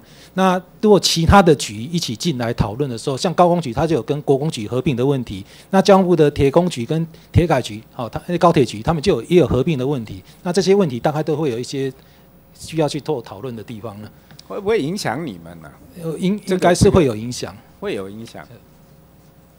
这样这样到底是行得通？你们十月份就要能希望能够我我了解委员的意思了，哎。因为早上顾委员也提到这个问题哦。如果说是要呃并案审，所谓的并的话，就是单纯就公路总局的呃有两个问题嘛，一个是那个呃它的名称啊，比如说呃这个公路局哎不能用总局这一个这个这个问题就单纯多了。好，因为只有他一个局，它没有跟其他的局发生关系，所以这个是问题是不大。第二个当然就是类似交通局建设部这个问题，呃，就是到整个主改案这里面去，应该这个问题也不大。那最后就是早上呃林林副主委也有提到那个，它是改成一个组织法，法的部分如果确定的话，那并同这个公路局组织法，这样的话问题就不大。也不大，好、所以这几个问题的话，如果并在一起审视还 OK 了哈。好，好，这样我了解。好，谢谢。那另外哈，呃，这个这个局长哈，你请回哈。那个处呃次长，您再留步一下哈。另外，我再请教你哦，因为你也是新竹人嘛哦，你对新竹应该蛮了解。现在新竹有两个重大的跟交通比较有关的议题，大家很关心的哈。一个就是台一省道替代路线的问题哈，从这个六十六八快速道路对五零路那个缺口哈，嗯嗯一直拉到这个我们呃这个明星工专那附近了哈。那现在好像有几种方案啊，你说明一下哈。是是。现在这个这个部分，我想公路总局在研好议了，是不是请局长说明一下目前的进度如何？这个部分哈，我们是有请新竹县政府他来提生活圈的计划了。嗯那有群生活圈的计划来做一个补助，因为现在既有是有一条台一线的，那现在来讲是说他另外一个一个要做的话，他必须要先用生活圈计划先去做，做起来之后哦才能看说路线要不要调整。那现在基本上来讲是说，呃，新竹县政府因为它早期。哦，有一些规划案，那目前必须要把那个整个规规划它重新调整，因为现在的环境跟早期那那时候的有有点不一样。那现在我们要请县府哈，县府他来尽早来把它提出来，好提出来它的可行性。所以是由县府提，是是不是你们主动去是做计划？是那时候有协商过，由他们来提。好，OK，这个私底下我再请教你了哈，是那个可行性如何了哈？另外一个大家很关心的就是科学园区周边的交通改善，尤其是竹北交流道的改善哈。是。那听大家听的是不飒飒了哈，啊，也有说什么钻石型的，又怎么呃各种方案好多种，但是都无疾而终。目前的状况到底怎么样？比较明确的方向是这个案子在上个月。已经哈呃，我由我们部里面抱怨了，嗯，抱怨现在在交给国发会在审议中。所以是改善目前现有的竹北交流道，是是不是是已经确定在对现在竹北交流道这个地点做改善，对对对对，是是是，朝这个方向做，呃已经抱怨了预估的经费大概多少？好像是十十几亿吧，十一亿啊，十一二亿的样子。也会连同改善这个光明六路，好像要地下化的这个问题。周哦边周边的道路，呃连呃连接的道路啊，有要补充的吗？十五亿，好，十五亿，十五亿啊左右的啊。好，既然方向定了哈，就是加快脚步啦。是是是。现在哦，我们竹北湖口还有科学园区这一段哦，高速公路从系统交流道一直到湖口交流道，是是是我们国一啊，这个这个，哎，国道一啊最塞车的地方啊。我知道，我昨天哦昨天回去也塞在那边。是，有时候这个五公里要走一个小时。是是啊，上下班时间哈非常严重哈，对所以这个哦既然方向定了哈，就是是加紧脚步，好，不要耽搁，好，谢谢是是是，感谢，谢谢。好，谢谢林维洲委员。好，也谢谢局长、好次长，请回座。委员好，谢谢。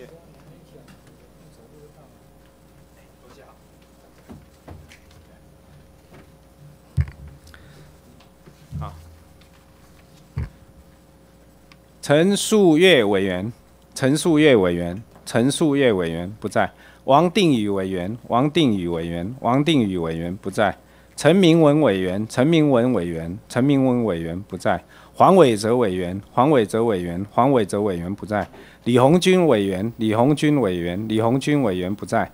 张立善委员，张立善委员，张立善委员不在。徐永明委员，徐永明委员，徐永明委员不在。蒋乃新委员，蒋乃新委员，蒋乃新委员不在。简东明委员，简东明委员，简东明委员不在。黄昭顺委员，黄昭顺委员，黄昭顺委员不在。陈廷飞委员，陈廷飞委员，陈廷飞委员不在。邱志伟委员，邱志伟委员，邱志伟委员不在。管碧林委员，管碧林委员，管碧林委员不在。吕玉玲委员，吕玉玲委员，吕玉玲委员不在。刘世芳委员，刘世芳委员，刘世芳委员不在。王惠美委员，王惠美委员，王惠美委员不在。林俊宪委员，林俊宪委员，林俊宪委员不在。